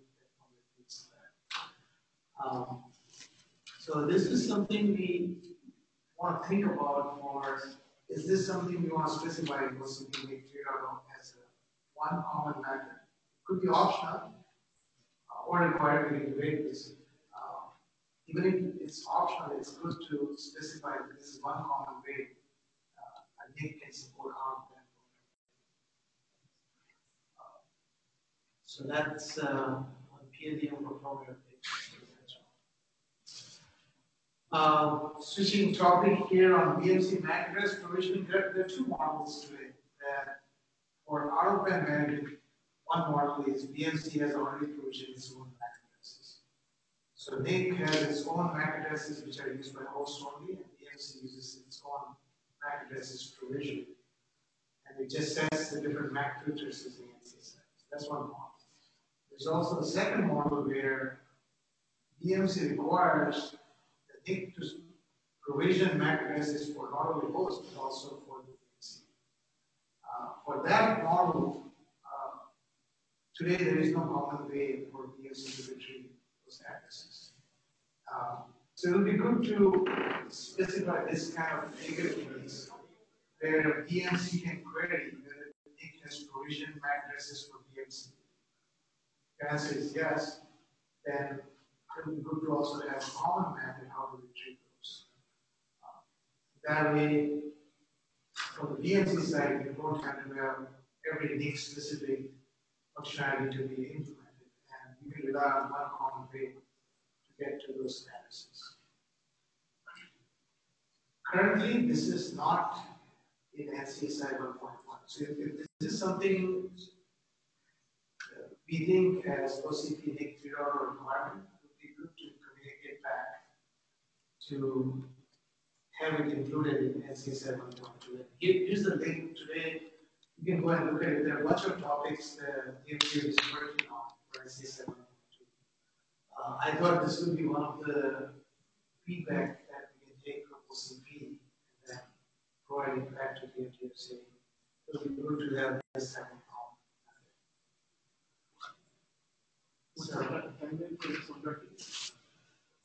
Um, if we try to align with OCP NIC 3.0 stack, I think it's not going to align.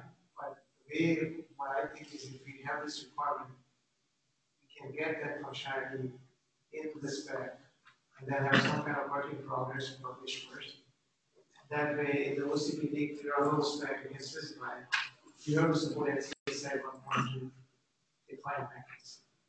And then when that, as long as we have the reference, I think when that standard gets published, we can this is going to be more like format functionality. There's no hardware uh, implication other than actually the fruition. I, ideally, yeah, they can align. That's great. I don't want to make that assumption. Could put one or two in. I think currently we can. Uh, the way, uh, at least what I think this is by before we go to one order, if we have at least one work in progress which is published, then we can start.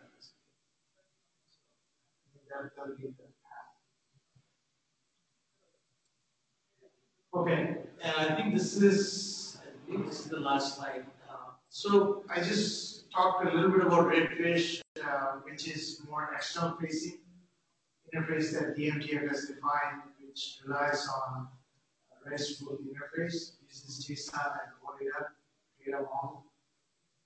So that's that's more from the management planning BMC. What is going on and what I would suggest this is still work in progress. There's no published standards. So what what we have is the proposal is out there, published as work in progress. So you can look at it. What this proposal is, take that redfish interface and then extend that using internal communication between the and other devices. That's what is called redfish device enablement. So that is an ongoing discussion there. Uh, at this point, it's too premature to say what you want to specify in NIC 3.0. It will be at this point looking into it. Um, if we have support for base PLM, then extending into Redfish device enablement should not be an issue. But uh, it will be also good to evaluate the proposal and see whether you want to incorporate something in those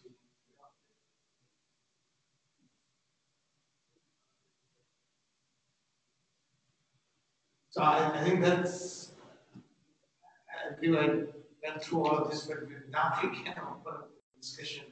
And, and anything clarity missing? Uh, the, the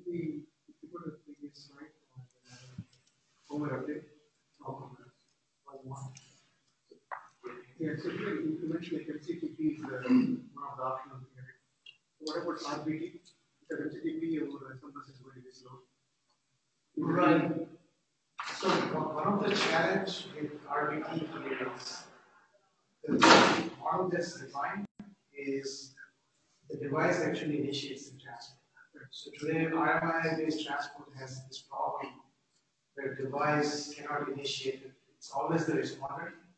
So if we want that functionality, then we have to address this uh, NCSI or RBT to somehow come up with a mechanism. AEL is, for example. like- AEL is one way that you can potentially do that. There is no defined AEL today. So these are the kind of requirements we can get that. So there's no item in the DMDM discussing about. Uh, for PLDM for vulnerability, there, there is an ongoing discussion. Uh, but I think primarily right now, what is already supported is, is supported over FC. Yeah, but unless- you request I don't know how long it takes for update. Yeah, so I, I think this is good, so we, we should, uh, that's why I put it here as a question mark. I can put RBT also. RBD also, uh, we can add one more bullet here, I think, back to the MTSA. So one question, you know, from a system side, obviously, the more management we get, the better. If we, if we put everything in there as a requirement, how many of the adapter cards are gonna have problems? What, what are the challenges on the adapter card to implement some of this? stuff? Yeah, so, the, well, this is, this is Paul, I can try and answer that question. So, that's kind of what was running through my mind as you mentioned with things, let's make this requirement, this requirement. And I think about my old silicon, well, that one won't work, well, that won't work. So I would be nervous about making too many things, things a requirement.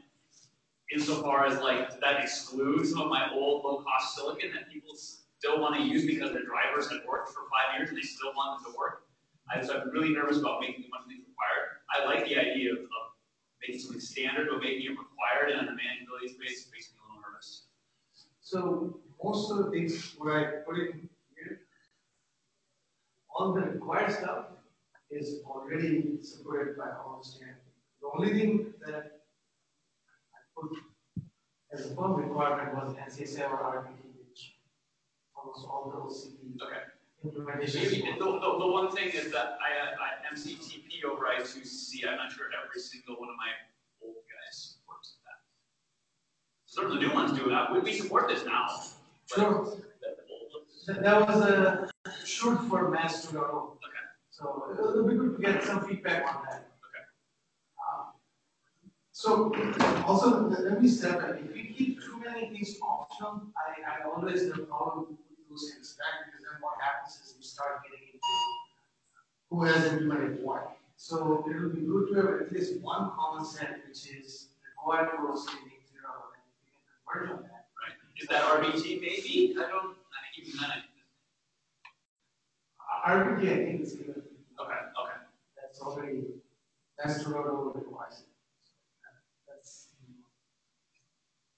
And I to C without MCTP is also required, that's too backward compared to. I, I think, I think this is also from the side line, is like the data, the next, the legacy part, and, uh, and the you put in even you say it's optional, actually you a future. Right. To remove that thinking, you have a. Maybe there's a, a manageability signal in the spec. Are you fully you know, like uh, level two compliant or level three compliant with OCP 3.0? Maybe there's a way. I hate to give more options, but it's a Yeah, I signal you can give. Definitely, we should be watch out making something requirement, uh, and uh, almost saying, oh, if you don't meet the requirement, uh, you are excluded. I, want to be careful about that. That's like to make something requirement. I would say, uh, take a few questions to answer. For example, uh, is it a very common thing on a like silicon point of view? Is, is it useful for a system guy? Like even if it is doable, but a system guy, a firmware guy you, you see the value of uh, making it a requirement or recommendation? And if, if both answer will be yes, it will be um, very easy to move forward. Any one answer being no, um, we, we, we need to discuss it more. Yeah, I, I think one way, rather than build one and two, one way we can approach this is the first conversion of base set, which everybody says this is required, minimum alters. Remaining, we can say advanced, they can all be optional, but at least in the spec, it's specified, if you implement this, this is the compliance that is expected. And then is, you can now about features. Those optional features, there's going to be some type of ability to advertise to support or not, and then BMC can decide which one to use. Yeah. We might put some, you know, craft some verbiage in here, and it's required because it's supported in the base of the required it's not a legacy design or something there, so they don't just say, oh, no, we're not doing that. But again, still not block out the legacy designs, to probably come to something. Right, so I think we are just on the way of getting beyond. So one question I'll ask you after this. When I look at the last two, we did define the system management requirement, because we are not as stringent or that high. I do feel strongly, at least for man, next year, we should have sections saying these are the system management requirement. I think if we agree on that, then we can figure out what is in there or not. Is there a common agreement on that? Yeah, write it down for sure.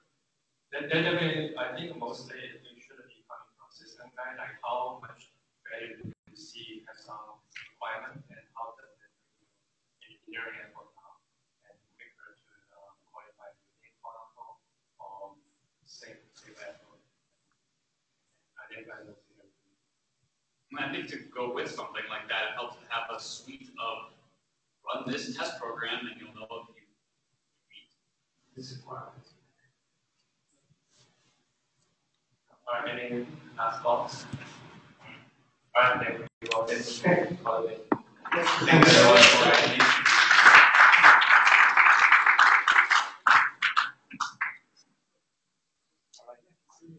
Thank you, Michael, for the slides.